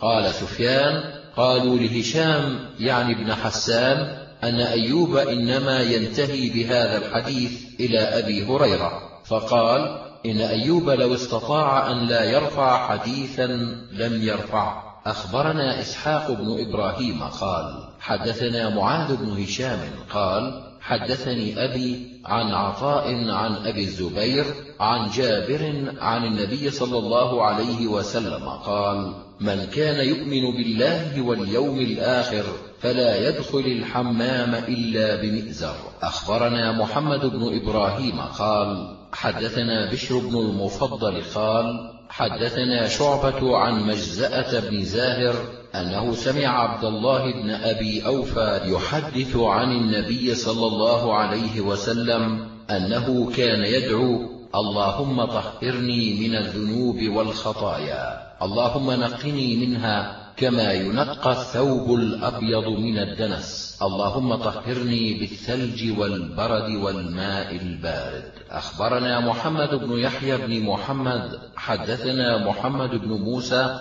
قال حدثنا إبراهيم بن يزيد عن رقبة عن مجزأة الأسلمي عن ابن أبي أوفى قال كان النبي صلى الله عليه وسلم يقول اللهم طهرني بالثلج والبرد والماء البارد. اللهم طهرني من الذنوب كما يطهر الثوب الأبيض من الدنس. أخبرنا شعيب بن يوسف قال حدثنا عبد الرحمن بن مهدي عن معاوية بن صالح عن عبد الله بن أبي قيس قال سألت عائشة كيف كان نوم رسول الله صلى الله عليه وسلم في الجنابة؟ أيغتسل قبل أن ينام أو ينام قبل أن يغتسل؟ قالت كل ذلك قد كان يفعل. ربما اغتسل فنام وربما توضأ فنام. أخبرنا يحيى بن حبيب بن عربي قال حدثنا حماد عن برد عن عبادة بن نسي عن غضيف بن الحارث قال دخلت على عائشة فسألتها فقلت أكان رسول الله صلى الله عليه وسلم يغتسل من أول الليل أو من آخره؟ قالت كل ذلك كان ربما اغتسل من أوله وربما اغتسل من آخره. قلت الحمد لله الذي جعل في الأمر سعة. أخبرنا إبراهيم بن يعقوب قال حدثنا النفيلي قال حدثنا زهير قال حدثنا عبد الملك عن عطاء عن يعلى أن رسول الله صلى الله عليه وسلم رأى رجلا يغتسل بالبراز فصعد المنبر فحمد الله وأثنى عليه وقال إن الله عز وجل حليم حيي ستير يحب الحياء والستر فإذا اغتسل أحدكم فليستتر. أخبرنا أبو بكر بن إسحاق قال حدثنا الأسود بن عامر قال حدثنا أبو بكر بن عياش عن عبد الملك بن أبي سليمان عن عطاء عن صفوان بن يعلى عن أبيه قال قال رسول الله صلى الله عليه وسلم إن الله عز وجل ستير فإذا أراد أحدكم أن يغتسل فليتوارى بشيء. أخبرنا قتيبة قال حدثنا عبيدة عن الأعمش عن سالم عن كريب عن ابن عباس عن ميمونة قالت وضعت لرسول الله صلى الله عليه وسلم ماء قالت فسترته فذكرت الغسل قالت ثم أتيته بخرقة فلم يردها. أخبرنا أحمد بن حفص بن عبد الله قال حدثني أبي قال حدثني إبراهيم عن موسى بن عقبة عن صفوان بن سليم عن عطاء بن يسار عن أبي هريرة قال قال رسول الله صلى الله عليه وسلم بينما أيوب عليه الصلاة والسلام يغتسل عريانا خر عليه جراد من ذهب فجعل يحثي في ثوبه. قال فناداه ربه عز وجل يا أيوب ألم أكن أغنيتك؟ قال بلى يا رب ولكن لا غنى بي عن بركاتك. أخبرنا القاسم بن زكريا بن دينار قال حدثني إسحاق عن منصور عن إبراهيم بن سعد عن الزهري عن القاسم بن محمد عن عائشة قالت كان رسول الله صلى الله عليه وسلم يغتسل في الإناء وهو الفرق وكنت أغتسل أنا وهو من إناء واحد. أخبرنا سويد بن نصر قال حدثنا عبد الله عن هشام وأخبرنا قتيبة عن مالك عن هشام بن عروة عن أبيه عن عائشة أن رسول الله صلى الله عليه وسلم كان يغتسل وأنا من إناء واحد نغترف منه جميعا. وقال سويد قالت كنت أنا. أخبرنا محمد بن عبد الأعلى قال حدثنا خالد. قال حدثنا شعبة. قال أخبرني عبد الرحمن بن القاسم. قال سمعت القاسم يحدث عن عائشة. قالت كنت أغتسل أنا ورسول الله صلى الله عليه وسلم من إناء واحد من الجنابة. أخبرنا قتيبة بن سعيد قال حدثنا عبيدة بن حميد عن منصور عن إبراهيم عن الأسود عن عائشة قالت لقد رأيتني أنازع رسول الله صلى الله عليه وسلم الإناء أغتسل أنا وهو منه. أخبرنا محمد بن بشار عن محمد حدثنا شعبة عن عاصم وأخبرنا سويد بن نصر قال أنبأنا عبد الله عن عاصم عن معاذة عن عائشة قالت كنت أغتسل أنا ورسول الله صلى الله عليه وسلم من إناء واحد أبادره ويبادرني حتى يقول دعي لي وأقول أنا دع لي.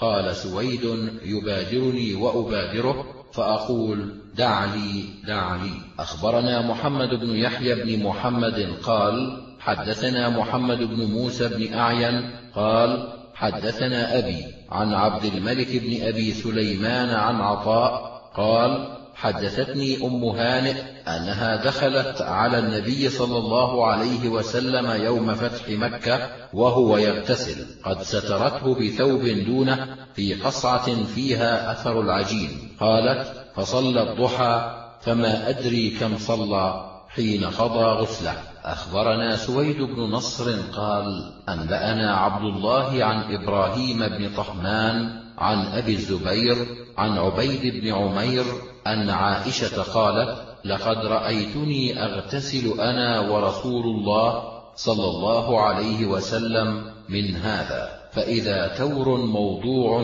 مثل الصاع أو دونه فنشرع فيه جميعا. فأفيض على رأسي بيدي ثلاث مرات وما أنقض لي شعرا. حدثنا هناد بن السري عن وكيع عن سعد وسفيان عن إبراهيم بن محمد بن المنتشر عن أبيه قال سمعت ابن عمر يقول لأن أصبح مطليا بقطران أحب إلي من أن أصبح محرما أنضح طيبا. فدخلت على عائشة فأخبرتها بقوله فقالت طيبت رسول الله صلى الله عليه وسلم فطاف على نسائه ثم أصبح محرما. أخبرنا محمد بن علي قال حدثنا محمد بن يوسف قال حدثنا سفيان عن الأعمش عن سالم عن كريب عن ابن عباس عن ميمونة قالت توضأ رسول الله صلى الله عليه وسلم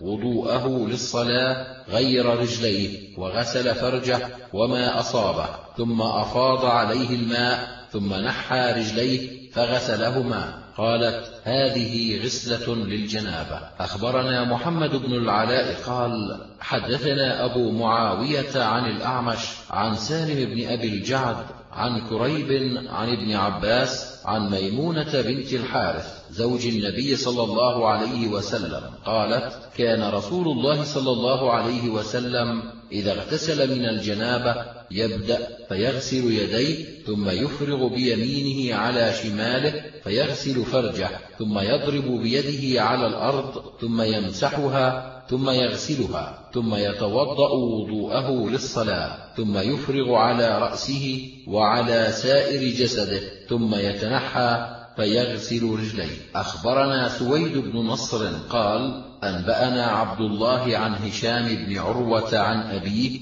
عن عائشة أنها قالت كان رسول الله صلى الله عليه وسلم إذا اغتسل من الجنابة غسل يديه ثم توضأ وضوءه للصلاة. ثم اغتسل ثم يخلل بيده شعره حتى إذا ظن أنه قد أروى بشرته أفاض عليه الماء ثلاث مرات ثم غسل سائر جسده. أخبرنا سويد بن نصر قال أنبأنا عبد الله عن شعبة عن الأشعث بن أبي الشعثاء عن أبيه عن مسروق عن عائشة قالت كان النبي صلى الله عليه وسلم يحب التيمن ما استطاع في طهوره وتنعله وترجله وقال بواسط في شأنه كله أخبرنا عمران بن يزيد بن خالد قال حدثنا إسماعيل بن عبد الله وابن سماعة قال أنبأنا الأوزاعي عن يحيى بن أبي كثير عن أبي سلمة عن عائشة وعن عمرو بن سعد عن نافع عن ابن عمر أن عمر سأل رسول الله صلى الله عليه وسلم عن الغسل من الجنابة واتسقت الأحاديث على هذا. يبدأ فيفرغ على يده اليمنى مرتين أو ثلاثة ثم يدخل يده اليمنى في الإناء فيصب بها على فرجه ويده اليسرى على فرجه فيغسل ما هنالك حتى ينقيه ثم يضع يده اليسرى على التراب إن شاء ثم يصب على يده اليسرى حتى ينقيها ثم يغسل يديه ثلاثا ويستنشق ويمضمض ويغسل وجهه وذراعيه ثلاثا ثلاثا حتى إذا بلغ رأسه لم يمسح وأفرغ عليه الماء فهكذا كان غسل رسول الله صلى الله عليه وسلم.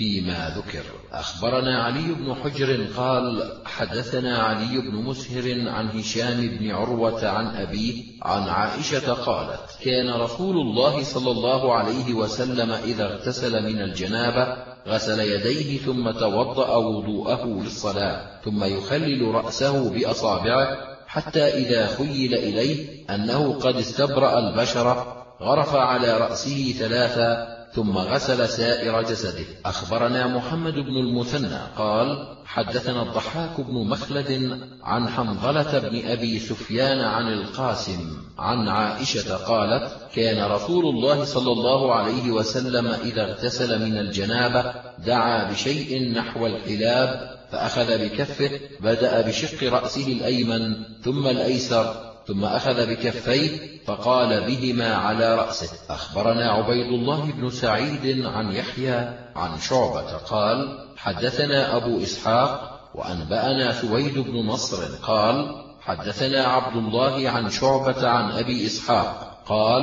سمعت سليمان بن صرد يحدث عن جبير بن مطعم أن النبي صلى الله عليه وسلم ذكر عنده الغسل فقال أما أنا فأفرغ على رأسي ثلاثا لفظ سويد. أخبرنا محمد بن عبد الأعلى. قال حدثنا خالد عن شعبة عن مخول عن أبي جعفر عن جابر. قال كان رسول الله صلى الله عليه وسلم إذا اغتسل أفرغ على رأسه ثلاثا أخبرنا الحسن بن محمد. قال حدثنا عفان. قال حدثنا وهيب. قال حدثنا منصور بن عبد الرحمن عن أمه صفية بنت شيبة عن عائشة أن امرأة سألت النبي صلى الله عليه وسلم قالت يا رسول الله كيف أغتسل عند الطهور؟ قال خذي فرصة ممسكة فتوضئي بها. قالت كيف أتوضأ بها؟ قال توضئي بها. قالت كيف أتوضأ بها؟ قالت ثم إن رسول الله صلى الله عليه وسلم سبح وأعرض عنها ففطنت عائشة لما يريد رسول الله صلى الله عليه وسلم. قالت فأخذتها وجبذتها إلي فأخبرتها بما يريد رسول الله صلى الله عليه وسلم. أخبرنا إسحاق بن إبراهيم قال أنبأنا جرير عن الأعمش عن سالم بن أبي الجعد عن كريب عن ابن عباس عن ميمونة زوج النبي صلى الله عليه وسلم قالت اغتسل النبي صلى الله عليه وسلم من الجنابة فغسل فرجه ودلك يده بالأرض أو الحائط ثم توضأ وضوءه للصلاة ثم أفاض على رأسه وسائر جسده. أخبرنا عمرو بن علي ومحمد بن المثنى ويعقوب بن إبراهيم واللفظ له قال حدثنا يحيى بن سعيد قال حدثنا جعفر بن محمد قال حدثني أبي قال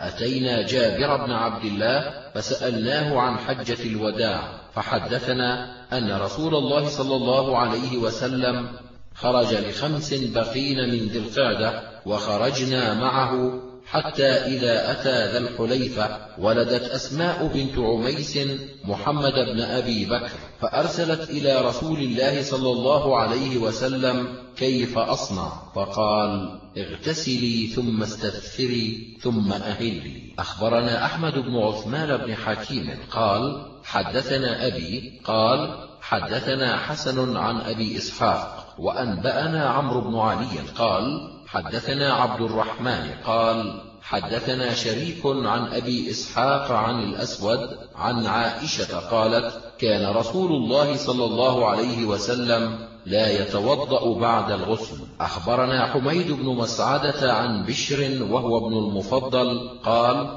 حدثنا شعبة عن إبراهيم بن محمد عن أبيه قال قالت عائشة كنت أطيب رسول الله صلى الله عليه وسلم فيطوف على نسائه ثم يصبح محرما ينضح طيبا. أخبرنا الحسن بن إسماعيل بن سليمان قال حدثنا هشيم قال أنبأنا سيار عن يزيد الفقير عن جابر بن عبد الله قال قال رسول الله صلى الله عليه وسلم أعطيت خمسا لم يعطهن أحد قبلي نصرت بالرعب مسيرة شهر وجعلت هي الأرض مسجدا وطهورا. فأينما أدرك الرجل من أمة الصلاة يصلي وأعطيت الشفاعة ولم يعط نبي قبلي وبعثت إلى الناس كافة وكان النبي يبعث إلى قومه خاصة. أخبرنا مسلم بن عمرو بن مسلم قال حدثني ابن نافع عن الليث بن سعد عن بكر بن سوادة عن عطاء بن يسار عن أبي سعيد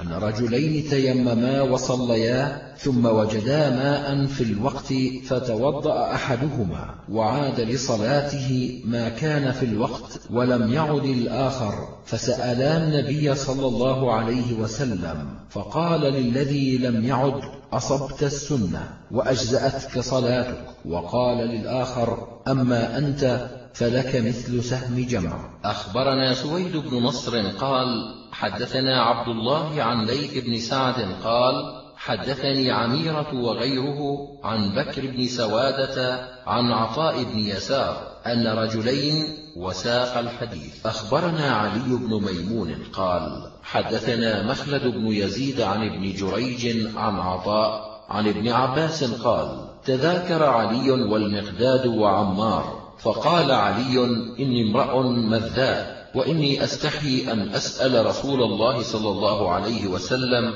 لمكان ابنته مني فيسأله أحدكما فذكر لي أن أحدهما ونسيته سأله فقال النبي صلى الله عليه وسلم ذاك المذي إذا وجده أحدكم فليغسل ذلك منه وليتوضأ وضوءه للصلاة أو كوضوء الصلاة الاختلاف على سليمان. أخبرنا محمد بن حاتم قال حدثنا عبيدة قال حدثنا سليمان الأعمش عن حبيب بن أبي ثابت عن سعيد بن جبير عن ابن عباس عن علي رضي الله عنه قال كنت رجلا مذاء فأمرت رجلا فسأل النبي صلى الله عليه وسلم فقال فيه الوضوء. أخبرنا محمد بن عبد الأعلى قال حدثنا خالد بن الحارث قال حدثنا شعبة قال أخبرني سليمان الأعمش قال سمعت منذرا عن محمد بن علي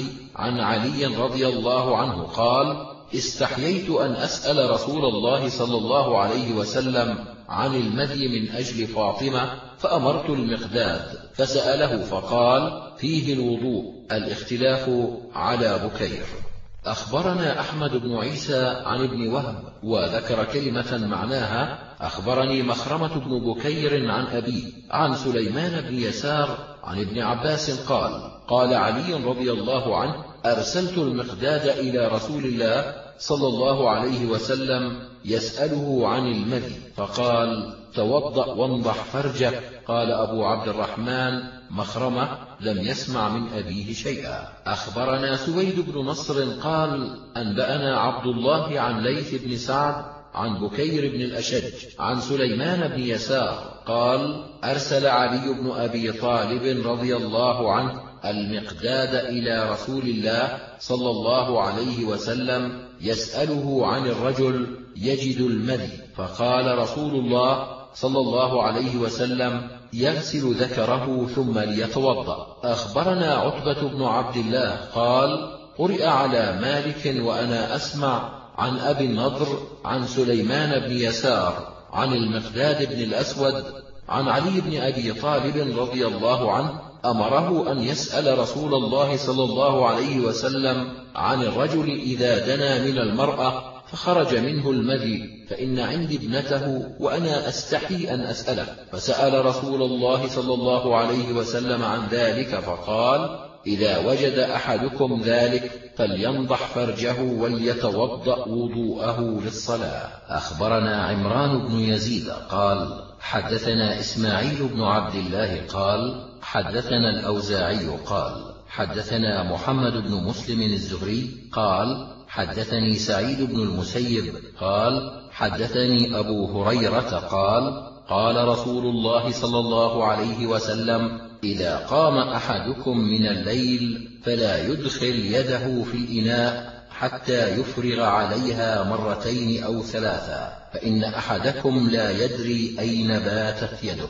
أخبرنا قتيبة قال حدثنا داود عن عمرو عن كريب عن ابن عباس قال صليت مع النبي صلى الله عليه وسلم ذات ليلة فقمت عن يساره فجعلني عن يمينه فصلى ثم اضطجع ورقد فجاءه المؤذن فصلى ولم يتوضأ مختصر. أخبرنا يعقوب بن إبراهيم قال حدثنا محمد بن عبد الرحمن الطفاوي حدثنا أيوب عن أبي قلابة عن أنس أن رسول الله صلى الله عليه وسلم قال إذا نعس أحدكم في صلاته فلينصرف وليرقد. أخبرنا قتيبة عن سفيان عن عبد الله يعني ابن أبي بكر قال على أثره قال أبو عبد الرحمن ولم أتقنه عن عروة عن بسرة قالت قال رسول الله صلى الله عليه وسلم من مس فرجه فليتوضأ. أخبرنا عمران بن موسى قال حدثنا محمد بن سواء عن شعبة عن معمر عن الزهري عن عروة بن الزبير عن بسرة بنت صفوان أن النبي صلى الله عليه وسلم قال إذا أفضى أحدكم بيده إلى فرجه فليتوضأ. أخبرنا قتيبة قال حدثنا الليث عن ابن شهاب عن عروة بن الزبير عن مروان بن الحكم أنه قال الوضوء من مس الذكر. فقال مروان أخبرتنيه بسرة بنت صفوان. فأرسل عروة قالت ذكر رسول الله صلى الله عليه وسلم ما يتوضأ منه. فقال من مس الذكر. أخبرنا إسحاق بن منصور قال حدثنا يحيى بن سعيد عن هشام بن عروة قال أخبرني أبي عن بسرة بنت صفوان أن النبي صلى الله عليه وسلم قال من مس ذكره فلا يصلي حتى يتوضأ. قال أبو عبد الرحمن هشام بن عروة لم يسمع من أبيه هذا الحديث والله سبحانه وتعالى أعلم. أخبرنا يعقوب بن إبراهيم قال حدثنا يحيى بن سعيد قال حدثنا هشام الدستوائي قال حدثنا قتادة عن أنس بن مالك عن مالك بن صعصعة أن النبي صلى الله عليه وسلم قال بين أنا عند البيت بين النائم واليقظان إذ أقبل أحد الثلاثة بين الرجلين فأتيت بطست من ذهب ملآن حكمة وإيمانا فشق من النحر إلى مراق البطن فغسل القلب بماء زمزم ثم ملئ حكمة وإيمانا ثم أتيت بدابة دون البغل وفوق الحمار ثم انطلقت مع جبريل عليه السلام فأتينا السماء الدنيا فقيل من هذا؟ قال جبريل. قيل ومن معك؟ قال محمد قيل وقد أرسل إليه مرحبا به ونعم المجيء جاء فأتيت على آدم عليه السلام فسلمت عليه قال مرحبا بك من ابن ونبي. ثم أتينا السماء الثانية قيل من هذا؟ قال جبريل. قيل ومن معك؟ قال محمد. فمثل ذلك فأتيت على يحيى وعيسى فسلمت عليهما فقالا مرحبا بك من أخ ونبي. ثم أتينا السماء الثالثة. قيل من هذا؟ قال جبريل. قيل ومن معك؟ قال محمد. فمثل ذلك. فأتيت على يوسف عليه السلام فسلمت عليه. قال مرحبا بك من أخ ونبي. ثم أتينا السماء الرابعة فمثل ذلك. فأتيت على إدريس عليه السلام. فسلمت عليه. فقال مرحبا بك من أخ ونبي. ثم أتينا السماء الخامسة فمثل ذلك. فأتيت على هارون عليه السلام. فسلمت عليه. قال مرحبا بك من أخ ونبي. ثم أتينا السماء السادسة فمثل ذلك. ثم أتيت على موسى عليه السلام. فسلمت عليه. فقال مرحبا بك من أخ ونبي فلما جاوزته بكى قيل ما يبكيك؟ قال يا ربي هذا الغلام الذي بعثته بعدي يدخل من أمته الجنة أكثر وأفضل مما يدخل من أمتي ثم أتينا السماء السابعة فمثل ذلك. فأتيت على إبراهيم عليه السلام فسلمت عليه فقال مرحبا بك من ابن ونبي ثم رفع لي البيت المعمور فسألت جبريل فقال هذا البيت المعمور يصلي فيه كل يوم سبعون ألف ملك فإذا خرجوا منه لم يعودوا فيه آخر ما عليهم. ثم رفعت لي سدرة المنتهى فإذا نبقها مثل قلال هجر وإذا ورقها مثل آذان الفيلة وإذا في أصلها أربعة أنهار نهران باطنان ونهران ظاهران. فسألت جبريل فقال أما الباطنان ففي الجنة وأما الظاهران فالفرات والنيل. ثم فرضت علي خمسون صلاة فأتيت على موسى فقال ما صنعت؟ قلت فرضت علي خمسون صلاة. قال إني أعلم بالناس منك إني عالجت بني إسرائيل أشد المعالجة وإن أمتك لن يطيقوا ذلك. فارجع إلى ربك فاسأله أن يخفف عنك فرجعت إلى ربي فسألته أن يخفف عني فجعلها أربعين ثم رجعت إلى موسى عليه السلام فقال ما صنعت؟ قلت جعلها أربعين فقال لي مثل مقالته الأولى ورجعت إلى ربي عز وجل فجعلها ثلاثين فأتيت على موسى عليه السلام فأخبرته فقال لي مثل مقالته الأولى فرجعت إلى ربي فجعلها عشرين ثم عشرة ثم خمسة فأتيت على موسى عليه السلام فقال لي مثل مقالته الأولى فقلت إني أستحي من ربي عز وجل أن أرجع إليه فنودي أن قد أمضيت فريضتي وخففت عن عبادي وأجزي بالحسنة عشر أمثالها. أخبرنا يونس بن عبد الأعلى قال حدثنا ابن وهب قال أخبرني يونس عن ابن شهاب قال أنس بن مالك وابن حزم قال رسول الله صلى الله عليه وسلم فرض الله عز وجل على أمتي خمسين صلاة فرجعت بذلك حتى أمر بموسى عليه السلام فقال ما فرض ربك على أمتك؟ قلت فرض عليهم خمسين صلاة. قال لي موسى فراجع ربك عز وجل فإن أمتك لا تطيق ذلك. فراجعت ربي عز وجل فوضع شطرها فرجعت إلى موسى فأخبرته فقال راجع ربك فإن أمتك لا تطيق ذلك. فراجعت ربي عز وجل فقال هي خمس وهي خمسون لا يبدل القول لدي. فرجعت إلى موسى فقال راجع ربك فقلت قد استحييت من ربي عز وجل. أخبرنا عمرو بن هشام قال حدثنا مخلد عن سعيد بن عبد العزيز قال حدثنا يزيد بن أبي مالك قال حدثنا أنس بن مالك أن رسول الله صلى الله عليه وسلم قال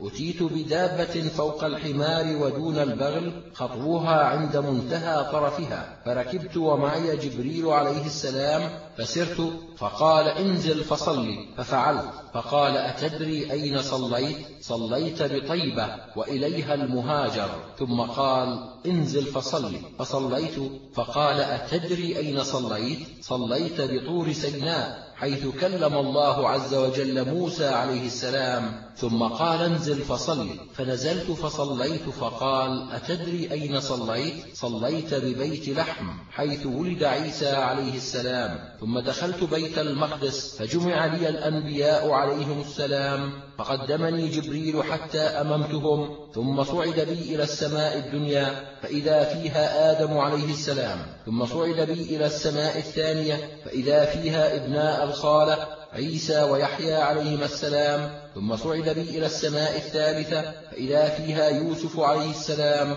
ثم صعد بي إلى السماء الرابعة فإذا فيها هارون عليه السلام ثم صعد بي إلى السماء الخامسة فإذا فيها إدريس عليه السلام ثم صعد بي إلى السماء السادسة فإذا فيها موسى عليه السلام ثم صعد بي إلى السماء السابعة فإذا فيها إبراهيم عليه السلام ثم صعد بي فوق سبع سماوات فأتينا سدرة المنتهى فغشيتني ضبابة فخررت ساجدا فقيل لي إني يوم خلقت السماوات والأرض فرضت عليك وعلى أمتك خمسين صلاة فقم بها أنت وأمتك. فرجعت إلى إبراهيم فلم يسألني عن شيء. ثم أتيت على موسى فقال كم فرض الله عليك وعلى أمتك؟ قلت خمسين صلاة. قال فإنك لا تستطيع أن تقوم بها أنت ولا أمتك فارجع إلى ربك فاسأله التخفيف. فرجعت إلى ربي فخفف عني عشرا. ثم أتيت موسى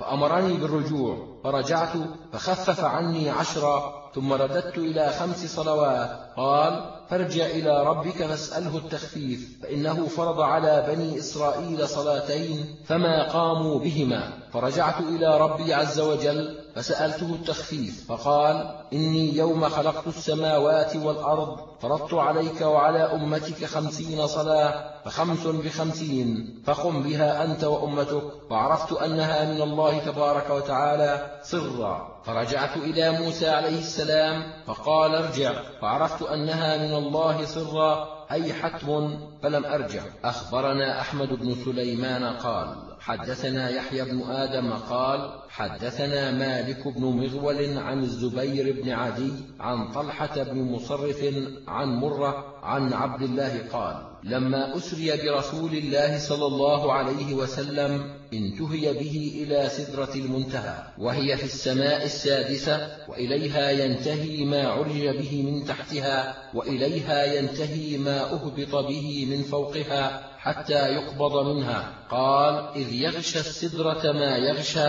قال فراش من ذهب فأعطي ثلاثة الصلوات الخمس وخواتيم سورة البقرة ويغفر لمن مات من أمته لا يشرك بالله شيئا المقحمات أخبرنا سليمان بن داود عن ابن وهب قال أخبرني عمرو بن الحارث أن عبد ربه بن سعيد حدثه أن البناني حدثه عن أنس بن مالك أن الصلوات فرضت بمكة وأن ملكين أتيا رسول الله صلى الله عليه وسلم فذهبا به إلى زمزم فشقا بطنه وأخرجا حشوة في طست من ذهب فغسلاه بماء زمزم. ثم كبسا جوفه حكمة وعلما. أخبرنا إسحاق بن إبراهيم قال أنبأنا سفيان عن الزهري عن عروة عن عائشة قالت أول ما فرضت الصلاة ركعتين فأقرت صلاة السفر وأتمت صلاة الحضر. أخبرنا محمد بن هاشم البعلبكي قال أنبأنا الوليد قال أخبرني أبو عمرو يعني الأوزاعي أنه سأل الزهري عن صلاة رسول الله صلى الله عليه وسلم بمكة قبل الهجرة إلى المدينة. قال أخبرني عروة عن عائشة قالت فرض الله عز وجل الصلاة على رسوله صلى الله عليه وسلم أول ما فرضها ركعتين ركعتين ثم أتمت في الحضر أربعة وأقرت صلاة السفر على الفريضة الأولى. أخبرنا قتيبة عن مالك عن صالح بن كيسان عن عروة عن عائشة قالت فرضت الصلاة ركعتين ركعتين فأقرت صلاة السفر وزيد في صلاة الحضر.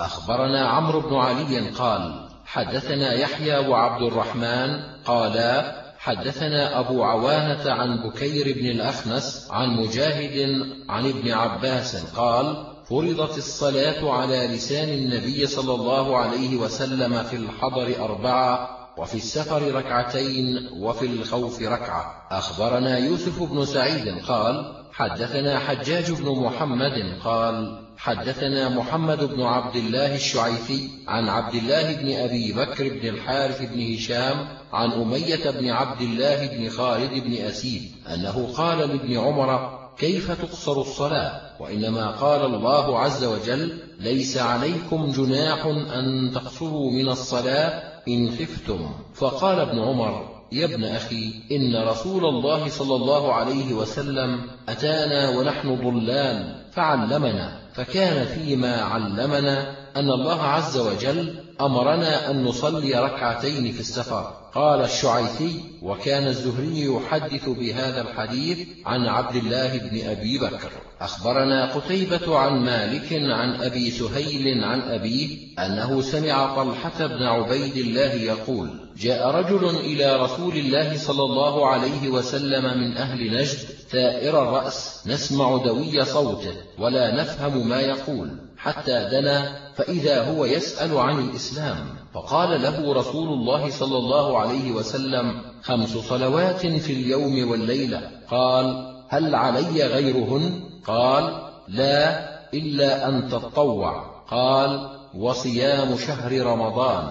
قال هل علي غيره؟ قال لا إلا أن تطوع. وذكر له رسول الله صلى الله عليه وسلم الزكاة. قال هل علي غيرها؟ قال لا إلا أن تطوع. فأدبر الرجل وهو يقول والله لا أزيد على هذا ولا أنقص منه. قال رسول الله صلى الله عليه وسلم أفلح إن صدق. أخبرنا قتيبة قال حدثنا نوح بن قيس عن خالد بن قيس عن قتادة عن أنس قال سأل رجل رسول الله صلى الله عليه وسلم فقال يا رسول الله كم افترض الله عز وجل على عباده من الصلوات؟ قال افترض الله على عباده صلوات خمسا قال يا رسول الله هل قبلهن أو بعدهن شيئا؟ قال افترض الله على عباده صلوات خمسا فحلف الرجل لا يزيد عليه شيئا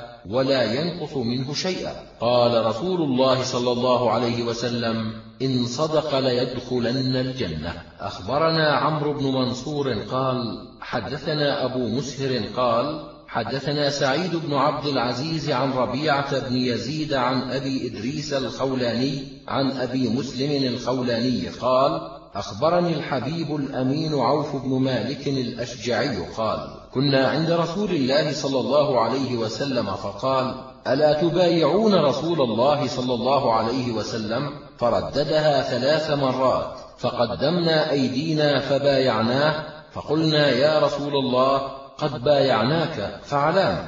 قال على أن تعبدوا الله ولا تشركوا به شيئا. والصلوات الخمس وأسر كلمة خفية أن لا تسألوا الناس شيئا. أخبرنا قتيبة عن مالك عن يحيى بن سعيد عن محمد بن يحيى بن حبان عن ابن محيريز أن رجلا من بني كنانة يدعى المخدجي. سمع رجلا بالشام يكنى أبا محمد يقول الوتر واجب. قال المخدجي فرحت إلى عبادة بن الصامت فاعترضت له وهو رائح إلى المسجد فأخبرته بالذي قال أبو محمد. فقال عبادة كذب أبو محمد. سمعت رسول الله صلى الله عليه وسلم يقول خمس صلوات كتبهن الله على العباد. من جاء بهن لم يضيع منهن شيئا استخفافا بحقهن كان له عند الله عهد أن يدخله الجنة. ومن لم يأت بهن فليس له عند الله عهد إن شاء عذبه وإن شاء أدخله الجنة. أخبرنا قتيبة قال حدثنا الليث عن ابن الهاد عن محمد بن إبراهيم عن أبي سلمة عن أبي هريرة أن رسول الله صلى الله عليه وسلم قال أرأيتم لو أن نهرا بباب أحدكم يغتسل منه كل يوم خمس مرات هل يبقى من درنه شيء؟ قالوا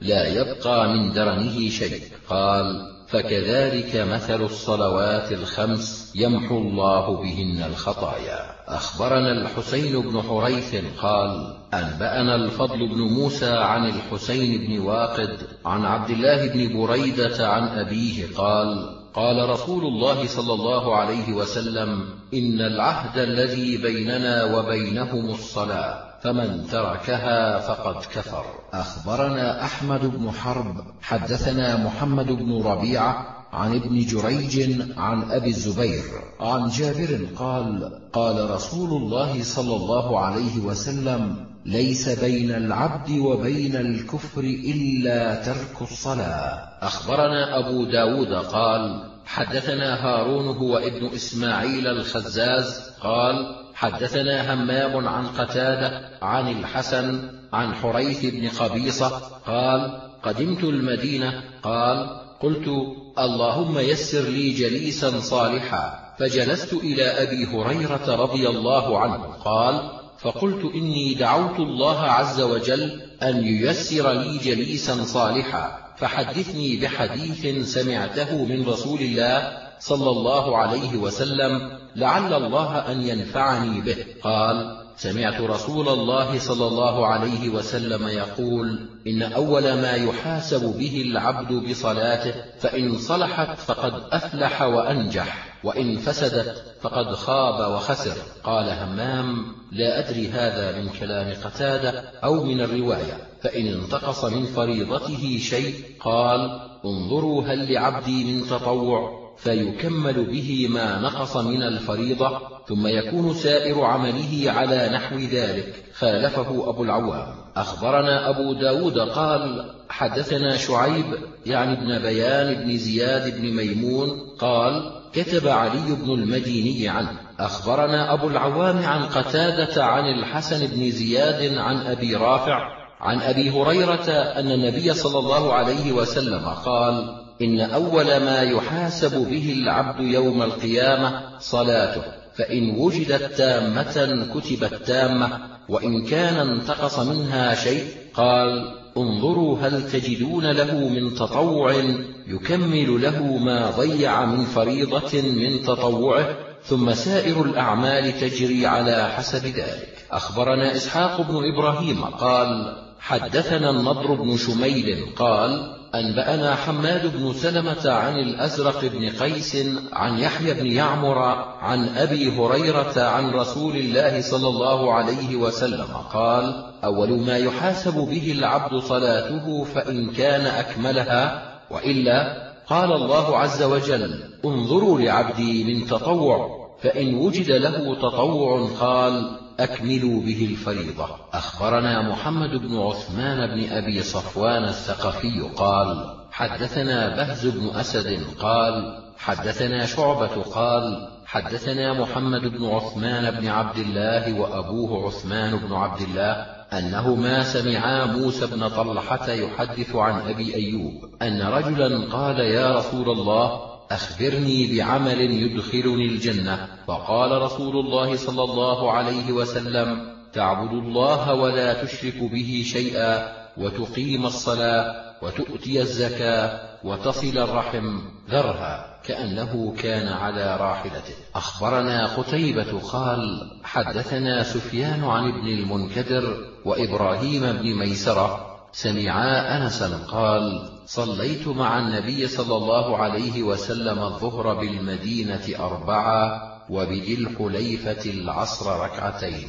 أخبرنا محمد بن المثنى ومحمد بن بشار قالا حدثنا محمد بن جعفر قال حدثنا شعبة عن الحكم بن عتيبة قال سمعت أبا جحيفة قال خرج رسول الله صلى الله عليه وسلم بالهاجرة. قال ابن المثنى إلى البطحاء فتوضأ وصلى الظهر ركعتين والعصر ركعتين وبين يديه عنزة. أخبرنا محمود بن غيلان قال حدثنا وكيع قال حدثنا مسعر وابن أبي خالد والبختري بن أبي البختري كلهم سمعوه من أبي بكر بن عمارة بن رويبة الثقفي عن أبيه قال سمعت رسول الله صلى الله عليه وسلم يقول لن يلج النار من صلى قبل طلوع الشمس وقبل غروبها. أخبرنا قتيبة عن مالك عن زيد بن أسلم عن القعقاع بن حكيم عن أبي يونس مولى عائشة زوج النبي صلى الله عليه وسلم قال أمرتني عائشة أن أكتب لها مصحفا فقالت إذا بلغت هذه الآية فآذني حافظوا على الصلوات والصلاة الوسطى فلما بلغتها آذنتها فأملت علي حافظوا على الصلوات والصلاة الوسطى وصلاة العصر وقوموا لله قانتين. ثم قالت سمعتها من رسول الله صلى الله عليه وسلم. أخبرنا محمد بن عبد الأعلى قال حدثنا خالد قال حدثنا شعبة قال أخبرني قتادة عن أبي حسان عن عبيدة عن علي رضي الله عنه عن النبي صلى الله عليه وسلم قال شغلونا عن الصلاة الوسطى حتى غربت الشمس. أخبرنا عبيد الله بن سعيد قال حدثني يحيى عن هشام قال حدثني يحيى بن أبي كثير عن أبي قلابة قال حدثني أبو المليح قال كنا مع بريدة في يوم ذي غيم فقال بكروا بالصلاة. فإن رسول الله صلى الله عليه وسلم قال من ترك صلاة العصر فقد حبط عمله. أخبرنا يعقوب بن إبراهيم قال حدثنا هشيم قال أنبأنا منصور بن زاذان عن الوليد بن مسلم عن أبي الصديق الناجي عن أبي سعيد الخدري قال كنا نحزر قيام رسول الله صلى الله عليه وسلم في الظهر والعصر فحزرنا قيامه في الظهر قدر ثلاثين آية قدر سورة السجدة في الركعتين الأوليين وفي الأخريين على النصف من ذلك. وحزرنا قيامه في الركعتين الأوليين من العصر على قدر الأخريين من الظهر. وحزرنا قيامه في الركعتين الأخريين من العصر على النصف من ذلك. أخبرنا سويد بن نصر قال أنبأنا عبد الله بن المبارك عن أبي عوانة عن منصور بن زاذان عن الوليد أبي بشر عن أبي المتوكل عن أبي سعيد الخدري قال كان رسول الله صلى الله عليه وسلم يقوم في الظهر فيقرأ قدر ثلاثين آية في كل ركعة ثم يقوم في العصر في الركعتين الأوليين قدر خمس عشرة آية. أخبرنا قتيبة قال حدثنا حماد عن أيوب عن أبي قلابة عن أنس بن مالك أن النبي صلى الله عليه وسلم صلى الظهر بالمدينة أربعا وصلى العصر بذي الحليفة ركعتين. أخبرنا سويد بن نصر قال أنبأنا عبد الله بن المبارك عن حيوة بن شريح. قال أنبأنا جعفر بن ربيعة أن عراك بن مالك حدث أن نوفل بن معاوية حدث أنه سمع رسول الله صلى الله عليه وسلم يقول من فاتته صلاة العصر فكأنما وتر أهله وماله. قال عراك وأخبرني عبد الله بن عمر أنه سمع رسول الله صلى الله عليه وسلم يقول من فاتته صلاة العصر فكأنما وتر أهله وماله. خالفه يزيد بن أبي حبيب. أخبرنا عيسى بن حماد زغبة قال حدثنا الليث عن يزيد بن أبي حبيب عن عراك بن مالك أنه بلغه أن نوفل بن معاوية قال سمعت رسول الله صلى الله عليه وسلم يقول من الصلاة صلاة من فاتته فكأنما وتر أهله وماله. قال ابن عمر سمعت رسول الله صلى الله عليه وسلم يقول هي صلاة العصر خالفه محمد بن إسحاق. أخبرنا عبيد الله بن سعد بن إبراهيم بن سعد. قال حدثني عمي. قال حدثنا أبي عن محمد بن إسحاق. قال حدثني يزيد بن أبي حبيب عن عراك بن مالك قال سمعت نوفل بن معاوية يقول صلاة من فاتته فكأنما وتر أهله وماله. قال ابن عمر قال رسول الله صلى الله عليه وسلم هي صلاة العصر. أخبرنا محمد بن عبد الأعلى قال حدثنا خالد قال حدثنا شعبة عن سلمة بن كهيل قال رأيت سعيد بن جبير بجمع أقام فصلى المغرب ثلاث ركعات ثم أقام فصلى يعني العشاء ركعتين ثم ذكر أن ابن عمر صنع بهم مثل ذلك في ذلك المكان وذكر أن رسول الله صلى الله عليه وسلم صنع مثل ذلك في ذلك المكان. أخبرنا نصر بن علي بن نصر عن عبد الأعلى قال حدثنا معمر عن الزهري عن عروة عن عائشة قالت أعتم رسول الله صلى الله عليه وسلم بالعشاء حتى ناداه عمر رضي الله عنه. نام النساء والصبيان فخرج رسول الله صلى الله عليه وسلم فقال إنه ليس أحد يصلي هذه الصلاة غيركم ولم يكن يومئذ أحد يصلي غير أهل المدينة. أخبرنا عمرو بن يزيد قال حدثنا بهز بن أسد قال حدثنا شعبة قال أخبرني الحكم قال صلى بنا سعيد بن جبير بجمع المغرب ثلاثا بإقامة ثم سلم ثم صلى العشاء ركعتين ثم ذكر أن عبد الله بن عمر فعل ذلك وذكر أن رسول الله صلى الله عليه وسلم فعل ذلك. أخبرنا عمرو بن يزيد قال حدثنا بهز بن أسد قال حدثنا شعبة قال حدثنا سلمة بن كهيل قال سمعت سعيد بن جبير قال رأيت عبد الله بن عمر صلى بجمع فأقام فصلى المغرب ثلاثا ثم صلى العشاء ركعتين ثم قال هكذا رأيت رسول الله صلى الله عليه وسلم يصنع في هذا المكان. أخبرنا قتيبة عن مالك عن أبي الزناد عن الأعرج عن أبي هريرة أن رسول الله صلى الله عليه وسلم قال يتعاقبون فيكم ملائكة بالليل وملائكة بالنهار ويجتمعون في صلاة الفجر وصلاة العصر ثم يعرج الذين باتوا فيكم فيسألهم وهو أعلم بهم كيف تركتم عبادي؟ فيقولون تركناهم وهم يصلون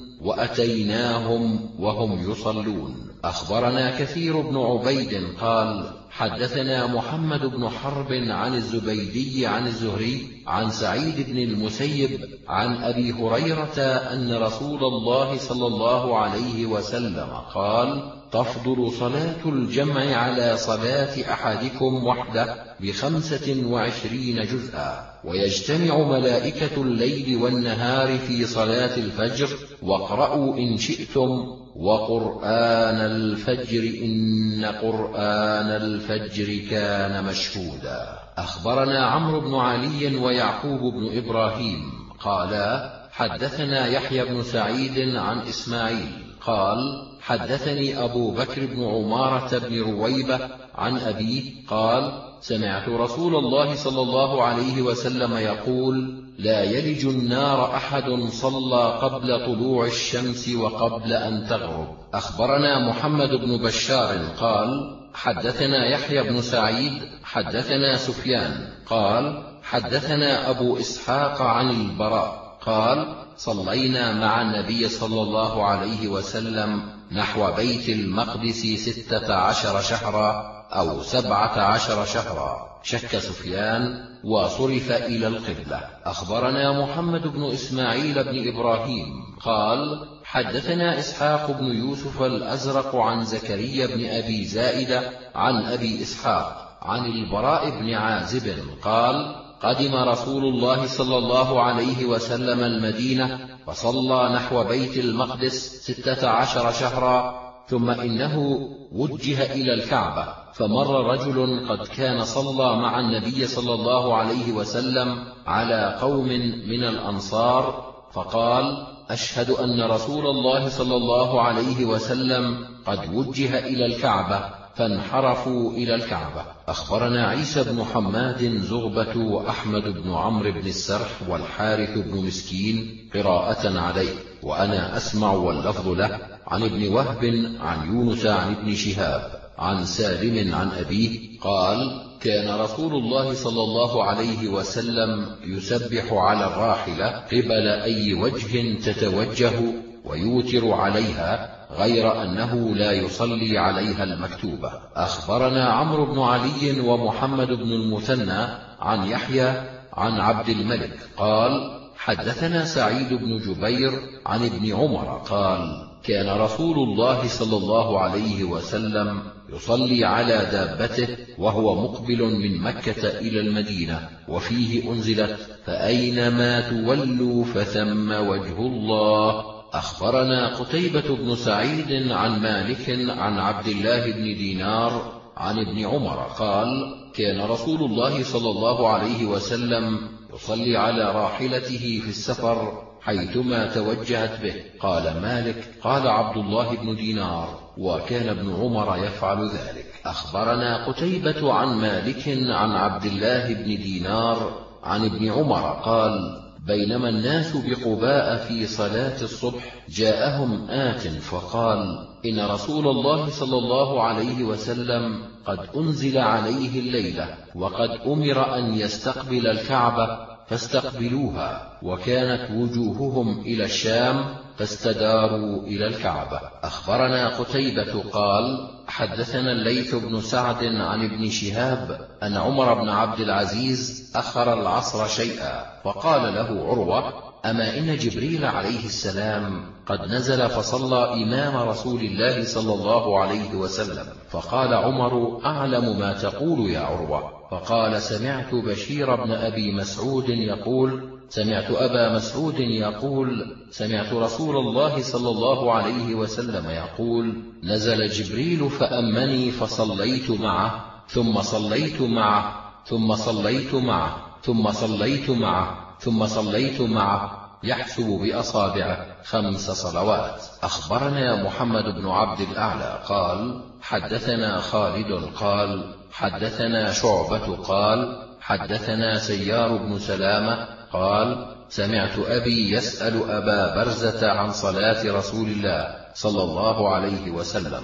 قلت أنت سمعته؟ قال كما أسمعك الساعة. فقال سمعت أبي يسأل عن صلاة رسول الله صلى الله عليه وسلم. قال كان لا يبالي بعض تأخيرها يعني العشاء إلى نصف الليل ولا يحب النوم قبلها ولا الحديث بعدها. قال شعبة ثم لقيته بعد فسألته قال كان يصلي الظهر حين تزول الشمس والعصر يذهب الرجل إلى أقصى المدينة والشمس حية والمغرب لا أدري أي حين ذكر. ثم لقيته بعد فسألته فقال وكان يصلي الصبح فينصرف الرجل فينظر إلى وجه جليسه الذي يعرفه فيعرفه. قال وكان يقرأ فيها بالستين إلى المئة. أخبرنا كثير بن عبيد قال حدثنا محمد بن حرب عن الزبيدي عن الزهري قال أخبرني أنس أن رسول الله صلى الله عليه وسلم خرج حين زاغت الشمس فصلى بهم صلاة الظهر. أخبرنا يعقوب بن إبراهيم قال حدثنا حميد بن عبد الرحمن قال حدثنا زهير عن أبي إسحاق عن سعيد بن وهب عن خباب قال شكونا إلى رسول الله صلى الله عليه وسلم حر الرمضاء فلم يشكنا. قيل لأبي إسحاق في تعجيلها قال نعم. أخبرنا عبيد الله بن سعيد حدثنا يحيى بن سعيد عن شعبة قال حدثني حمزة العائذي قال سمعت أنس بن مالك يقول كان النبي صلى الله عليه وسلم إذا نزل منزلا لم يرتحل منه حتى يصلي الظهر. فقال رجل وإن كانت بنصف النهار؟ قال وإن كانت بنصف النهار. أخبرنا عبيد الله بن سعيد قال حدثنا أبو سعيد مولى بني هاشم قال حدثنا خالد بن دينار أبو خلدة قال سمعت أنس بن مالك قال كان رسول الله صلى الله عليه وسلم إذا كان الحر أبرد بالصلاة وإذا كان البرد عجل. أخبرنا قتيبة بن سعيد قال حدثنا الليث عن ابن شهاب عن ابن المسيب وأبي سلمة بن عبد الرحمن. عن أبي هريرة قال إن رسول الله صلى الله عليه وسلم قال إذا اشتد الحر فأبردوا عن الصلاة فإن شدة الحر من فيح جهنم. أخبرنا إبراهيم بن يعقوب قال حدثنا عمر بن حفص قال حدثنا أبي وأنبأنا إبراهيم بن يعقوب قال حدثنا يحيى بن معين قال حدثنا حفص وأنبأنا عمرو بن منصور قال حدثنا عمر بن حفص بن غياث قال حدثنا أبي عن الحسن بن عبيد الله عن إبراهيم عن يزيد بن أوس عن ثابت بن قيس عن أبي موسى يرفعه قال أبردوا بالظهر فإن الذي تجدون من الحر من فيح جهنم. أخبرنا الحسين بن حريث قال أنبأنا الفضل بن موسى عن محمد بن عمرو عن أبي سلمة عن أبي هريرة قال قال رسول الله صلى الله عليه وسلم هذا جبريل عليه السلام جاءكم يعلمكم دينكم فصلى الصبح حين طلع الفجر وصلى الظهر حين زاغت الشمس ثم صلى العصر حين رأى الظل مثله ثم صلى المغرب حين غربت الشمس وحل فطر الصائم ثم صلى العشاء حين ذهب شفق الليل ثم جاءه الغد فصلى به الصبح حين أسفر قليلا. ثم صلى به الظهر حين كان الظل مثله ثم صلى العصر حين كان الظل مثليه ثم صلى المغرب بوقت واحد حين غربت الشمس وحل فطر الصائم ثم صلى العشاء حين ذهب ساعة من الليل ثم قال الصلاة ما بين صلاتك أمس وصلاتك اليوم. أخبرنا أبو عبد الرحمن عبد الله بن محمد الأذرمي قال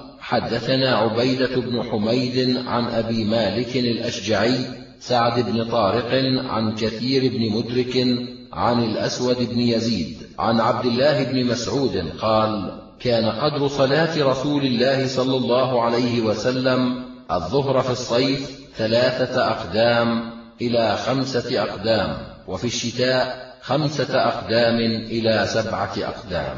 أخبرنا عبيد الله بن سعيد قال حدثنا عبد الله بن الحارث قال حدثنا ثور حدثني سليمان بن موسى عن عطاء بن أبي رباح عن جابر قال سأل رجل رسول الله صلى الله عليه وسلم عن مواقيت الصلاة فقال صل معي فصلى الظهر حين زاغت الشمس والعصر حين كان في كل شيء مثله والمغرب حين غابت الشمس والعشاء حين غاب الشفق. قال ثم صلى الظهر حين كان فيء الإنسان مثله والعصر حين كان فيء الإنسان مثليه والمغرب حين كان قبيل غيبوبة الشفق. قال عبد الله بن الحارث ثم قال في العشاء أرى إلى ثلث الليل. أخبرنا قتيبة قال حدثنا الليث عن ابن شهاب عن عروة عن عائشة أن رسول الله صلى الله عليه وسلم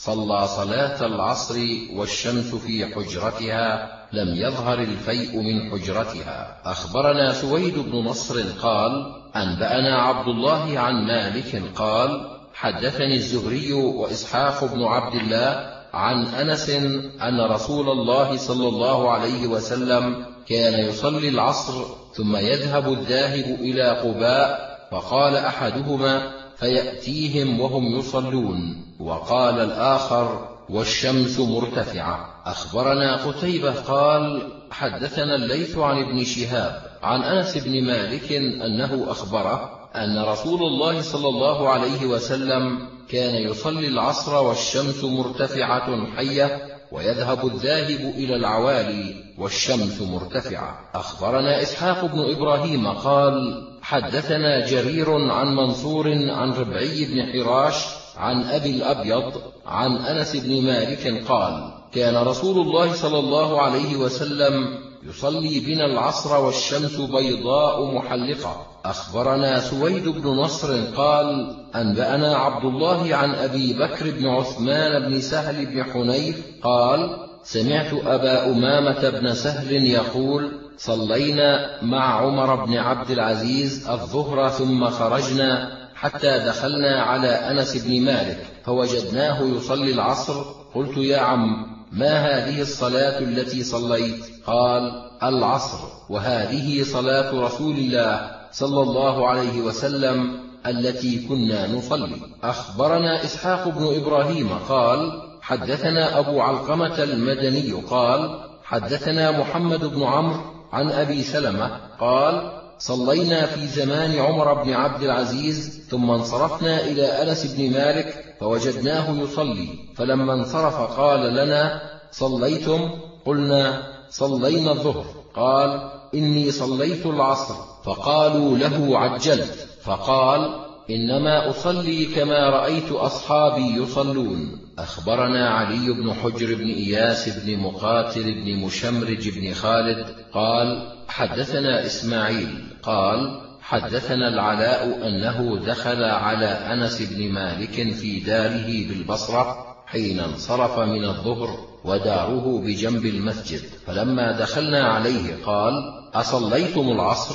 قلنا لا إنما انصرفنا الساعة من الظهر. قال فصلوا العصر. قال فقمنا فصلينا فلما انصرفنا قال سمعت رسول الله صلى الله عليه وسلم يقول تلك صلاة المنافق جلس يرقب صلاة العصر حتى إذا كانت بين قرني الشيطان قام فنقر أربعة لا يذكر الله عز وجل فيها إلا قليلا. أخبرنا إسحاق بن إبراهيم قال حدثنا سفيان عن الزهري عن سالم عن أبيه عن رسول الله صلى الله عليه وسلم قال الذي تفوته صلاة العصر فكأنما وتر أهله وماله.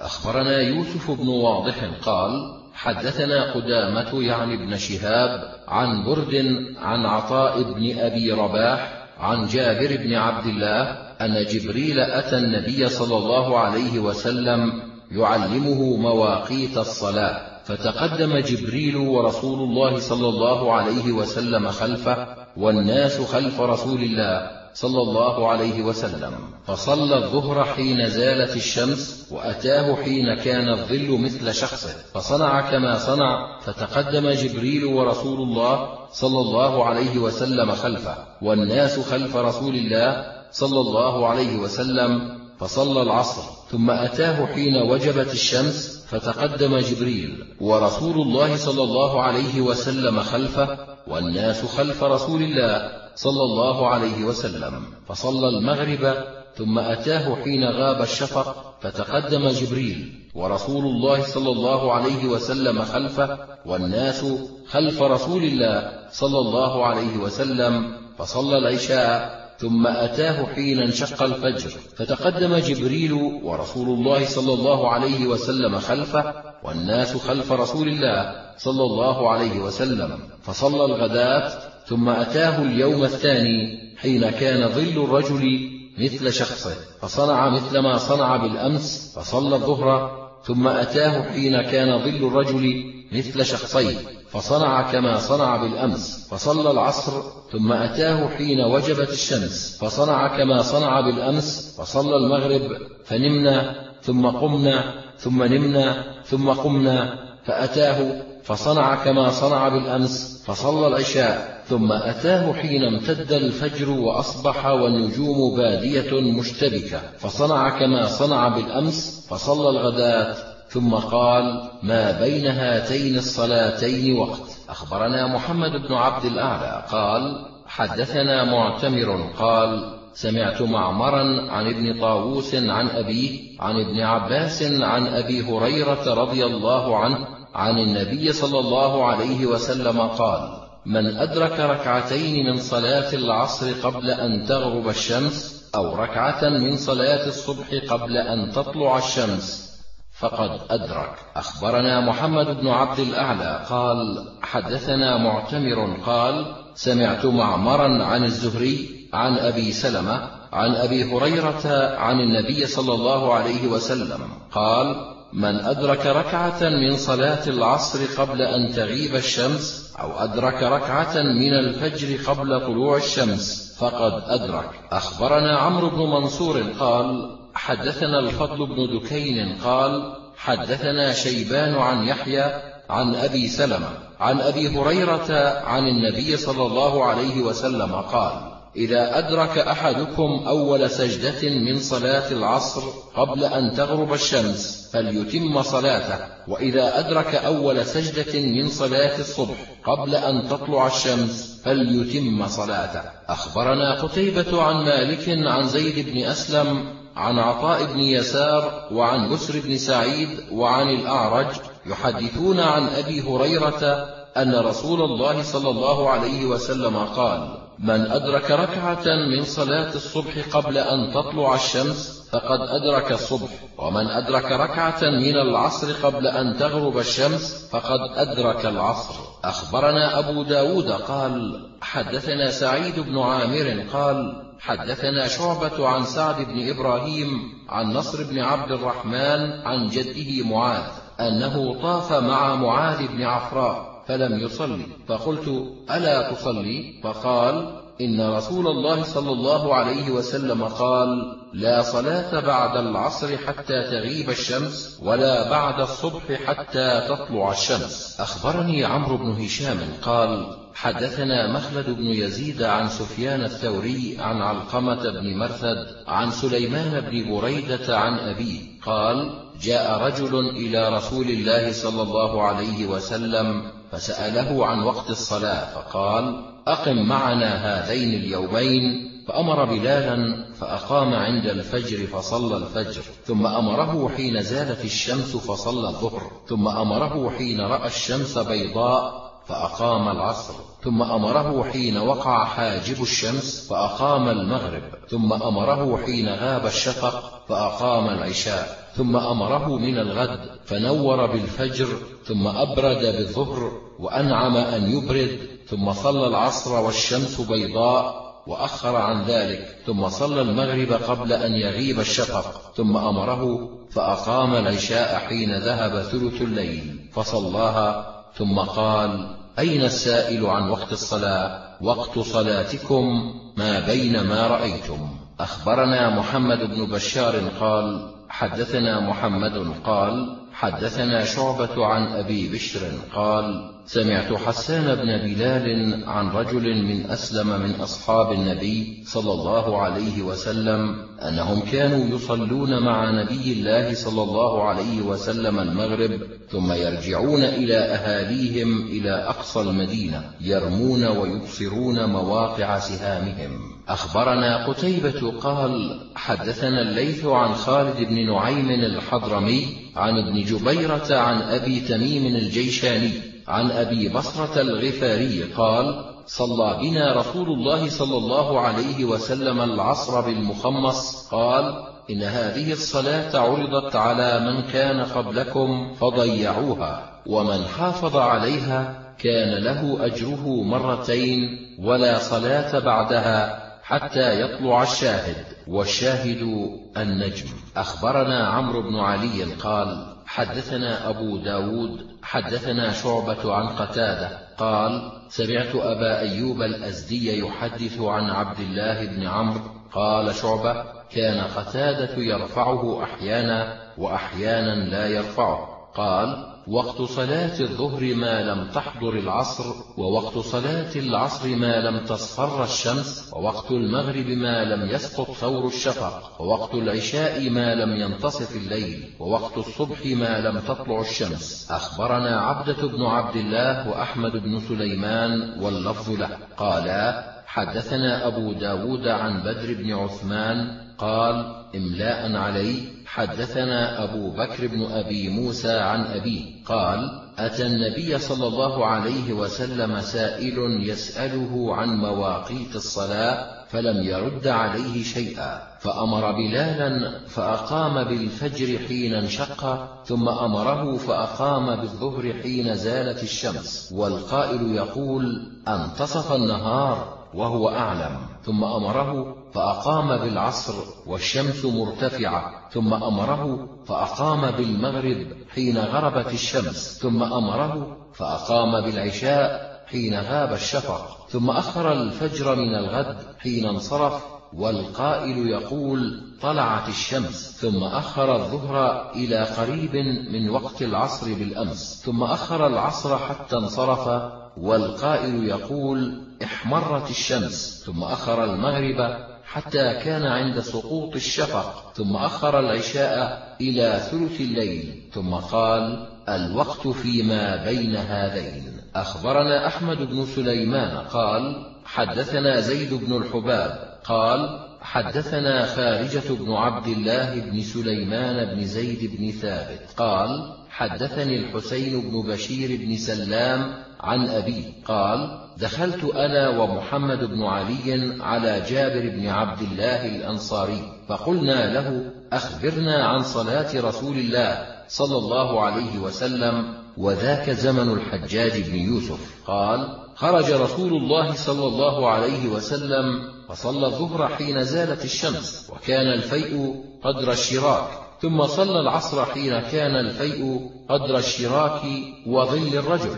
ثم صلى المغرب حين غابت الشمس ثم صلى العشاء حين غاب الشفق ثم صلى الفجر حين طلع الفجر ثم صلى من الغد الظهر حين كان الظل طول الرجل ثم صلى العصر حين كان ظل الرجل مثليه قدر ما يسير الراكب سير العنق إلى ذي الحليفة ثم صلى المغرب حين غابت الشمس ثم صلى العشاء إلى ثلث الليل أو نصف الليل شك زيد ثم صلى الفجر فأسفر. أخبرنا محمد بن بشار قال حدثنا يحيى قال حدثنا عوف قال حدثني سيار بن سلامة قال دخلت على أبي برزة فسأله أبي كيف كان رسول الله صلى الله عليه وسلم يصلي المكتوبة؟ قال كان يصلي الهجير التي تدعونها الأولى حين تضحض الشمس وكان يصلي العصر حين يرجع أحدنا إلى رحله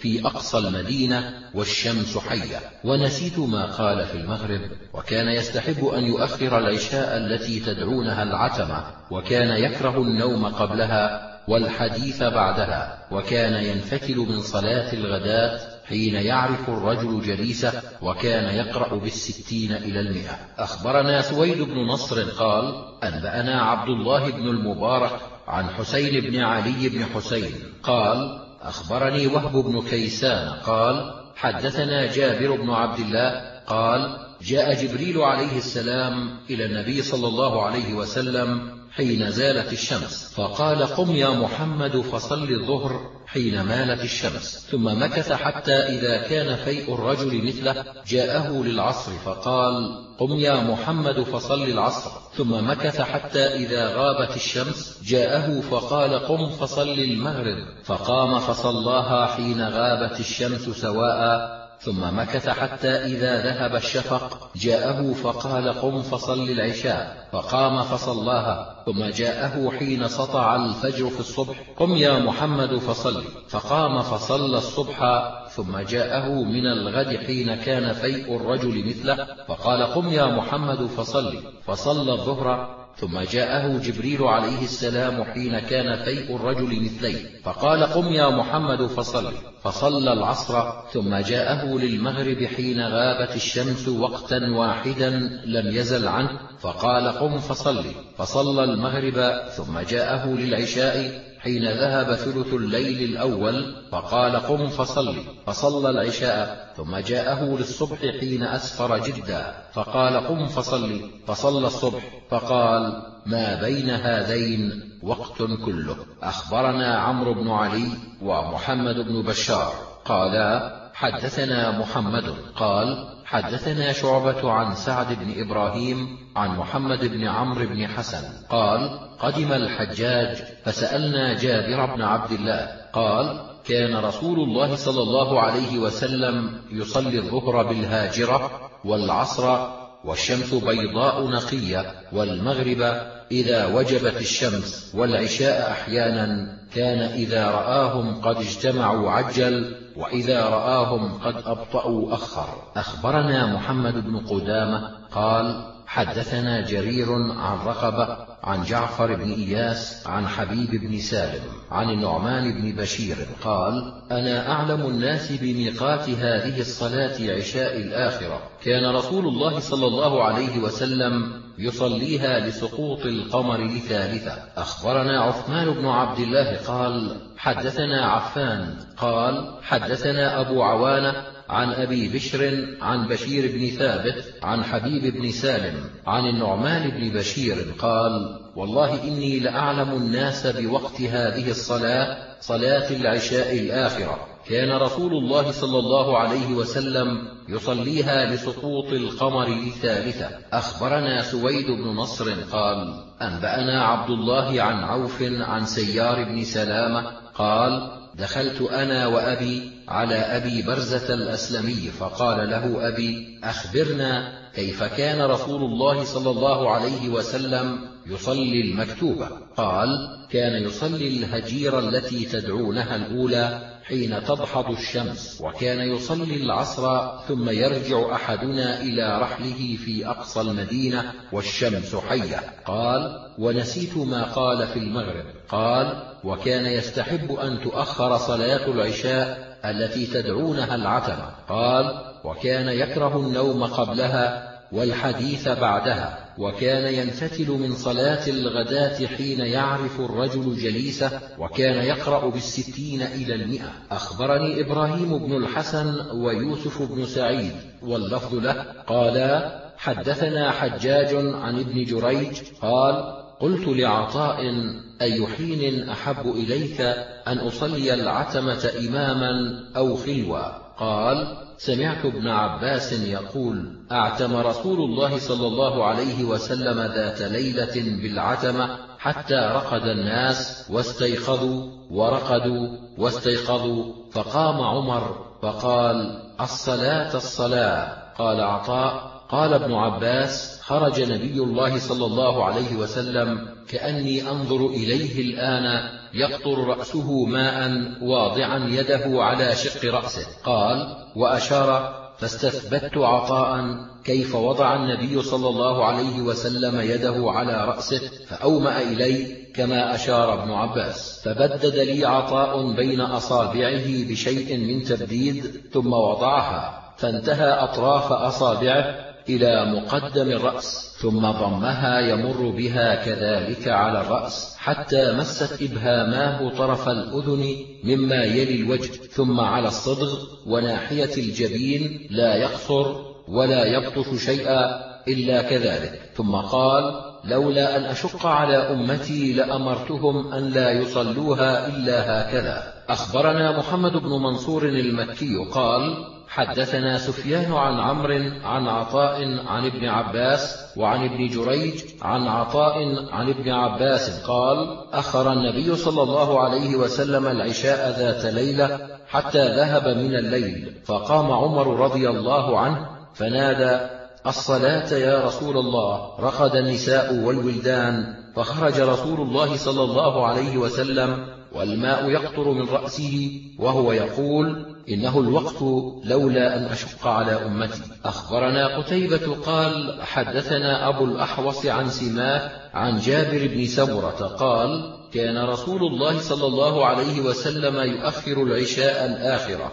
أخبرنا محمد بن منصور قال حدثنا سفيان قال حدثنا أبو الزناد عن الأعرج عن أبي هريرة أن رسول الله صلى الله عليه وسلم قال لولا أن أشق على أمتي لأمرتهم بتأخير العشاء وبالسواك عند كل صلاة. أخبرني عمرو بن عثمان قال حدثنا ابن حمير قال حدثنا ابن أبي عبلة عن الزهري وأخبرني عمرو بن عثمان قال حدثني أبي عن شعيب عن الزهري عن عروة عن عائشة قالت أعتم رسول الله صلى الله عليه وسلم ليلة بالعتمة فناداه عمر رضي الله عنه نام النساء والصبيان؟ فخرج رسول الله صلى الله عليه وسلم وقال ما ينتظرها غيركم ولم يكن يصلي يومئذ إلا بالمدينة. ثم قال صلوها فيما بين أن يغيب الشفق إلى ثلث الليل. واللفظ لابن حمير. أخبرني إبراهيم بن الحسن قال حدثنا حجاج قال قال ابن جريج وأخبرني يوسف بن سعيد. قال حدثنا حجاج عن ابن جريج.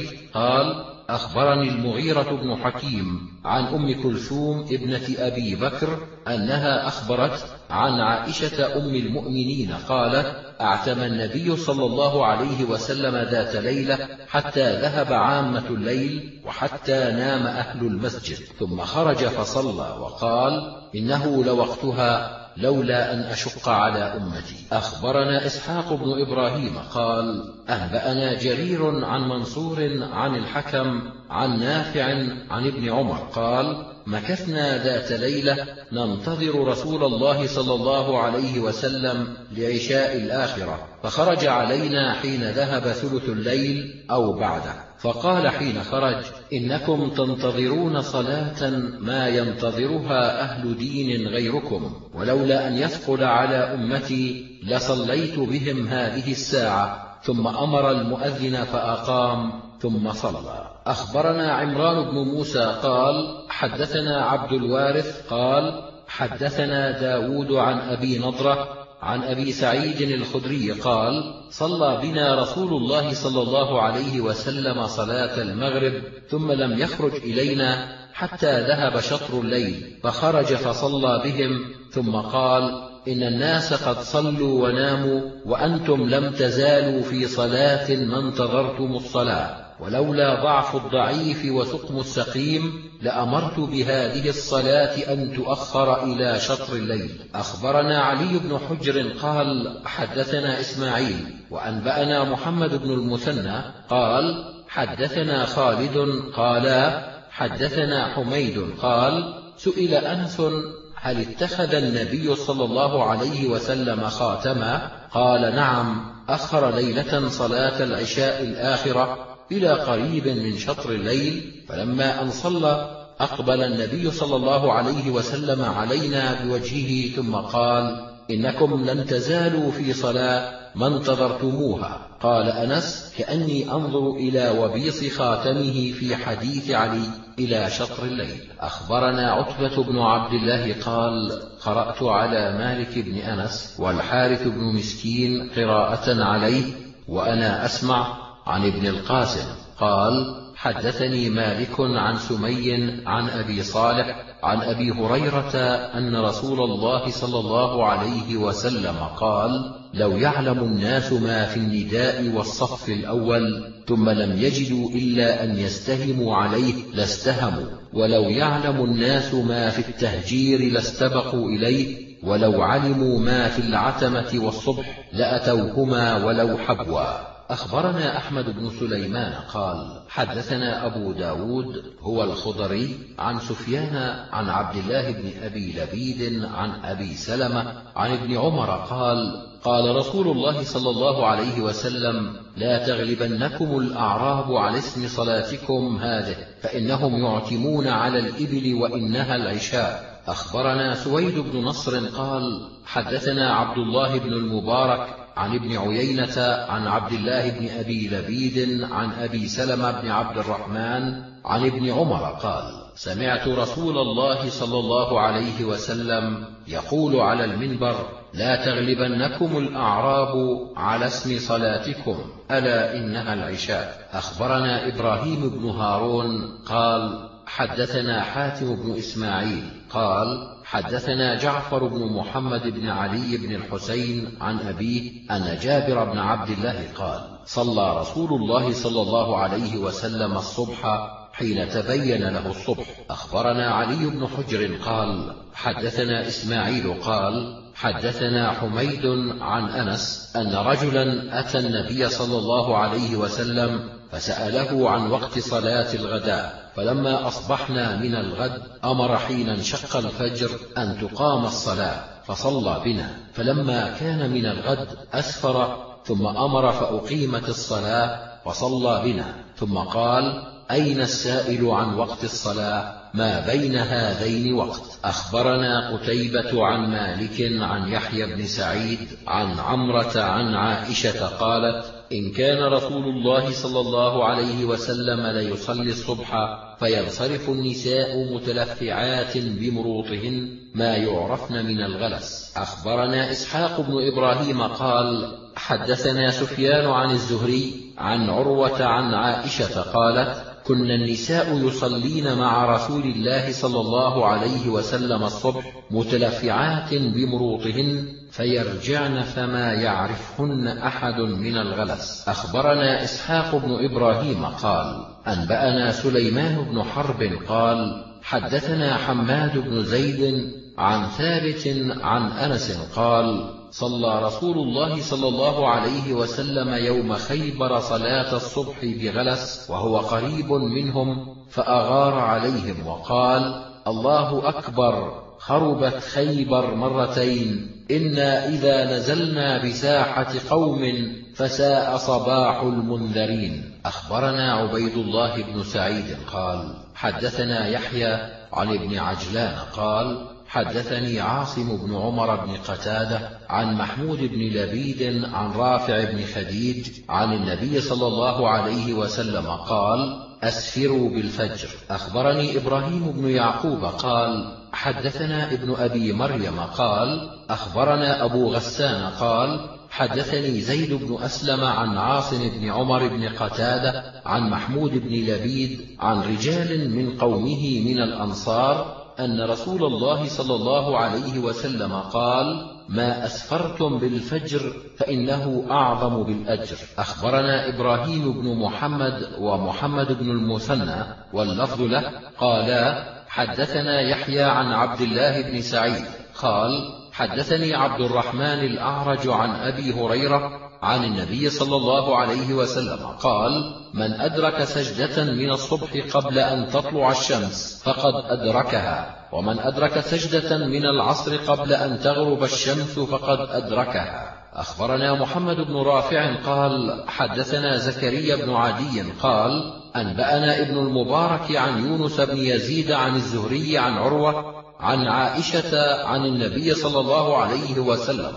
قال من أدرك ركعة من الفجر قبل أن تطلع الشمس فقد أدركها ومن أدرك ركعة من العصر قبل أن تغرب الشمس فقد أدركها. أخبرنا إسماعيل بن مسعود ومحمد بن عبد الأعلى قالا حدثنا خالد عن شعبة عن أبي صدقة عن أنس بن مالك قال كان رسول الله صلى الله عليه وسلم يصلي الظهر إذا زالت الشمس ويصلي العصر بين صلاتيكم هاتين ويصلي المغرب إذا غربت الشمس ويصلي العشاء إذا غاب الشفق. ثم قال على إثره يصلي الصبح إلى أن ينفسح البصر. أخبرنا قتيبة عن مالك عن ابن شهاب عن أبي سلمة عن أبي هريرة أن رسول الله صلى الله عليه وسلم قال من أدرك من الصلاة ركعة فقد أدرك الصلاة. أخبرنا إسحاق بن إبراهيم قال حدثنا عبد الله بن إدريس قال حدثنا عبيد الله بن عمر عن الزهري عن أبي سلمة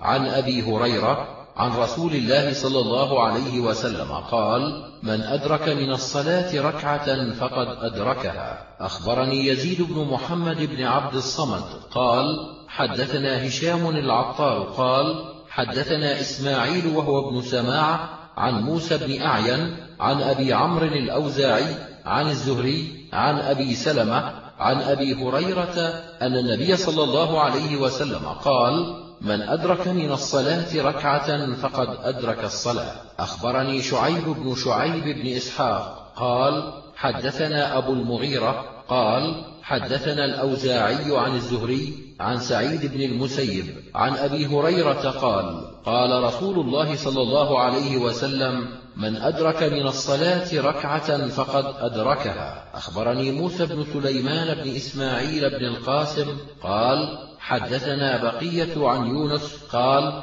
حدثني الزهري عن سالم عن أبيه عن النبي صلى الله عليه وسلم قال من أدرك ركعة من الجمعة أو غيرها فقد تمت صلاته. أخبرنا محمد بن إسماعيل الترمذي قال حدثنا أيوب بن سليمان قال حدثنا أبو بكر عن سليمان بن بلال عن يونس عن ابن شهاب عن سالم أن رسول الله صلى الله عليه وسلم قال من أدرك ركعة من صلاة من الصلوات فقد أدركها إلا أنه يقضي ما فاته. أخبرنا قتيبة عن مالك عن زيد بن أسلم عن عطاء بن يسار عن عبد الله الصنابحي أن رسول الله صلى الله عليه وسلم قال الشمس تطلع ومعها قرن الشيطان فإذا ارتفعت فارقها فإذا استوت قارنها فإذا زالت فارقها فإذا دنت للغروب قارنها فإذا غربت فارقها ونهى رسول الله صلى الله عليه وسلم عن الصلاة في تلك الساعات. أخبرنا سويد بن نصر قال حدثنا عبد الله عن موسى بن علي بن رباح قال سمعت أبي يقول سمعت عقبة بن عامر الجهني يقول ثلاث ساعات كان رسول الله صلى الله عليه وسلم ينهانا أن نصلي فيهن أو نقبر فيهن موتانا حين تطلع الشمس بازغة حتى ترتفع وحين يقوم قائم الظهيرة حتى تميل وحين تضيف الشمس للغروب حتى تغرب. أخبرنا قتيبة عن مالك عن محمد بن يحيى بن حبان عن الأعرج عن أبي هريرة أن النبي صلى الله عليه وسلم نهى عن الصلاة بعد العصر حتى تغرب الشمس وعن الصلاة بعد الصبح حتى تطلع الشمس. أخبرنا أحمد بن منيع قال حدثنا هشيم قال أنبأنا منصور عن قتادة قال حدثنا أبو العالية عن ابن عباس قال سمعت غير واحد من أصحاب النبي صلى الله عليه وسلم منهم عمر. وكان من أحبهم إلي أن رسول الله صلى الله عليه وسلم نهى عن الصلاة بعد الفجر حتى تطلع الشمس وعن الصلاة بعد العصر حتى تغرب الشمس. أخبرنا قتيبة بن سعيد عن مالك عن نافع عن ابن عمر أن رسول الله صلى الله عليه وسلم قال لا يتحرى أحدكم فيصلي عند طلوع الشمس وعند غروبها. أخبرنا إسماعيل بن مسعود أنبأنا خالد حدثنا عبيد الله عن نافع عن ابن عمر أن رسول الله صلى الله عليه وسلم نهى أن يصلى مع طلوع الشمس أو غروبها. أخبرنا حميد بن مسعدة قال حدثنا سفيان وهو ابن حبيب عن موسى بن علي عن أبيه قال سمعت عقبة بن عامر يقول ثلاث ساعات كان رسول الله صلى الله عليه وسلم ينهانا أن نصلي فيهن أو نقبر فيهن موتانا حين تطلع الشمس بازغة حتى ترتفع وحين يقوم قائم الظهيرة حتى تميل وحين تضيف للغروب حتى تغرب. أخبرنا مجاهد بن موسى قال حدثنا ابن عيينة عن ضمرة بن سعيد. سمع أبا سعيد الخدري يقول نهى رسول الله صلى الله عليه وسلم عن الصلاة بعد الصبح حتى الطلوع وعن الصلاة بعد العصر حتى الغروب. حدثنا عبد الحميد بن محمد قال حدثنا مخلد عن ابن جريج عن ابن شهاب عن عطاء بن يزيد أنه سمع أبا سعيد الخدري يقول سمعت رسول الله صلى الله عليه وسلم يقول لا صلاة بعد الفجر حتى تبلغ الشمس ولا صلاة بعد العصر حتى تغرب الشمس. أخبرني محمود بن غيلان حدثنا الوليد قال أخبرني عبد الرحمن بن نمر عن ابن شهاب عن عطاء بن يزيد عن أبي سعيد الخدري عن رسول الله صلى الله عليه وسلم بنحوه. أخبرنا أحمد بن حرب قال حدثنا سفيان عن هشام بن حجير عن طاووس عن ابن عباس أن النبي صلى الله عليه وسلم نهى عن الصلاة بعد العصر. أخبرنا محمد بن عبد الله بن المبارك المخرمي قال حدثنا الفضل بن عنبسة قال حدثنا وهيب عن ابن طاووس عن أبيه قال قالت عائشة رضي الله عنها أوهم عمر رضي الله عنه إنما نهى رسول الله صلى الله عليه وسلم قال لا تتحروا بصلاتكم طلوع الشمس ولا غروبها فإنها تطلع بين قرني شيطان.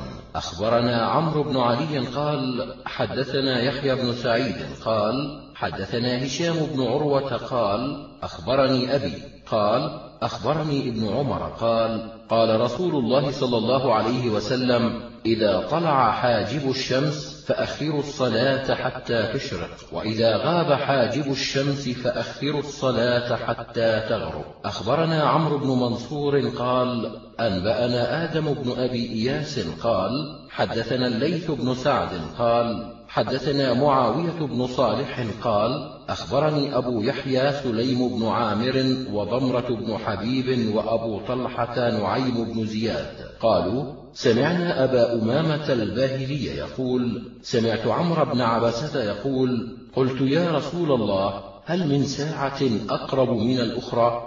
أو هل من ساعة يبتغى ذكرها؟ قال نعم إن أقرب ما يكون الرب عز وجل من العبد جوف الليل الآخر. فإن استطعت أن تكون ممن يذكر الله عز وجل في تلك الساعة فكن. فإن الصلاة محظورة مشهودة إلى طلوع الشمس. فإنها تطلع بين قرني الشيطان وهي ساعة صلاة الكفار. فدع الصلاة حتى ترتفع قيد رمح ويذهب شعاعها. ثم الصلاة محظورة مشهودة حتى تعتدل الشمس اعتدال الرمح بنصف النهار فإنها ساعة تفتح فيها أبواب جهنم وتسجر. فدع الصلاة حتى يفيء الفيء ثم الصلاة محظورة مشهودة حتى تغيب الشمس فإنها تغيب بين قرني شيطان وهي صلاة الكفار. أخبرنا إسحاق بن إبراهيم قال حدثنا جرير عن منصور عن هلال بن يساف عن وهب بن الأجدع عن علي قال نهى رسول الله صلى الله عليه وسلم عن الصلاة بعد العصر إلا أن تكون الشمس بيضاء نقية مرتفعة. أخبرنا عبيد الله بن سعيد قال حدثنا يحيى عن هشام قال أخبرني أبي. قال قالت عائشة ما ترك رسول الله صلى الله عليه وسلم السجدتين بعد العصر عندي قط. أخبرني محمد بن قدامة. قال حدثنا جرير عن مغيرة عن إبراهيم عن الأسود. قال قالت عائشة رضي الله تعالى عنها ما دخل علي رسول الله صلى الله عليه وسلم بعد العصر إلا صلاهما. أخبرنا إسماعيل بن مسعود عن خالد بن الحارث عن شعبة عن أبي إسحاق قال سمعت مسروقا والأسود قالا نشهد على عائشة أنها قالت كان رسول الله صلى الله عليه وسلم إذا كان عندي بعد العصر صلاهما. أخبرنا علي بن حجر قال أنبأنا علي بن مسهر عن أبي إسحاق عن عبد الرحمن بن الأسود عن أبيه عن عائشة قالت صلاتان ما تركهما رسول الله صلى الله عليه وسلم في بيتي سرا ولا علانية ركعتان قبل الفجر وركعتان بعد العصر. أخبرنا علي بن حجر قال حدثنا إسماعيل قال حدثنا محمد بن أبي حرملة عن أبي سلمة أنه سأل عائشة عن السجدتين اللتين كان رسول الله صلى الله عليه وسلم يصليهما بعد العصر فقالت إنه كان يصليهما قبل العصر ثم إنه شغل عنهما أو نسيهما فصلاهما بعد العصر وكان إذا صلى صلاة أثبتها. أخبرني محمد بن عبد الأعلى قال حدثنا المعتمر قال سمعت معمرا عن يحيى بن أبي كثير عن أبي سلمة بن عبد الرحمن عن أم سلمة أن النبي صلى الله عليه وسلم صلى في بيتها بعد العصر ركعتين مرة واحدة وأنها ذكرت ذلك له فقال هما ركعتان كنت أصليهما بعد الظهر فشغلت عنهما حتى صليت العصر. أخبرنا إسحاق بن إبراهيم قال أنبأنا وكيع قال حدثنا طلحة بن يحيى عن عبيد الله بن عبد الله بن عتبة عن أم سلمة قال شغل رسول الله صلى الله عليه وسلم عن الركعتين قبل العصر فصلاهما بعد العصر. أخبرنا عثمان بن عبد الله قال حدثنا عبيد الله بن معاذ قال أنبأنا أبي قال حدثنا عمران بن حدير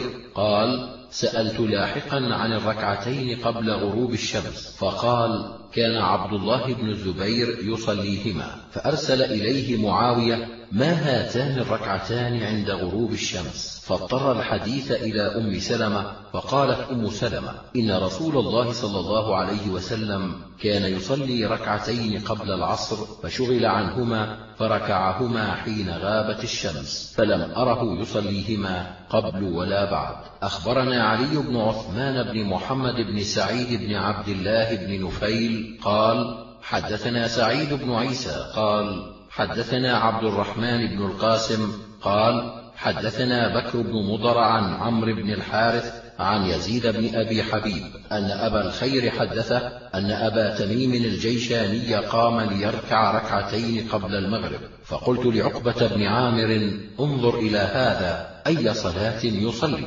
فالتفت إليه فرآه فقال هذه صلاة كنا نصليها على عهد رسول الله صلى الله عليه وسلم. أخبرنا أحمد بن عبد الله بن الحكم قال حدثنا محمد بن جعفر قال حدثنا شعبة عن زيد بن محمد قال سمعت نافعا يحدث عن ابن عمر عن حفصة أنها قالت كان رسول الله صلى الله عليه وسلم إذا طلع الفجر لا يصلي إلا ركعتين خفيفتين. أخبرني الحسن بن إسماعيل بن سليمان وأيوب بن محمد.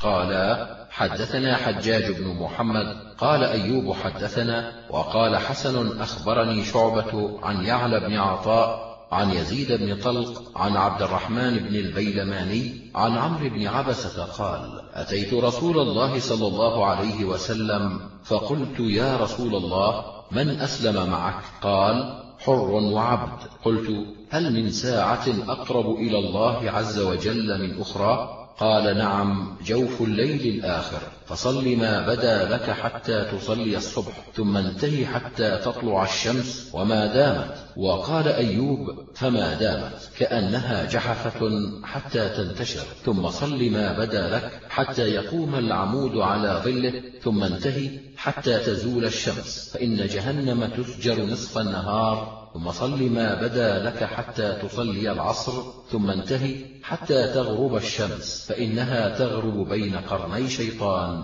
وتطلع بين قرني شيطان. أخبرنا محمد بن منصور قال حدثنا سفيان قال سمعت من أبي الزبير قال سمعت عبد الله بن باباه يحدث عن جبير بن مطعم أن النبي صلى الله عليه وسلم قال يا بني عبد مناف لا تمنعوا أحدا طاف بهذا البيت وصلى أية ساعة شاء من ليل أو نهار. أخبرنا قتيبة قال حدثنا مفضل عن عقيل عن ابن شهاب عن أنس بن مالك قال كان رسول الله صلى الله عليه وسلم إذا ارتحل قبل أن تزيغ الشمس أخر الظهر إلى وقت العصر ثم نزل فجمع بينهما فإن زاغت الشمس قبل أن يرتحل صلى الظهر ثم ركب. أخبرنا محمد بن سلمة والحارث بن مسكين قراءة عليه وأنا أسمع واللفظ له. عن ابن القاسم قال حدثني مالك عن أبي الزبير المكي عن أبي الطفيل عامر بن واثلة أن معاذ بن جبل أخبره أنهم خرجوا مع رسول الله صلى الله عليه وسلم عام تبوك فكان رسول الله صلى الله عليه وسلم يجمع بين الظهر والعصر والمغرب والعشاء فأخر الصلاة يوما ثم خرج فصلى الظهر والعصر جميعا ثم دخل ثم خرج فصلى المغرب والعشاء. أخبرنا محمد بن عبد الله بن بزيع قال حدثنا يزيد بن زريع قال حدثنا كثير بن قاروند قال سألت سالم بن عبد الله عن صلاة أبيه في السفر وسألناه هل كان يجمع بين شيء من صلاته في سفره؟ فذكر أن صفية بنت أبي عبيد كانت تحته فكتبت إليه وهو في زراعة له أني في آخر يوم من أيام الدنيا وأول يوم من الآخرة فركب فأسرع السير إليها حتى إذا حانت صلاة الظهر قال له المؤذن الصلاة يا أبا عبد الرحمن. فلم يلتفت حتى إذا كان بين الصلاتين نزل فقال أقم. فإذا سلمت فأقم فصلى ثم ركب حتى إذا غابت الشمس قال له المؤذن الصلاة. فقال كفعلك في صلاة الظهر والعصر. ثم سار حتى إذا اشتبكت النجوم نزل ثم قال للمؤذن أقم فإذا سلمت فأقم فصلى ثم انصرف. فالتفت إلينا فقال قال رسول الله صلى الله عليه وسلم إذا حضر أحدكم الأمر الذي يخاف فوته فليصلي هذه الصلاة. أخبرنا قتيبة قال حدثنا سفيان عن عمرو عن جابر بن زيد عن ابن عباس قال صليت مع النبي صلى الله عليه وسلم بالمدينة ثمانيا جميعا وسبعا جميعا أخر الظهر وعجل العصر وأخر المغرب وعجل العشاء. أخبرنا أبو عاصم خشيش بن أصرم قال حدثنا حبان بن هلال حدثنا حبيب وهو ابن أبي حبيب عن عمرو بن هرم عن جابر بن زيد عن ابن عباس أنه صلى بالبصرة الأولى والعصر ليس بينهما شيء والمغرب والعشاء ليس بينهما شيء فعلى ذلك من شغل. وزعم ابن عباس أنه صلى مع رسول الله صلى الله عليه وسلم بالمدينة الأولى والعصر ثمان سجدات ليس بينهما شيء. أخبرنا إسحاق بن إبراهيم قال أنبأنا سفيان عن ابن أبي نجيح عن إسماعيل بن عبد الرحمن شيخ من قريش قال صحبت ابن عمر إلى الحمى فلما غربت الشمس هبت أن أقول له الصلاة. فسار حتى ذهب بياض الأفق وفحمة العشاء ثم نزل فصلى المغرب ثلاث ركعات ثم صلى ركعتين على إثرها ثم قال هكذا رأيت رسول الله صلى الله عليه وسلم يفعل. أخبرني عمرو بن عثمان قال حدثنا بقية عن ابن أبي حمزة وأنبأنا أحمد بن محمد بن المغيرة قال حدثنا عثمان واللفظ له عن شعيب عن الزهري قال أخبرني سالم عن أبيه قال رأيت رسول الله صلى الله عليه وسلم إذا عجله السير في السفر يؤخر صلاة المغرب حتى يجمع بينها وبين العشاء. أخبرنا المؤمل بن إيهاب قال حدثني يحيى بن محمد الجاري قال حدثنا عبد العزيز بن محمد عن مالك بن أنس عن أبي الزبير عن جابر قال غابت الشمس ورسول الله صلى الله عليه وسلم بمكة فجمع بين الصلاتين بسرف أخبرني عمرو بن سواد بن الأسود بن عمرو قال أنبأنا ابن وهب قال حدثنا جابر بن إسماعيل عن عقيل عن ابن شهاب عن أنس عن رسول الله صلى الله عليه وسلم أنه كان إذا عجل به السير يؤخر الظهر إلى وقت العصر فيجمع بينهما ويؤخر المغرب حتى يجمع بينها وبين العشاء حتى يغيب الشفق. أخبرنا محمود بن خالد قال حدثنا الوليد قال حدثنا ابن جابر قال حدثني نافع قال خرجت مع عبد الله بن عمر في سفر يريد أرضا له. فأتاه آت فقال إن صفية بنت أبي عبيد لما بها فانظر أن تدركها. فخرج مسرعا ومعه رجل من قريش يسايره وغابت الشمس فلم يصل الصلاة وكان عهدي به وهو يحافظ على الصلاة. فلما أبطأ قلت الصلاة يرحمك الله. فالتفت إلي ومضى حتى إذا كان في آخر الشفق نزل فصلى المغرب ثم أقام العشاء وقد توارى الشفق فصلى بنا ثم أقبل علينا فقال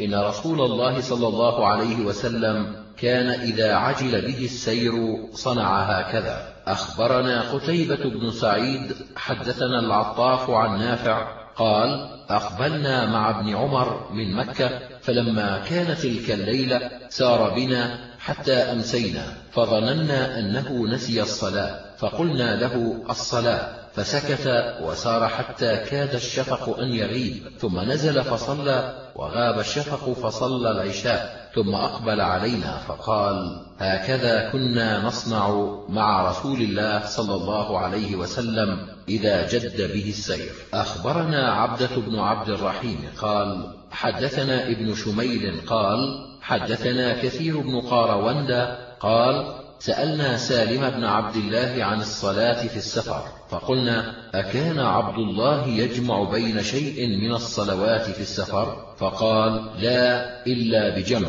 ثم أتيته فقال كانت عنده صفية فأرسلت إليه أني في آخر يوم من الدنيا وأول يوم من الآخرة. فركب وأنا معه فأسرع السير حتى حانت الصلاة فقال له المؤذن الصلاة يا أبا عبد الرحمن. فسار حتى إذا كان بين الصلاتين نزل فقال للمؤذن أقم. فإذا سلمت من الظهر فأقم مكانك. فأقام فصلى الظهر ركعتين ثم سلم ثم أقام مكانه فصلى العصر ركعتين ثم ركب فأسرع السير حتى غابت الشمس. فقال له المؤذن الصلاة يا أبا عبد الرحمن. فقال كفعلك الأول. فسار حتى إذا اشتبكت النجوم نزل فقال أقم فإذا سلمت فأقم. فصلى المغرب ثلاثا ثم أقام مكانه فصلى العشاء الآخرة ثم سلم واحدة تلقاء وجهه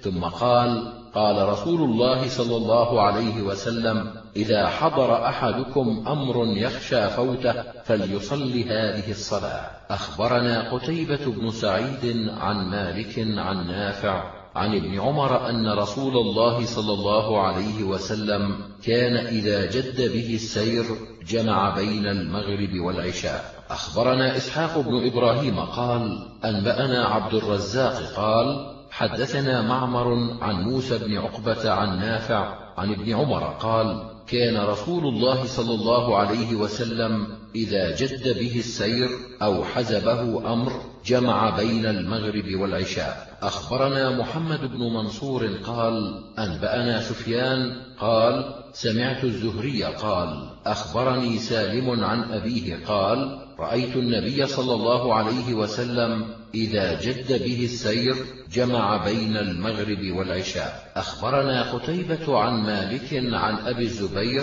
عن سعيد بن جبير عن ابن عباس قال صلى رسول الله صلى الله عليه وسلم الظهر والعصر جميعا والمغرب والعشاء جميعا من غير خوف ولا سفر. أخبرنا محمد بن عبد العزيز بن أبي رزمة واسمه غزوان قال حدثنا الفضل بن موسى عن الأعمش عن حبيب بن أبي ثابت عن سعيد بن جبير عن ابن عباس أن النبي صلى الله عليه وسلم كان يصلي بالمدينة يجمع بين الصلاتين بين الظهر والعصر والمغرب والعشاء من غير خوف ولا مطر. قيل له لم؟ قال لئلا يكون على أمته حرج. أخبرنا محمد بن عبد الأعلى قال حدثنا خالد قال حدثنا ابن جريج عن عمرو بن دينار عن أبي الشعثاء عن ابن عباس قال صليت وراء رسول الله صلى الله عليه وسلم ثمانيا جميعا وسبعا جميعا. أخبرني إبراهيم بن هارون قال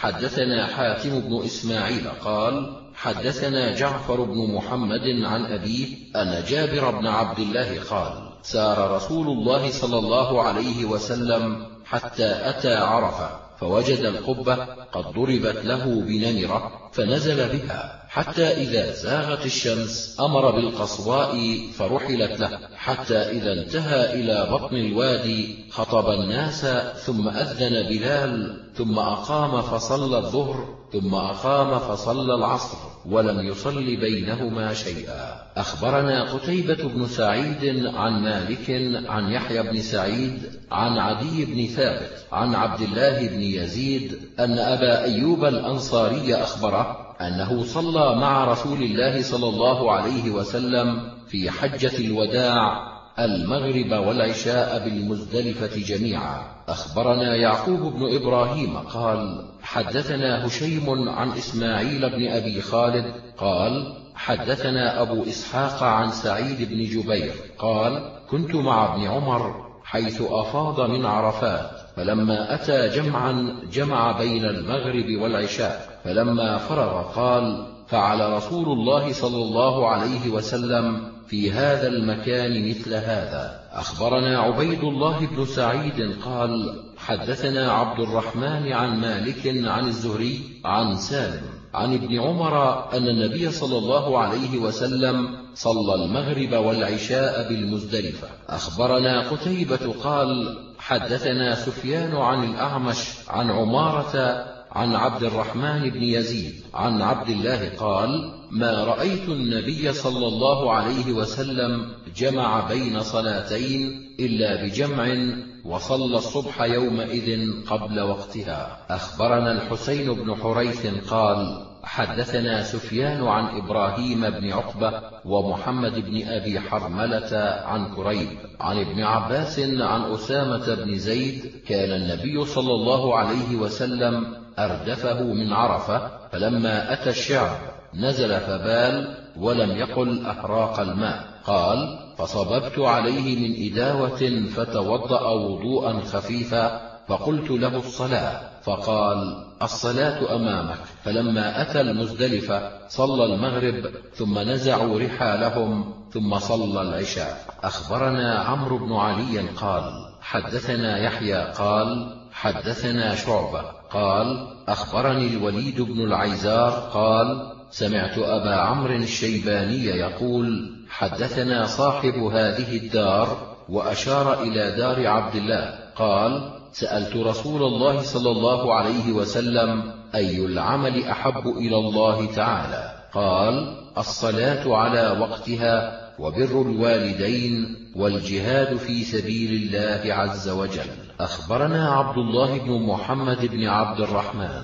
قال حدثنا سفيان. قال حدثنا أبو معاوية النخعي سمعه من أبي عمرو عن عبد الله بن مسعود. قال سألت رسول الله صلى الله عليه وسلم أي العمل أحب إلى الله عز وجل؟ قال إقام الصلاة لوقتها وبر الوالدين والجهاد في سبيل الله عز وجل. أخبرنا يحيى بن حكيم وعمرو بن يزيد. قالا حدثنا ابن أبي عدي عن شعبة عن إبراهيم بن محمد بن المنتشر عن أبيه أنه كان في مسجد عمرو بن شرحبيل فأقيمت الصلاة فجعلوا ينتظرونه فقال إني كنت أوتر قال وسئل عبد الله هل بعد الأذان وتر قال نعم وبعد الإقامة وحدث عن النبي صلى الله عليه وسلم أنه نام عن الصلاة حتى طلعت الشمس ثم صلى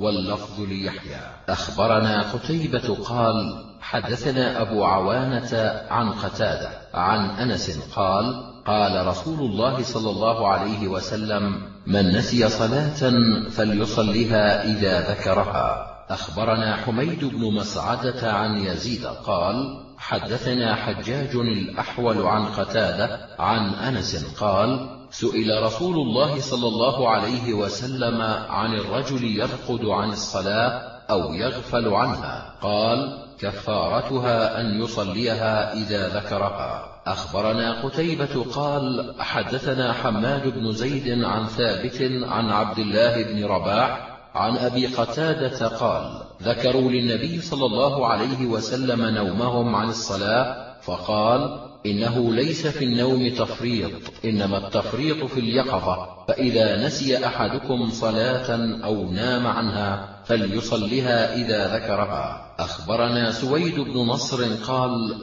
أنبأنا عبد الله وهو ابن المبارك عن سليمان بن المغيرة عن ثابت عن عبد الله بن رباح عن أبي قتادة قال قال رسول الله صلى الله عليه وسلم ليس في النوم تفريط إنما التفريط في من لم يصل الصلاة حتى يجيء وقت الصلاة الأخرى حين ينتبه لها. أخبرنا عمرو بن علي قال حدثنا أبو داود قال حدثنا شعبة عن ثابت البناني عن عبد الله بن رباح عن أبي قتادة أن رسول الله صلى الله عليه وسلم لما ناموا عن الصلاة حتى طلعت الشمس قال رسول الله صلى الله عليه وسلم فليصلها أحدكم من الغد لوقتها. أخبرنا عبد الأعلى بن واصل بن عبد الأعلى قال حدثنا يعلى. قال حدثنا محمد بن إسحاق عن الزهري عن سعيد عن أبي هريرة قال قال رسول الله صلى الله عليه وسلم إذا نسيت الصلاة فصل إذا ذكرت فإن الله تعالى يقول أقم الصلاة لذكري. قال عبد الأعلى حدثنا به يعلى مختصرا. أخبرنا عمرو بن سواد بن الأسود بن عمرو قال أنبأنا ابن وهب قال أنبأنا يونس عن ابن شهاب عن سعيد بن المسيب عن أبي هريرة أن رسول الله صلى الله عليه وسلم قال من نسي صلاة فليصلها إذا ذكرها فإن الله تعالى قال أقم الصلاة لذكري. أخبرنا سويد بن نصر قال حدثنا عبد الله عن معمر عن الزهري عن سعيد بن المسيب عن أبي هريرة قال قال رسول الله صلى الله عليه وسلم من نسي صلاة فليصلها إذا ذكرها فإن الله تعالى يقول أقم الصلاة للذكرى. قلت للزهري هكذا قرأها رسول الله صلى الله عليه وسلم. قال نعم. أخبرنا هناد بن السري عن أبي الأحوص عن عطاء بن السائب عن بريد بن أبي مريم عن أبي قال كنا مع رسول الله صلى الله عليه وسلم في سفر فأسرينا ليلة فلما كان في وجه الصبح نزل رسول الله صلى الله عليه وسلم فنام ونام الناس فلم نستيقظ إلا بالشمس قد طلعت علينا. فأمر رسول الله صلى الله عليه وسلم المؤذن فأذن ثم صلى الركعتين قبل الفجر ثم أمره فأقام فصلى بالناس ثم حدثنا بما هو كائن حتى تقوم الساعة. أخبرنا سويد بن نصر قال حدثنا عبد الله عن هشام الدستوائي عن أبي الزبير عن نافع بن جبير بن مطعم عن أبي عبيدة بن عبد الله عن عبد الله بن مسعود قال كنا مع رسول الله صلى الله عليه وسلم فحبسنا عن صلاة الظهر والعصر والمغرب والعشاء فاشتد ذلك علي فقلت في نفسي نحن مع رسول الله صلى الله عليه وسلم وفي سبيل الله فأمر رسول الله صلى الله عليه وسلم بلالا فأقام فصلى بنا الظهر ثم أقام فصلى بنا العصر ثم أقام فصلى بنا المغرب ثم أقام فصلى بنا العشاء ثم طاف علينا فقال ما على الأرض عصابة يذكرون الله عز وجل غيركم. أخبرنا يعقوب بن إبراهيم قال حدثنا يحيى عن يزيد بن كيسان قال حدثني أبو حازم عن أبي هريرة قال عرسنا مع رسول الله صلى الله عليه وسلم فلم نستيقظ حتى طلعت الشمس. فقال رسول الله صلى الله عليه وسلم ليأخذ كل رجل برأس راحلته فإن هذا منزل حضرنا فيه الشيطان.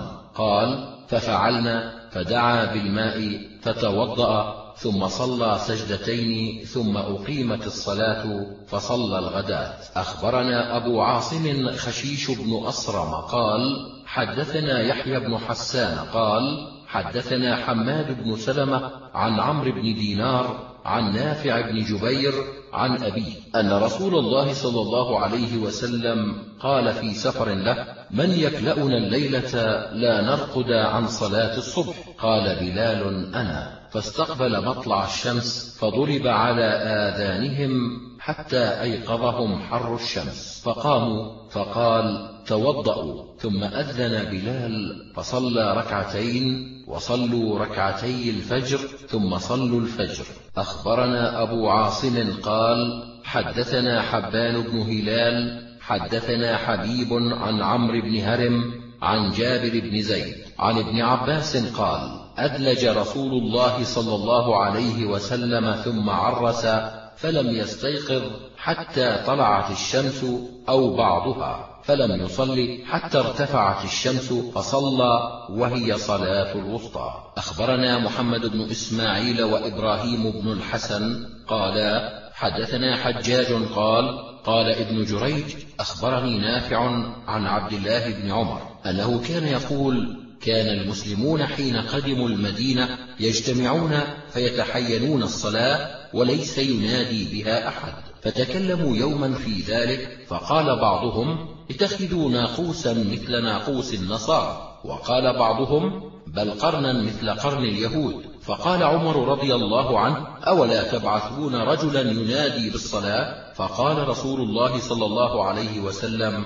يا بلال قم فنادي بالصلاة. أخبرنا قتيبة بن سعيد قال حدثنا عبد الوهاب عن أيوب عن أبي قلابة عن أنس قال إن رسول الله صلى الله عليه وسلم أمر بلالا أن يشفع الأذان وأن يوتر الإقامة. أخبرنا عمرو بن علي قال حدثنا يحيى قال حدثنا شعبة قال حدثني أبو جعفر عن أبي المثنى عن ابن عمر قال كان الأذان على عهد رسول الله صلى الله عليه وسلم مثنى مثنى والإقامة مرة مرة إلا أنك تقول قد قامت الصلاة قد قامت الصلاة. أخبرنا بشر بن معاذ قال حدثني إبراهيم وهو ابن عبد العزيز بن عبد الملك بن أبي محذورة قال حدثني أبي عبد العزيز وجدي عبد الملك عن أبي محذورة أن النبي صلى الله عليه وسلم أقعده فألقى عليه الأذان حرفا حرفا. قال إبراهيم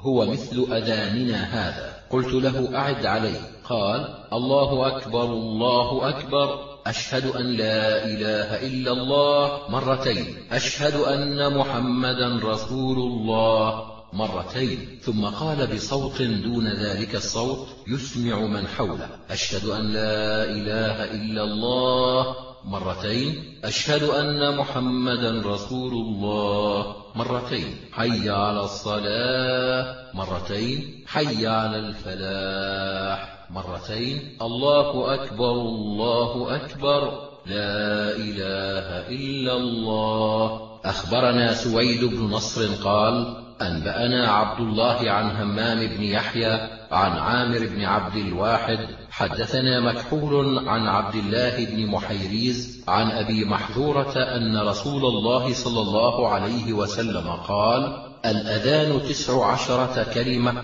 والإقامة سبع عشرة كلمة ثم عدها أبو محذورة تسع عشرة كلمة وسبع عشرة. أخبرنا إسحاق بن إبراهيم قال أنبأنا معاذ بن هشام قال حدثني أبي عن عامر الأحول عن مكحول عن عبد الله بن محيريز عن أبي محذورة قال علمني رسول الله صلى الله عليه وسلم الأذان فقال الله أكبر الله أكبر الله أكبر الله أكبر أشهد أن لا إله إلا الله أشهد أن لا إله إلا الله أشهد أن محمدا رسول الله. أشهد أن محمدا رسول الله. ثم يعود فيقول أشهد أن لا إله إلا الله. أشهد أن لا إله إلا الله. أشهد أن محمدا رسول الله. أشهد أن محمدا رسول الله. حي على الصلاة. حي على الصلاة. حي على الفلاح حي على الفلاح. الله أكبر الله أكبر.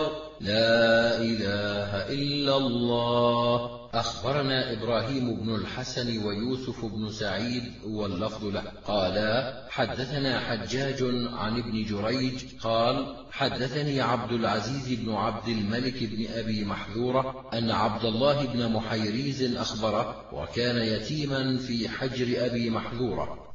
حتى جهزه إلى الشام قال قلت لأبي محذورة إني خارج إلى الشام وأخشى أن أسأل عن تأذينك. فأخبرني أن أبا محذورة قال له خرجت في نفر فكنا ببعض طريق حنين مغفل رسول الله صلى الله عليه وسلم من حنين فلقينا رسول الله صلى الله عليه وسلم في بعض الطريق. فأذن مؤذن رسول الله صلى الله عليه وسلم بالصلاة عند رسول الله صلى الله عليه وسلم. فسمعنا صوت المؤذن ونحن عنه متنكبون فظللنا نحكيه ونهزأ به فسمع رسول الله صلى الله عليه وسلم الصوت فأرسل إلينا حتى وقفنا بين يديه فقال رسول الله صلى الله عليه وسلم أيكم الذي سمعت صوته قد ارتفع؟ فأشار القوم إلي وصدقوا فأرسلهم كلهم وحبسني فقال قم فأذن بالصلاة. فقمت فألقى علي رسول الله صلى الله عليه وسلم التأذين هو بنفسه. قال قل الله أكبر الله أكبر الله أكبر الله أكبر. أشهد أن لا إله إلا الله أشهد أن لا إله إلا الله أشهد أن محمدا رسول الله أشهد أن محمدا رسول الله. ثم قال ارجع فامدد صوتك. ثم قال قل أشهد أن لا إله إلا الله أشهد أن لا إله إلا الله أشهد أن محمدا رسول الله أشهد أن محمدا رسول الله. حي على الصلاة حي على الصلاة حي على الفلاح حي على الفلاح. الله أكبر الله أكبر. لا إله إلا الله.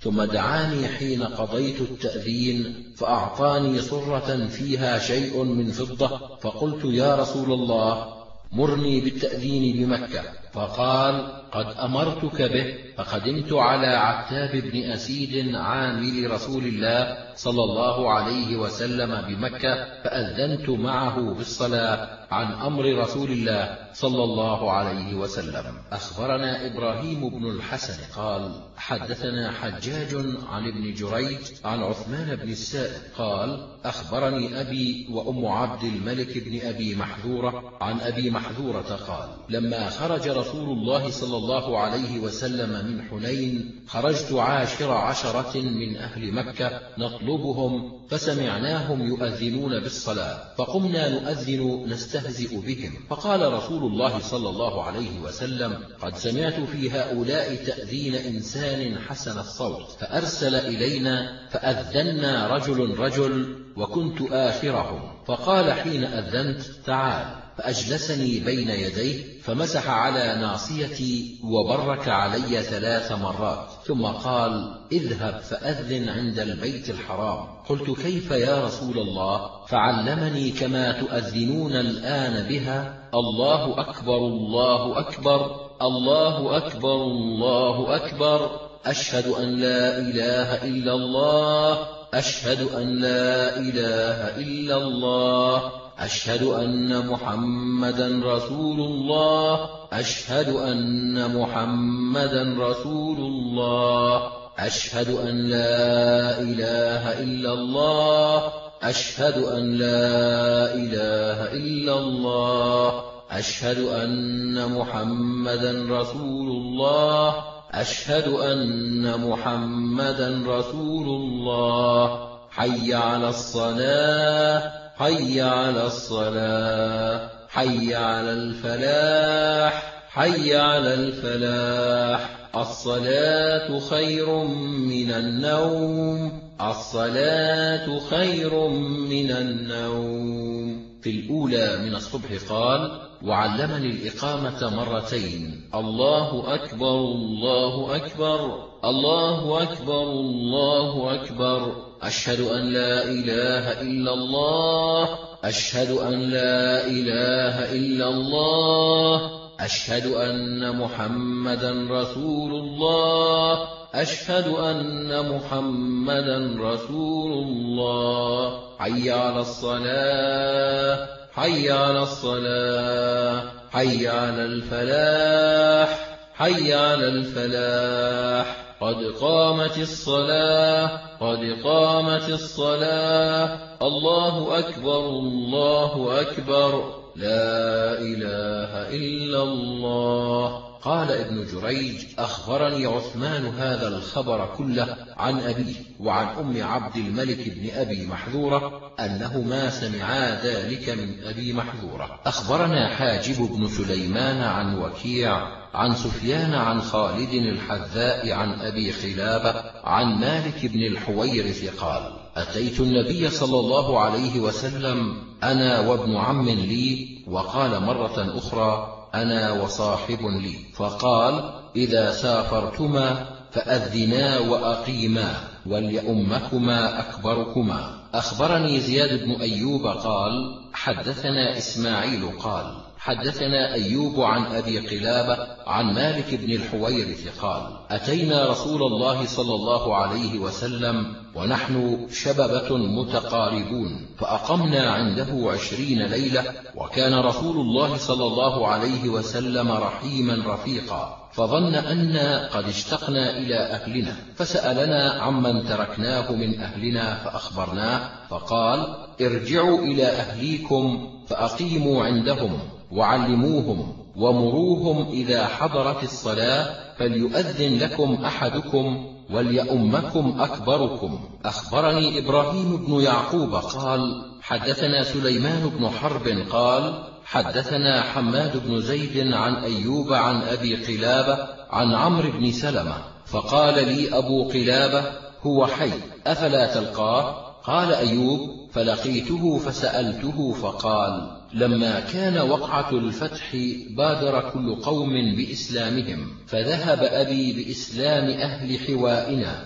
فلما قدم استقبلناه فقال جئتكم والله من عند رسول الله صلى الله عليه وسلم حقا. فقال صلوا صلاة كذا في حين كذا وصلاة كذا في حين كذا فإذا حضرت الصلاة فليؤذن لكم أحدكم وليؤمكم أكثركم قرآنا. أخبرنا قتيبة عن مالك عن عبد الله بن دينار عن ابن عمر أن رسول الله صلى الله عليه وسلم قال إن بلالا يؤذن بليل فكلوا واشربوا حتى ينادي ابن أم مكتوم. أخبرنا قتيبة قال حدثنا الليث عن ابن شهاب عن سالم عن أبيه أن النبي صلى الله عليه وسلم قال إن بلالا يؤذن بليل فكلوا واشربوا حتى تسمعوا تأذين ابن أم مكتوم.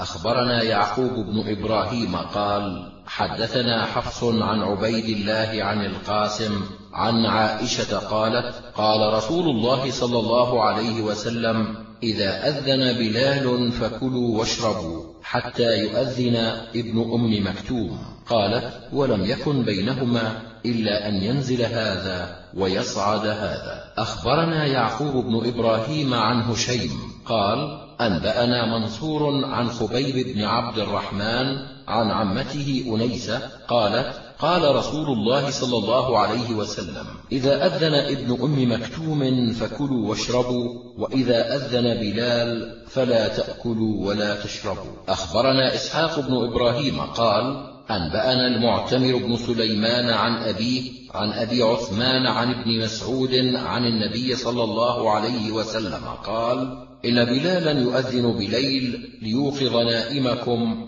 وليرجع قائمكم وليس أن يقول هكذا يعني في الصبح. أخبرنا إسحاق بن إبراهيم قال حدثنا يزيد قال حدثنا حميد عن أنس أن سائلا سأل رسول الله صلى الله عليه وسلم عن وقت الصبح. فأمر رسول الله صلى الله عليه وسلم بلالا فأذن حين طلع الفجر. فلما كان من الغد أخر الفجر حتى أسفر. ثم أمره فأقام فصلى. ثم قال هذا وقت الصلاة. أخبرنا محمود بن غيلان قال حدثنا وكيع قال حدثنا سفيان عن عون بن أبي جحيفة عن أبيه قال أتيت النبي صلى الله عليه وسلم فخرج بلال فأذن فجعل يقول في أذانه هكذا ينحرف يمينا وشمالا. أخبرنا محمد بن سلمة قال أنبأنا ابن القاسم عن مالك قال حدثني عبد الرحمن بن عبد الله بن عبد الرحمن بن أبي صعصعة الأنصاري المازني عن أبيه أنه أخبره أن أبا سعيد الخدري قال له إني أراك تحب الغنم والبادية فإذا كنت في غنمك أو باديتك فأذنت بالصلاة. فارفع صوتك فإنه لا يسمع مدى صوت المؤذن جن ولا إنس ولا شيء إلا شهد له يوم القيامة. قال أبو سعيد سمعته من رسول الله صلى الله عليه وسلم. أخبرنا إسماعيل بن مسعود ومحمد بن عبد الأعلى. قالا حدثنا يزيد يعني ابن زريع قال حدثنا شعبة عن موسى بن أبي عثمان عن أبي يحيى عن أبي هريرة سمعه من فم رسول الله صلى الله عليه وسلم يقول المؤذن يغفر له بمد صوته ويشهد له كل رطب ويابس. أخبرنا محمد بن المثنى قال حدثنا معاذ بن هشام قال حدثني أبي عن قتادة عن أبي إسحاق الكوفي عن البراء بن عازب أن نبي الله صلى الله عليه وسلم قال إن الله وملائكته يصلون على الصف المقدم والمؤذن يغفر له بمد صوته ويصدقه من سمعه من رطب ويابس وله مثل أجر من صلى معه. أخبرنا سويد بن نصر قال أنبأنا عبد الله عن سفيان عن أبي جعفر عن أبي سلمان. عن أبي محذورة قال كنت أؤذن لرسول الله صلى الله عليه وسلم وكنت أقول في أذان الفجر الأول حي على الفلاح الصلاة خير من النوم الصلاة خير من النوم. الله أكبر الله أكبر لا إله إلا الله. أخبرنا عمرو بن علي قال حدثنا يحيى وعبد الرحمن قالا حدثنا سفيان بهذا الإسناد نحوه قال أبو عبد الرحمن وليس بأبي جعفر الفراء أخبرنا محمد بن معدان بن عيسى قال حدثنا الحسن بن أعين قال حدثنا زهير قال حدثنا الأعمش عن إبراهيم عن الأسود عن بلال قال آخر الأذان الله أكبر الله أكبر لا إله إلا الله. أخبرنا سويد قال أنبأنا عبد الله عن سفيان عن منصور عن إبراهيم عن الأسود. قال كان آخر أذان بلال الله أكبر الله أكبر لا إله إلا الله. أخبرنا سويد قال أنبأنا عبد الله عن سفيان عن الأعمش عن إبراهيم عن الأسود مثل ذلك. أخبرنا سويد قال حدثنا عبد الله عن يونس بن أبي إسحاق عن محارب بن دثار قال حدثني الأسود بن يزيد عن أبي محذورة أن آخر الأذان لا إله إلا الله. أخبرنا قتيبة قال حدثنا سفيان عن عمرو بن دينار عن عمرو بن أوس يقول أنبأنا رجل من ثقيف أنه سمع منادي النبي صلى الله عليه وسلم يعني في ليلة مطيرة في السفر يقول حي على الصلاة حي على الفلاح صلوا في رحالكم. أخبرنا قتيبة عن مالك عن نافع